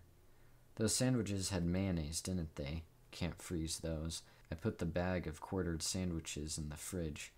You can take some to school if you want. The funeral, Kate. It was just a funeral. You've seen plenty. Was I there? What? When I was real little. Did Dad let me go? Okay. The dishes were washed and the food put away, but the counters are filthy. Someone spilled lemonade and it looks like the top must have come off a salt shaker. I take the comet out from under the sink. Kate? I don't know. First, I wet the surface and then wipe up as much salt as I can. Then I sprinkle the comet on the countertop, squeeze the sponge under hot water, and scrub. I don't remember. Toby leans against the refrigerator. Dad told me that all of the grandparents came, and Grandma Stewart was already senile and kept wandering off. If Dad told you about it, why are you bugging me? I rinse out the sponge and scrub some more. Because he won't tell me anything. I used my thumbnail to scrape away something hard and gray stuck on the middle of the counter. It was oatmeal. I think he likes to pretend it never happened, Toby adds. You got that right. I rinse the sponge again and wipe down the counter. That looks much better. Help me with the trash. Toby snaps open a garbage bag and holds it while I lift the smaller bags out of the trash and dump them in. How many people were at Mom's funeral? As many as today? I spin the garbage bag and fasten a twist tie around the neck. There were lots of cars. They had to park in the front yard and way up both sides of the road. I set the bag by the back door and wash my hands. Then I snap off a square of plastic wrap. The salad needs to be covered. Toby hops up on the counter. Did she have an open casket? The plastic sticks to itself. Jeez, Tobe. I crumple it in a ball and try again. I don't remember the casket. You're lying. No, I'm not. I pull the last of the plastic wrap off the roll and stretch it across the bowl. It seals perfectly. Did Dad help carry her casket to the grave? It's morbid to obsess about funerals, you know. He carried Mikey's casket. Did he help carry Mom's? I honestly don't know. Why not? We need more plastic wrap. Why not? I open the refrigerator door and talk to the skim milk. Because I wasn't there, okay? You want to know what I remember? I remember running out of the church. I was wearing black patent leather shoes and I ran down the road and I got blisters and I kept running and the blisters popped. And then I kept running even more and then my feet were all squishy and wet and I kept sliding in those stupid shoes like I was ice or something. By the time they found me, Mommy was buried in the ground. I didn't see it happen, but I don't remember it, okay? Toby pushes himself off the counter. Yeah, okay, relax. I just wanted to know. I let the cold air cool me down before I put salad on the top shelf. Sometimes not knowing is better. I close the door a little too hard and the magnets fall off. Toby bends down and helps me. We work silently, putting up his soccer schedule, my track schedule, his honor roll certificate, my honor roll certificate, a list of emergency telephone numbers, a postcard of the MIT campus, another postcard, an old one, of the periodic table. The last piece of paper is a drawing of Mikey's, an enthusiastic roundish thing entitled Ball. I let Toby put that one up. I wash my hands again. I'm going to the store to get plastic wrap. Want anything? He bites his lip. Maybe you should go to the store later. Why would I want to do that? Well, she was in a hurry. I figured she wanted to get away from everyone, you know. No, I don't know. Tell me, who left? Teri. Teri borrowed your car an hour ago. She said she needed cigarettes. 11.2 Entropy. Good news, she didn't take Bert far. Bad news, she's swinging a sledgehammer and yelling. I sprint down the hill to the Litch house. More good news, sort of. She's not pulverizing my car, she's attacking the half renovated kitchen at the back of her house. The back door's been torn from the hinges and the window smashed to bits. Her hair is coated with dust and swinging wildly around her face as she wields the sledgehammer, every blow punctuated with a curse. She's in a trance, lost in the action of beating a counter to death, heart pumping, lungs like bellows. The kitchen looks worse than it did after the fire. The double insulated windows are shattered. The new drywall has been ripped from the studs, and all but one of the cabinets have been torn out and smashed to the ground. The sink is still hanging from the wall, but the drain pipe under it is missing. She hasn't torn down the roof or ripped up the floor yet, but the way she's going, it's just a matter of time. Bert is parked dangerously close to the storm. He looks unharmed, though I bet he has a nail or two in his tires. It's a miracle she hasn't hit him with anything, the way she's tossing lumber and tools around. At least she didn't drive him into the bridge abutment. Teri drops the hammer and kicks the counter fragments out the door to the ground below. Yesterday there were steps leading from the dirt to the kitchen door. Now they're gone. She picks up a crowbar and inserts it in between the last cabinet and the wall. She leans back, veins standing out of her neck, and pushes with her lungs, her butt hanging out for leverage. The nails scream. She swears, and the cabinet breaks free and tumbles to the floor. She tosses the crowbar aside and crouches down to pick it up. It's too big for her to get her arms around. You want some help with that? I ask. She jumps a bit and squints through the former window in my direction. She's not wearing her glasses. No. She takes a length of rope on the floor and ties it around the fallen cabinet. I climb up into the kitchen. That's awfully big. You might hurt yourself. Teri tightens the knot, then wraps the ends of the rope around her fists. She bends her knees deeply and pulls. The cabinet moves slowly, scraping grooves in the new plywood subfloor. She pulls until the cabinet is almost to the doorway, then she moves to the other side and pushes it off with her boot. It lands on the ground with a little crack. Or maybe not, I say. Teri takes off her work gloves and lets them fall. She picks up a can of soda from the floor and gulps it down, then wipes her mouth with the back of her hand. You come down here to stare at me? No, I was looking for my car. Could have asked, you know. She crumples the can in her fist and flings it into the yard. You're such an idiot. Here. She takes something out of her pocket. I used the keys this time. She tosses them over my shoulder. I don't move. It's not just the car. I was worried about you. I bet you were. She slips her work gloves back on, picks up the crowbar, and jumps to the ground. She breaks the cabinet into kindling with just a few blows and then kicks the pieces. Is the party over yet? she asks. Yep, your mom went back to Betty's house. Did she ask where I was? No. Typical. She studies the crowbar in her hand for a second, then sets it on Bert's roof and reaches in for a pack of cigarettes that's on the dashboard. She shakes one out and sticks it between her lips. She shakes another one halfway out and offers it to me. No thanks. Suit yourself. She tosses the pack back in the car and lights up. I saved the leftovers for you. They're in the freezer. She inhales deeply and blows smoke at the sky. It floats above her head like a gray ceiling, then dissipates and drifts away. People always bring too much, I say. She removes a flake of tobacco from her tongue and inhales again. The ash at the end of the cigarette is the same color as her face. I should go. My car's in one piece. None of my business if Teri wants to wreck her house. I need to go home and wash the kitchen floor, check my email, call Diana for the chem lab notes. I have to buy plastic wrap. I really should go. Teri flicks the end of the cigarette with her thumb and the ash crumbles. I dressed him, you know. Dressed who? Who do you think? Idiot. Moron. Oh, sorry. That must have been hard.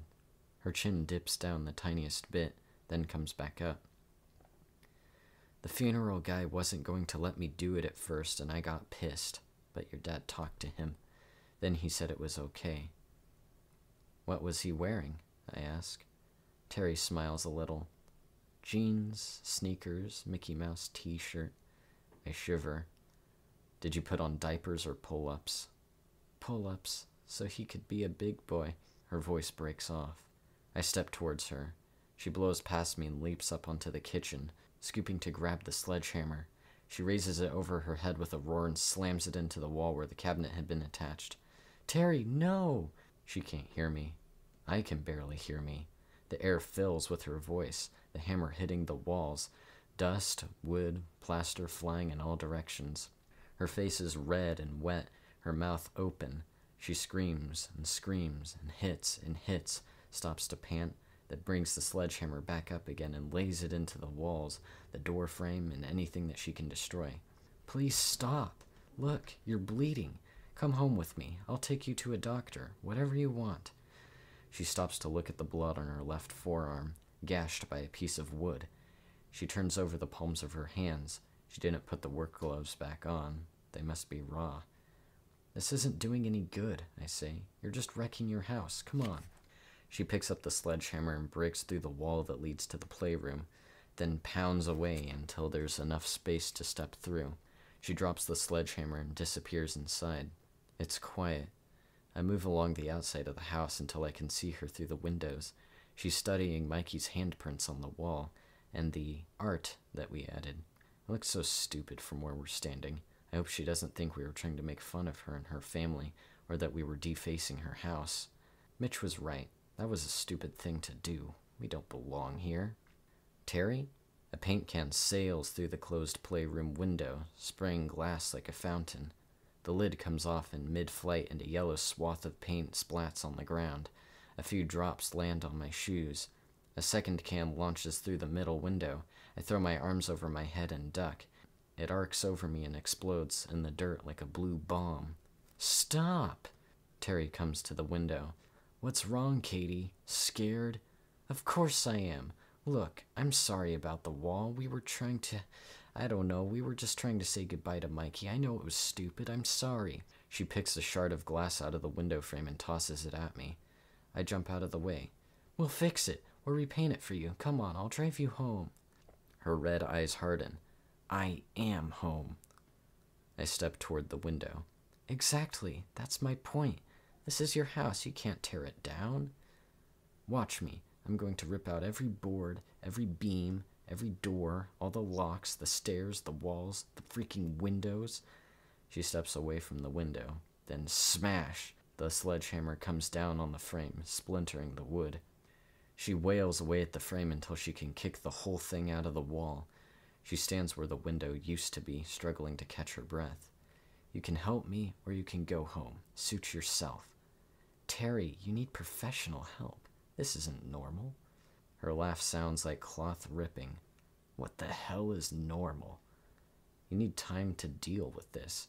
You need time to deal with this. Talk to a counselor or something. That's bull. You're not thinking. I don't want to think. That's ridiculous. She pulls a broken piece of plastered covered wood from the wall. Ridiculous? When I wasn't looking, my kid wandered upstairs and got killed. He got his brains fried.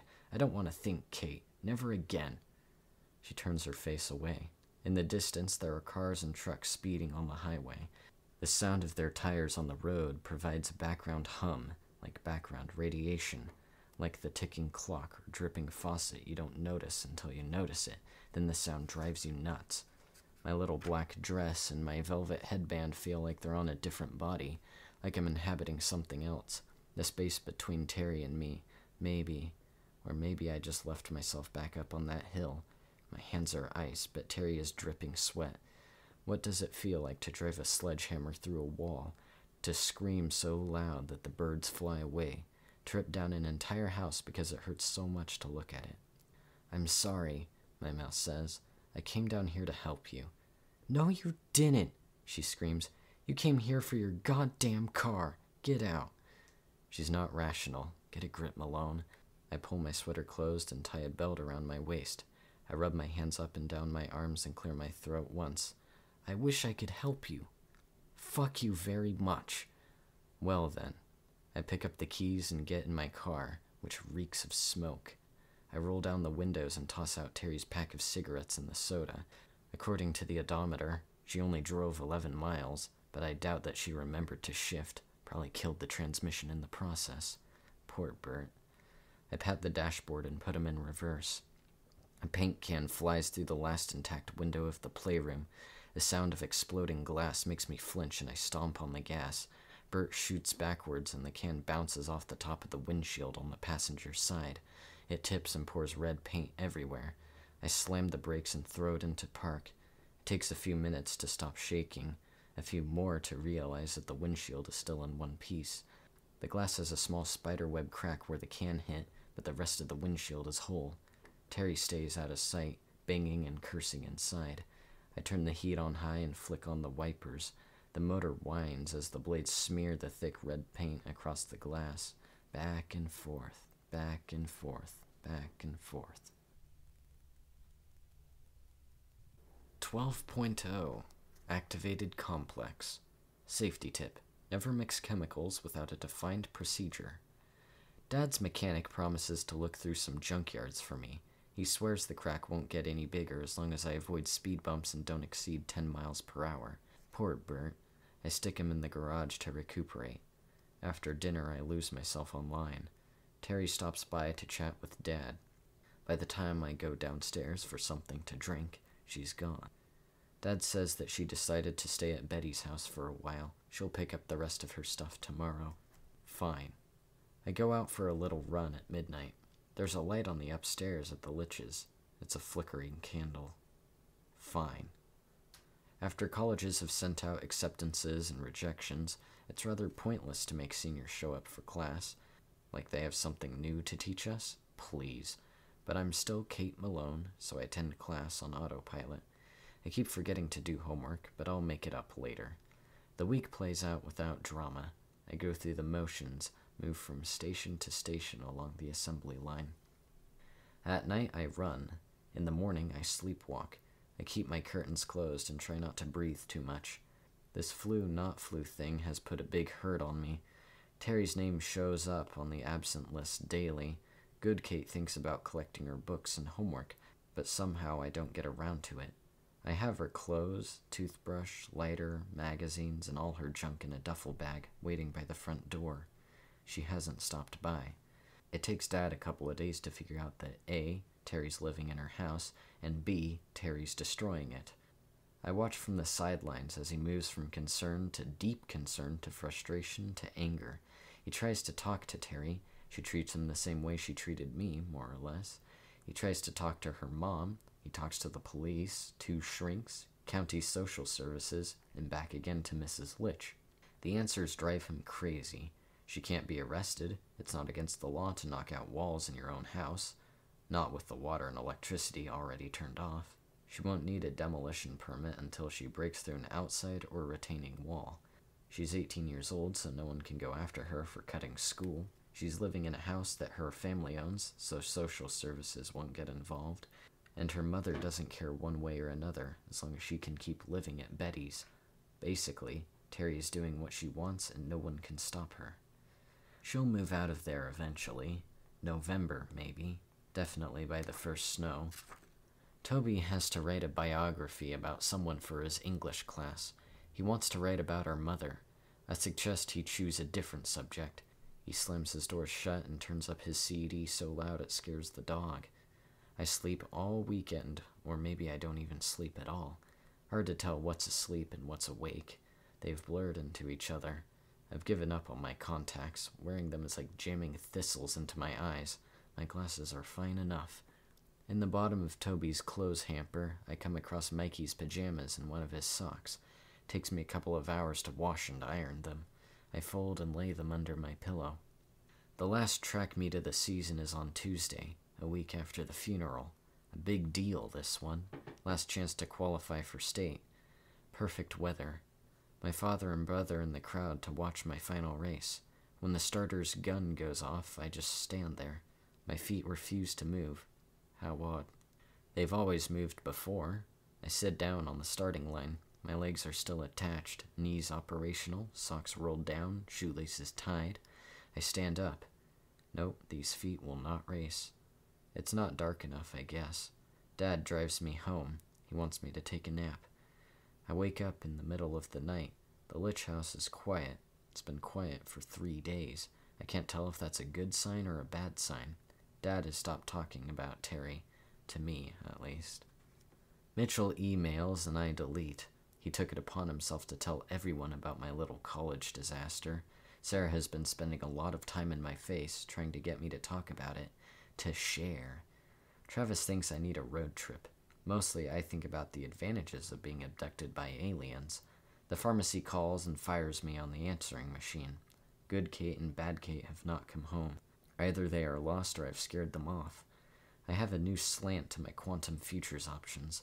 I could work in a coal mine. I could move to Australia, learn how to shear sheep. I could donate my body and brain to science. I could volunteer at a third world orphanage. I could work on a cutter in the Arctic. When I show Sarah the new list, she throws it out.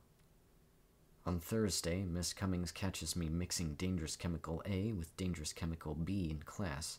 This creates quite a reaction. We have to evacuate the building, which is a pain. On Friday, Dad makes me stay home and commands me to rest, as if. When he leaves, I sneak into Toby's room to clean. I open the windows, strip the bed, and take out the trash, and put all of his gym socks in a caustic bleach bath. His mom project is on his desk, hidden under a layer of comic books and algebra books.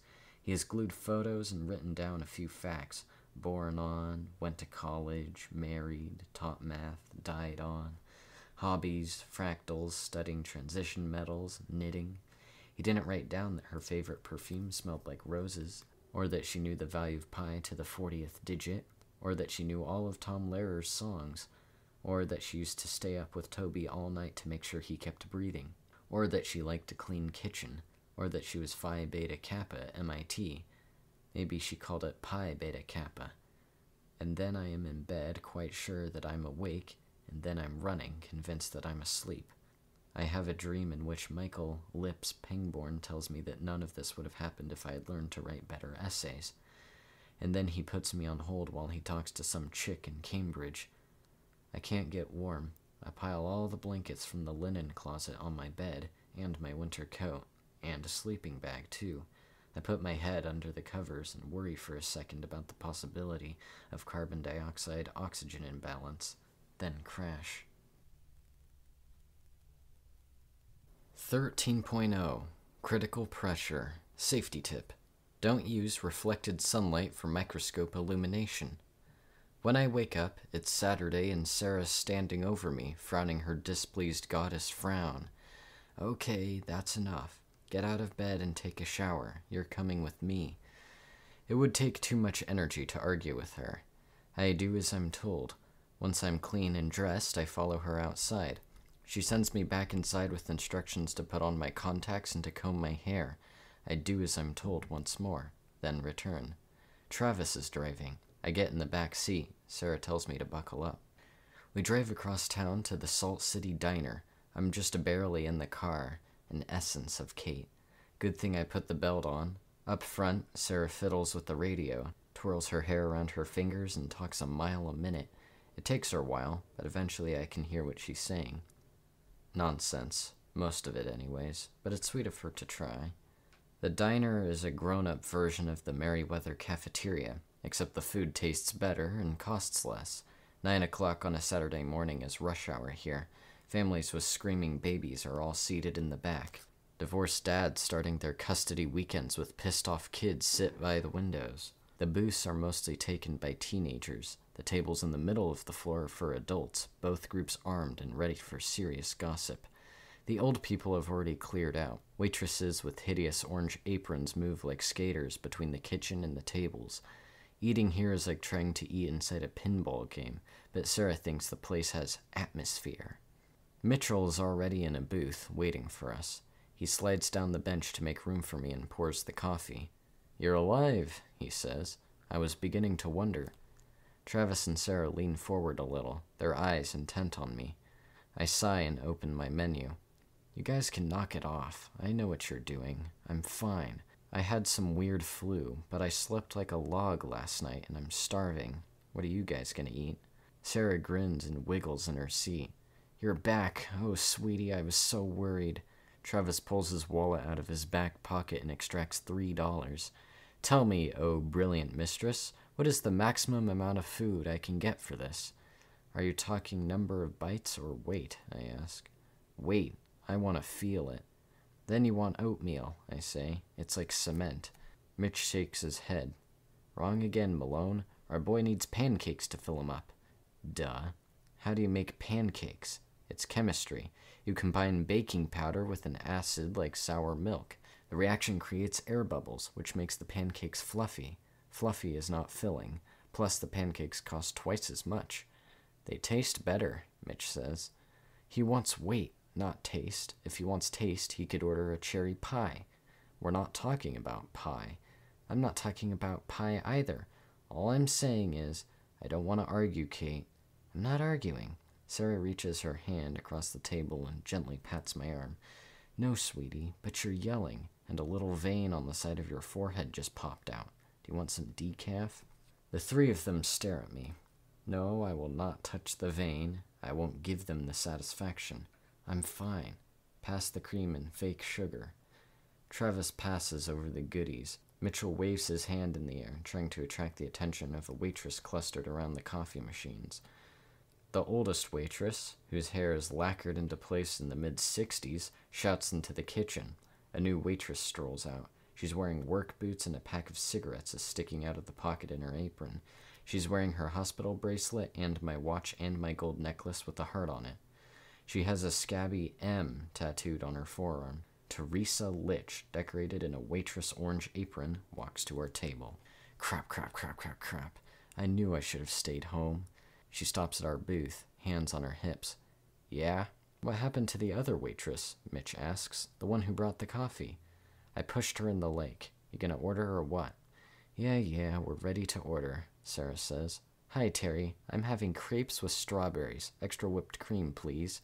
Travis opens his menu again. What'll fill me up more, pancakes or oatmeal? Pancakes, Teri says. They're like lead. They're not fluffy? Hockey pucks.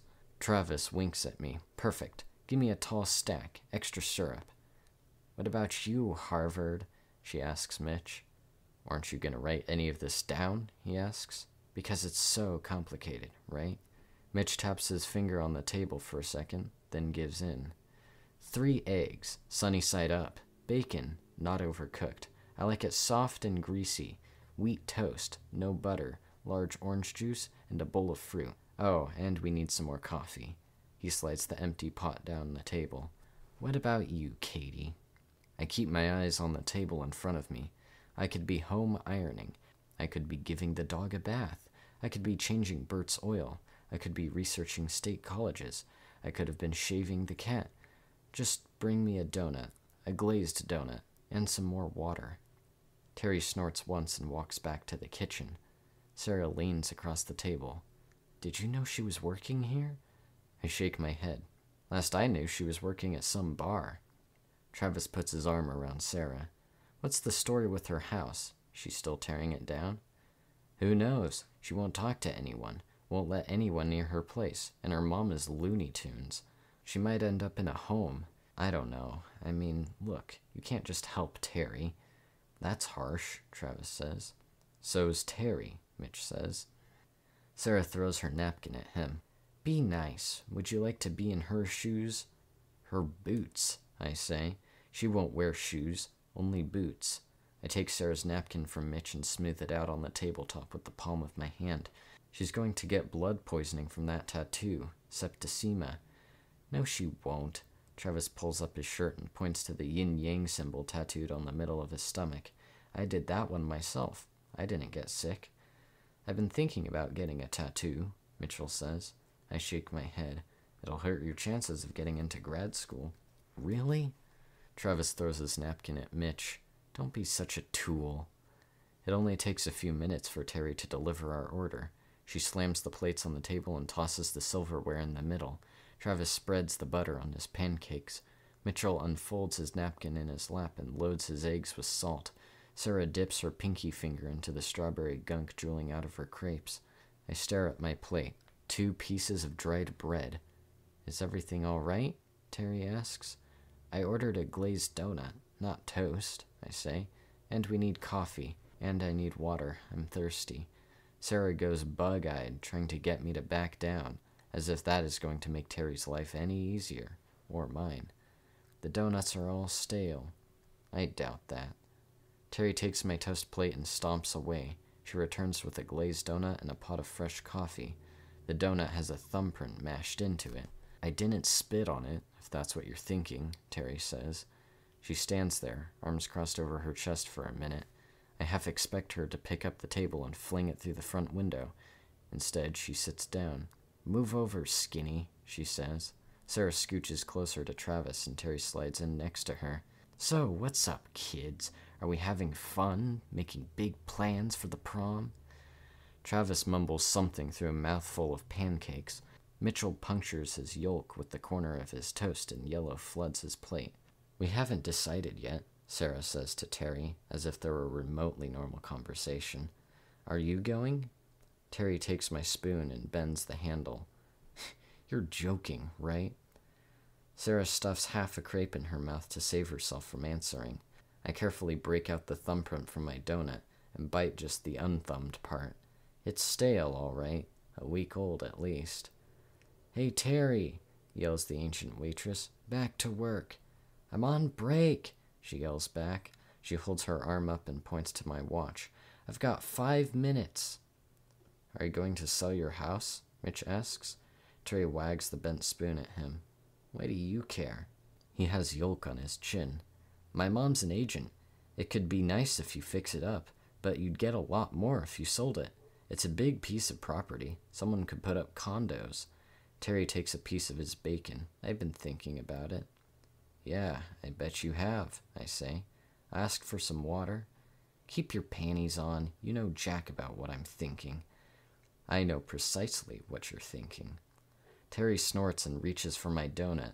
Mitch's hand shoots across the table and grabs her wrist. I wasn't planning on him doing that and then his voice, sounding like it crawled out from under a rock, said, Don't touch her food, he says. Chill, Pangborn, Travis says. Teri's eyes go flat behind the thick lenses of her glasses. Her fingers collect into a fist. What are you gonna do about it, Harvard? Mitch leans toward her and squeezes harder. I don't have to do anything. You did it yourself. We were all really sad that Mikey was killed, alright? And I know that you've had a really hard life, but that doesn't give you permission to make Kate feel like shit, or to make fun of people, or steal from them. Don't touch her food. He releases her wrist and sits back, his fingernails made red half moons on her skin. Break's over, calls the old waitress. Teri blinks a few times, breathing hard. Her arm is still lying across the table. Fist, red fingernail marks, sneaky blue veins, and a crooked tattoo. Kate asked for water, Mitch says as he spears his egg. She stands up. Her apron is wrinkled. She's got plenty. I mean it, Litch, the old waitress hollers. Teri reaches behind her and tugs at the bow of her apron strings until it becomes undone. She walks away from our booth, pulling the apron over her head as she goes. Oh no, Sarah whispers. Way to go, Pangborn, Travis says. That was boneheaded. It's not my fault if she quits, Another day and they would have fired her. They won't look at me. Sarah and Travis dig into their food. Mitchell pours himself another cup of coffee. Over the noise of the crying babies, buzzing conversations, and forks scraping plates, tapping spoons on mugs, I can hear the shouting in the kitchen.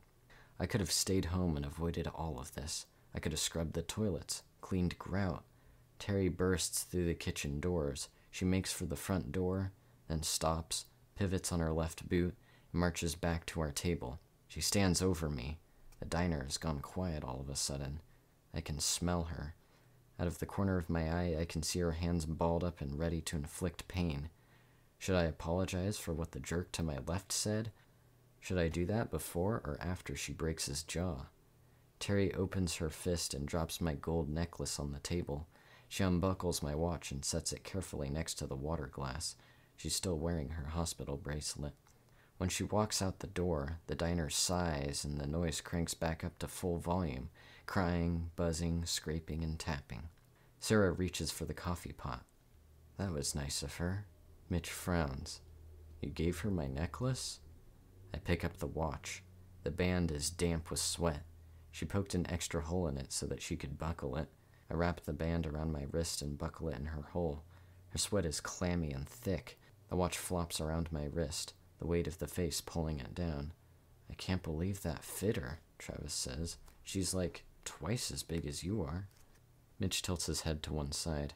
Why did you give her my necklace? I pick up the part of the donut that has Teri's thumbprint and stick it in my mouth. It's as dry as a rock and just as hard.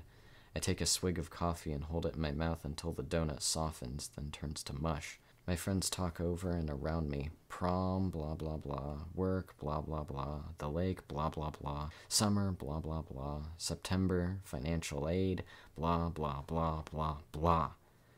I'm shrinking and they don't even notice. My watch is ticking, but the second hand isn't moving. I breathe quickly and deeply, like I'm sprinting, even though I'm sitting down. I blink, trying to moisten my contacts. As I open my eyes, it's like I'm rocketing through space, the stars elongating past me, sitting still as I shift into warp drive and break the speed of light. Someone mentions MIT, but it doesn't save me. Sarah blows bubbles in her coffee with a straw. The bubbles pop and more words come out admissions, transfer, roommates, GPAs, microwaves, concerts, registration. God, is this all we ever talk about? The diner air is gelling, concentrating, molecules collapsing into the void, the invisible gases taking shape and mass. I hold my water glass up to my nose. Seeing through the water, the faces and bodies around me flatten under an unseen weight. I don't recognize anyone. I hold the glass of water over the aisle so it can catch the morning light. The water acts as a prism, creating a rainbow that cascades across the table. The glare surprises Mitch and he puts his hand up to shield his face. Water is an extremely efficient solvent. Two atoms of hydrogen connected to one atom of oxygen by a highly polar covalent bond. Given enough time, it can dissolve almost anything, even sunlight, into pure color. The electrolysis of water is a classic chemistry experiment. Stick two electrodes in water, add a bit of electrolytic solution, and turn on the battery. Voila! Hydrogen collects at the cathode, Oxygen collects at the anode. It's not water anymore, not even steam. Bonds are broken and the substance is reduced to its elements. Magic. Are you all right? Sarah asks me. I open my fingers. The glass falls. Gravity works. It lands on the tile floor without a sound, shattering into a dozen shards and countless diamond slivers. The tidal wave of water washes over me, and I have to close my mouth so I don't breathe it into my lungs. I am at sea. There are ghosts in these waters, aliens, and lost little blonde girls, all waiting for me to open my eyes. They have been waiting for a long time. The wave crests and rushes past me. I emerge soaked to the skin and shaking. My friends have stopped talking. They aren't eating either. Mitchell reaches out and wipes the tears from my face. His hand smells like bacon. What's wrong? he asks. 13.1 Covalent Bonding. If I could run all the time, life would be fine. As long as I keep moving, I'm in control. She wasn't in the parking lot. I haven't passed her walking on the road either. There's no way she's running, too. Not Teri. She could have hot-wired a car, I guess, but it's more likely that she hitchhiked. Somebody must have picked her up. No matter. I know where she's headed. East. Home. She doesn't have anywhere else to go. Step, step, step, step, step. Breathe, breathe, breathe. Step, step, step, step, step. Breathe, breathe, breathe. Jeans and a sweatshirt aren't exactly recommended running gear. No matter. Feels good to run in the sun. I'm warming up. Teri's watch swirls around my wrist. My heart bounces against the wet skin between my breasts. From the road, the Litch House looks abandoned. Some of the windows are open, others closed. The shutters that had been taken down for sanding and painting are still stacked against the maple tree. Trash is scattered around the yard. Pink and yellow tufts of insulation are tangled in the bushes. They look like clown wigs. My heart is pounding as I walk up the driveway.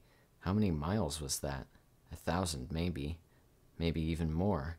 In sweatshirt and jeans. Imagine that. The dirty bulb in the front porch light is broken. The thin glass shards litter the front of the porch. The side door is open, but the house is silent. I cross the threshold. Teri? The living room is packed again, jammed with all the furniture from the other rooms. The wood floor is covered in dust and footprints. Mikey's corner is empty. Teri? All that's left of the kitchen is a shell. She even took out the sink. She ripped out the wall between the kitchen and the playroom. The holes that used to be the playroom windows gape open. Tools are lined up in a neat row on the floor, her tool belt as well. The wall, with Mikey's handprints and our feeble cave art, is untouched. I walk back down the hall and climb the stairs. The new railing is still in place. The walls in the upstairs hall have fist sized holes in them. Teri? I find her sitting in the middle of the floor in Mikey's room, her head leaning against her knees, her arms wrapped around her head. There's a pile of blankets in the corner, a couple of bottles of soda, potato chips and pretzel bags, two apples. I'd like to talk to you, I say. Please. She lifts her right hand and gives me the finger. I sit down, cross legged, three feet in front of her. I don't blame you, but I'm not leaving. She lifts her head and gives me another finger. I can wait, I say. She lowers her hands and wraps them around her head again. I take off my watch and set it on the floor between us. The ticking fills the room, swaying the curtains back and forth. The tidal wave builds again. I don't flinch. I don't even hold my breath. I let it wash over me. Teri reaches out and pulls the watch to her side. Another minute passes. Then she lifts her head and tucks her hair behind her ears. Her face is tear stained, her eyes swollen and red. She leaves the watch on the ground. What's wrong with your face? she asks. It looks like a fat zit ready to pop. Thanks. The watch keeps ticking.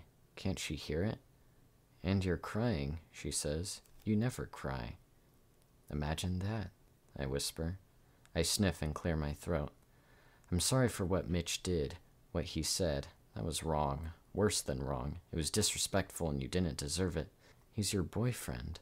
Not really, but I don't want to talk about him anymore. We need to talk about Mikey, about what happened. No, we don't. Teri leans back, puts her arms behind her, and stretches out her legs until her boots are right in front of me.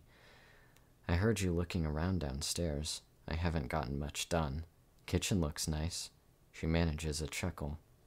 Yeah, I wanted to get that out of the way first. I wipe my eyes on my sleeve. I like the way you made the kitchen open to the playroom. She rocks her boots from side to side. I had it all planned, you know. I could be cooking and he could be in the playroom, and that way we could see each other.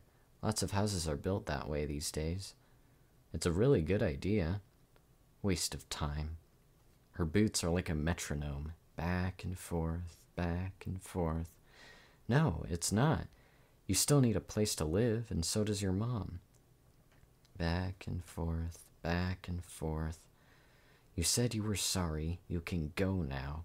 I grab her boots and hold them still. Will you stop that? She stands up, rises above me, puts her fists on her hips. You've got something to say to me? Her movement sends a thousand motes of dust spinning in the sunlight coming through the window. Our essence is in this room, the atomic product of breaking down two girls into their elemental selves, frightened, defiant, lonely. I can hear the glass breaking over and over again, piercing the frozen tissue around my heart. I look up at her. Do you think it was your fault that he died? Or my fault? Dad's fault? She turns her face quickly, but not fast enough. The tidal wave caught her too, and we're both crying. She sniffs hard and wipes her nose with her shirt. No, she whispers. Are you sure? She nods and wipes her eyes. That's the worst part. It was nobody's fault, really. Or it was everyone's fault. It was an accident. Just one damn accident after another. Your father, what he did wasn't an accident. It was a crime. She nods again, and he paid. I start to stand. Teri reaches down a hand and helps me up. I dig a tissue out of my purse and give it to her. You're always prepared, aren't you? What were you, a freaking brownie? Girl Scout. That's right. You had that stupid hat. She blows her nose. You filled that hat with yellow snow. Did I? Sorry. We're standing eye to eye. I never think of Teri as my height. In my mind, she's at least six foot five, but in real life, we're the same size, except for her 50 pounds of muscle. I can't hear the watch ticking anymore. I pick it up. It's running fine, it's just back to telling time quietly. Here, I hand it to her. I want you to have this. Fits you better anyway, but I'm keeping the necklace. You should sell it, get some cash. I might. Thanks. She buckles it on her wrist and checks the time. The dust between us has settled and the light is coming through the window at a higher angle. You promised that you'd teach me how to hammer, I say.